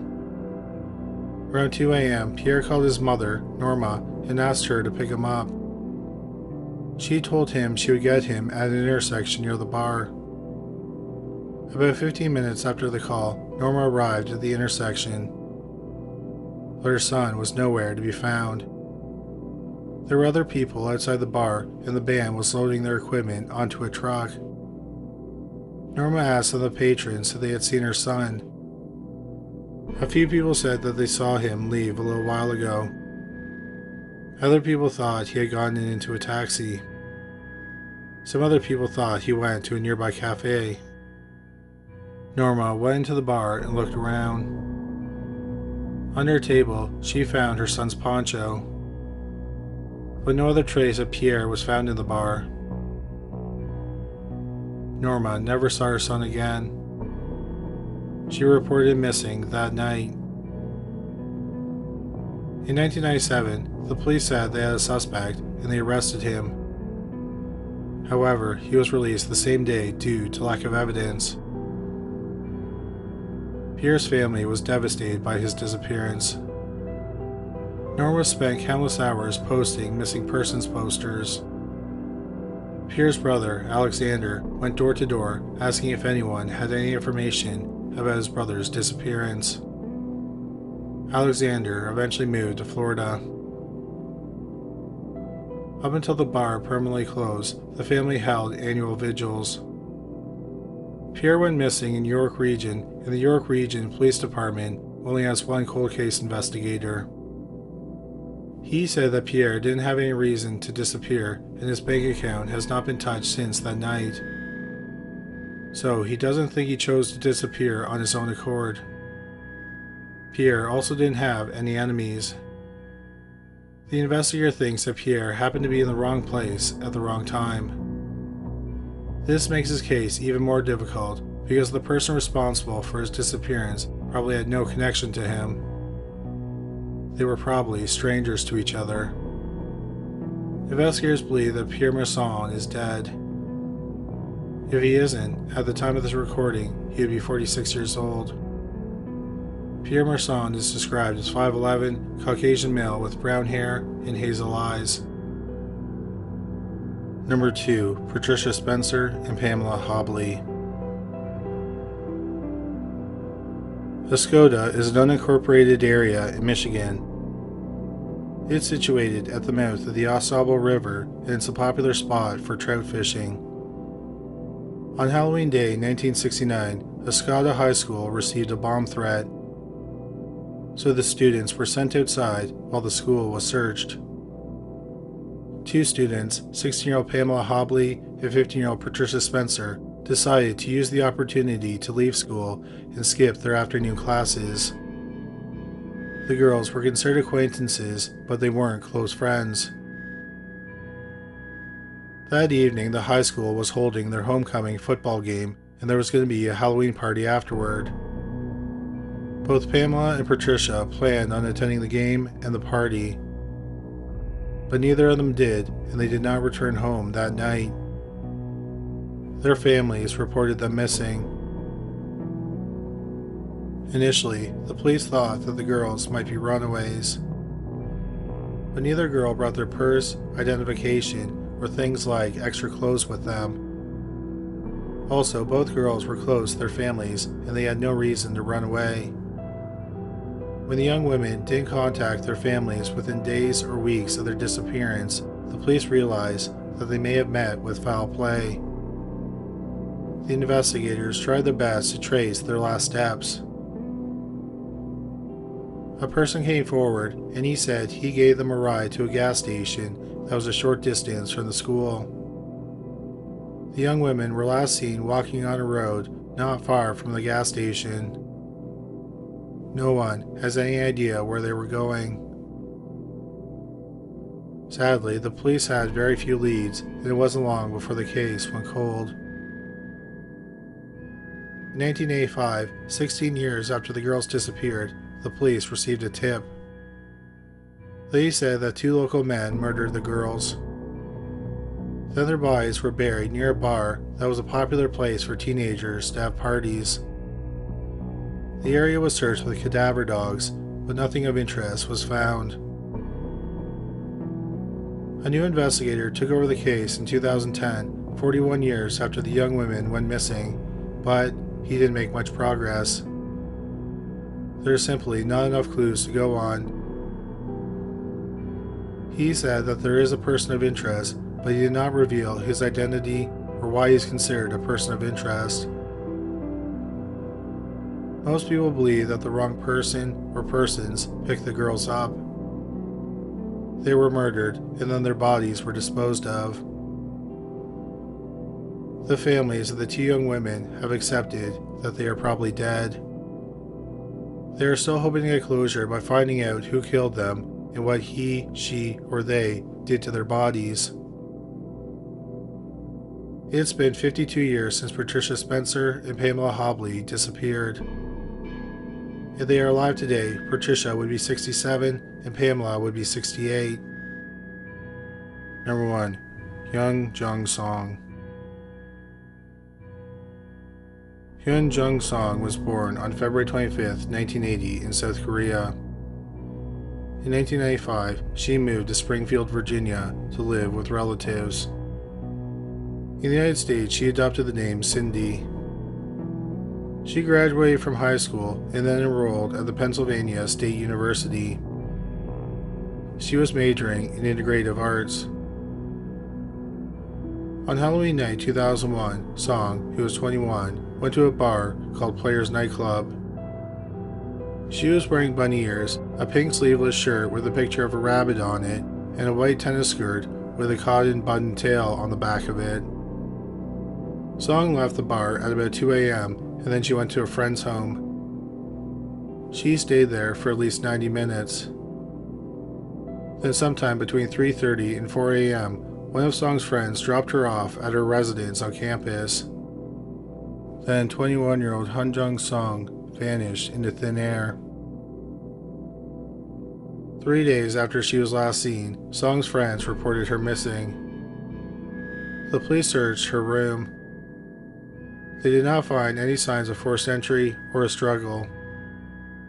They found Song's cell phone and it had been turned off. There were no incoming or outgoing calls around the time she disappeared. Her purse with her credit cards, driver's license, and keys were missing. None of her friends had any idea who would want to hurt her. She didn't have any enemies or personal problems.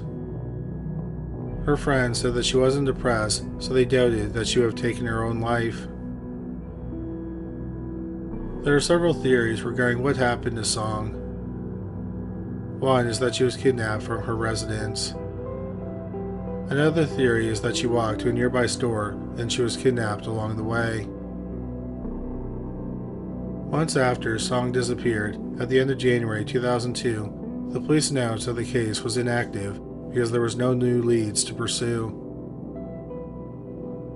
Two years later, the police got a promising lead. The police in Monroe County, Pennsylvania, were investigating a home invasion. They narrowed in on a suspect Paul Weakley. Weakley admitted that he and his partner, 30 year old Hugo Selenski, a convicted bank robber, committed the home invasion. Weakley told the police that Selenski had a property in Kingston Township, Pennsylvania. He said that five bodies were buried on the property. The police went to the property and they found the remains of five people. Weakley told the police that Selenski used to be involved in criminal activity with another man named Michael Kerkowski. Kerkowski had been a pharmacist, but he had been arrested and convicted of selling painkillers without a prescription. Weakley said that early on November 1, 2001, Selenski and Kerkowski were cruising around the campus where Song lived. Selenski saw Song walking and thought that she was a prostitute, so they grabbed her. They ended up locking her in a walk in safe, and she died a few days later. DNA testing was done on the bodies found buried on Selenski's property. None of the remains were Hyun Jung Song. The police were not able to ask Michael Kerkowski if the accusations were true. One of the five bodies that they recovered was his body. On May 3, 2002, Selenski and Weakley went to Kerkowski's home.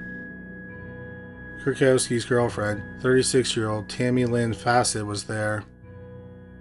They got Kerkowski and Fassett inside and they bound them. They beat and tortured Kerkowski until he revealed the location of the money from the sales of the painkillers. Then they used plastic ties to strangle 37 year old Michael Kerkowski and 36 year old Tammy Lynn Fassett. Then they were buried on Selenski's property. Two other bodies that were buried on the property were 29 year old Frank James and 22 year old Adayi Keeler. Weakley said that on May 14, 2003, Selenski and another man, 33 year old Pat Russin, robbed them and then shot them to death with shotguns. Then their bodies were burned in a pit, and then the remains were buried on the property. The police have never publicly identified the fifth body that was buried on the property. Hugo Selenski was charged with four counts of murder in addition to the charges stemming from the January 2003 home invasion. On October 10, 2003, Selenski and another inmate managed to escape from jail by climbing down a rope made from bed sheets. Selenski turned himself in three days later. A month later, Pat Russin pleaded guilty to two counts of third degree homicide. He was sentenced to 10 to 20 years of prison. In February 2006, Hugo Selenski went to trial for the murders of the two drug dealers, Frank James and Adair Keeler. The trial lasted two weeks. Selenski was acquitted in the murder of James, and the jury was deadlocked when it came to the murder of Keeler. He was convicted of abusing their corpses. In June 2008, Paul Weakley was sentenced to life in prison for his role in the murder of Michael Kerkowski and Tammy Lynn Fassett. In July 2009, Selenski was found guilty regarding all the charges from the January 2003 home invasion. In September 2009, he was sentenced to 32 and a half years to 65 years of prison. Finally, in January 2015, Selenski went to trial for the murders of Michael Kerkowski and Tammy Lynn Fassett. He was ultimately found guilty of both murders. He was sentenced to life in prison. Hugo Selenski has never said if he was involved in the disappearance of Hyun Jung Song. Paul Weakley said that Selenski told him that he buried her body in Luzerne County, Pennsylvania. The police said they have not confirmed what Weakley told them about Song's disappearance. They did say that he was truthful and accurate in everything else that he told them, so they have no reason to doubt him. As a result, the police think that Hugo Selenski is a viable suspect in Song's disappearance. 48 year old Hugo Selenski is currently serving his sentence at the State Correctional Institution at Fayette in LaBelle, Pennsylvania. If Hyun Jung Cindy Song is still alive at the time of this video, she will be 41 years old.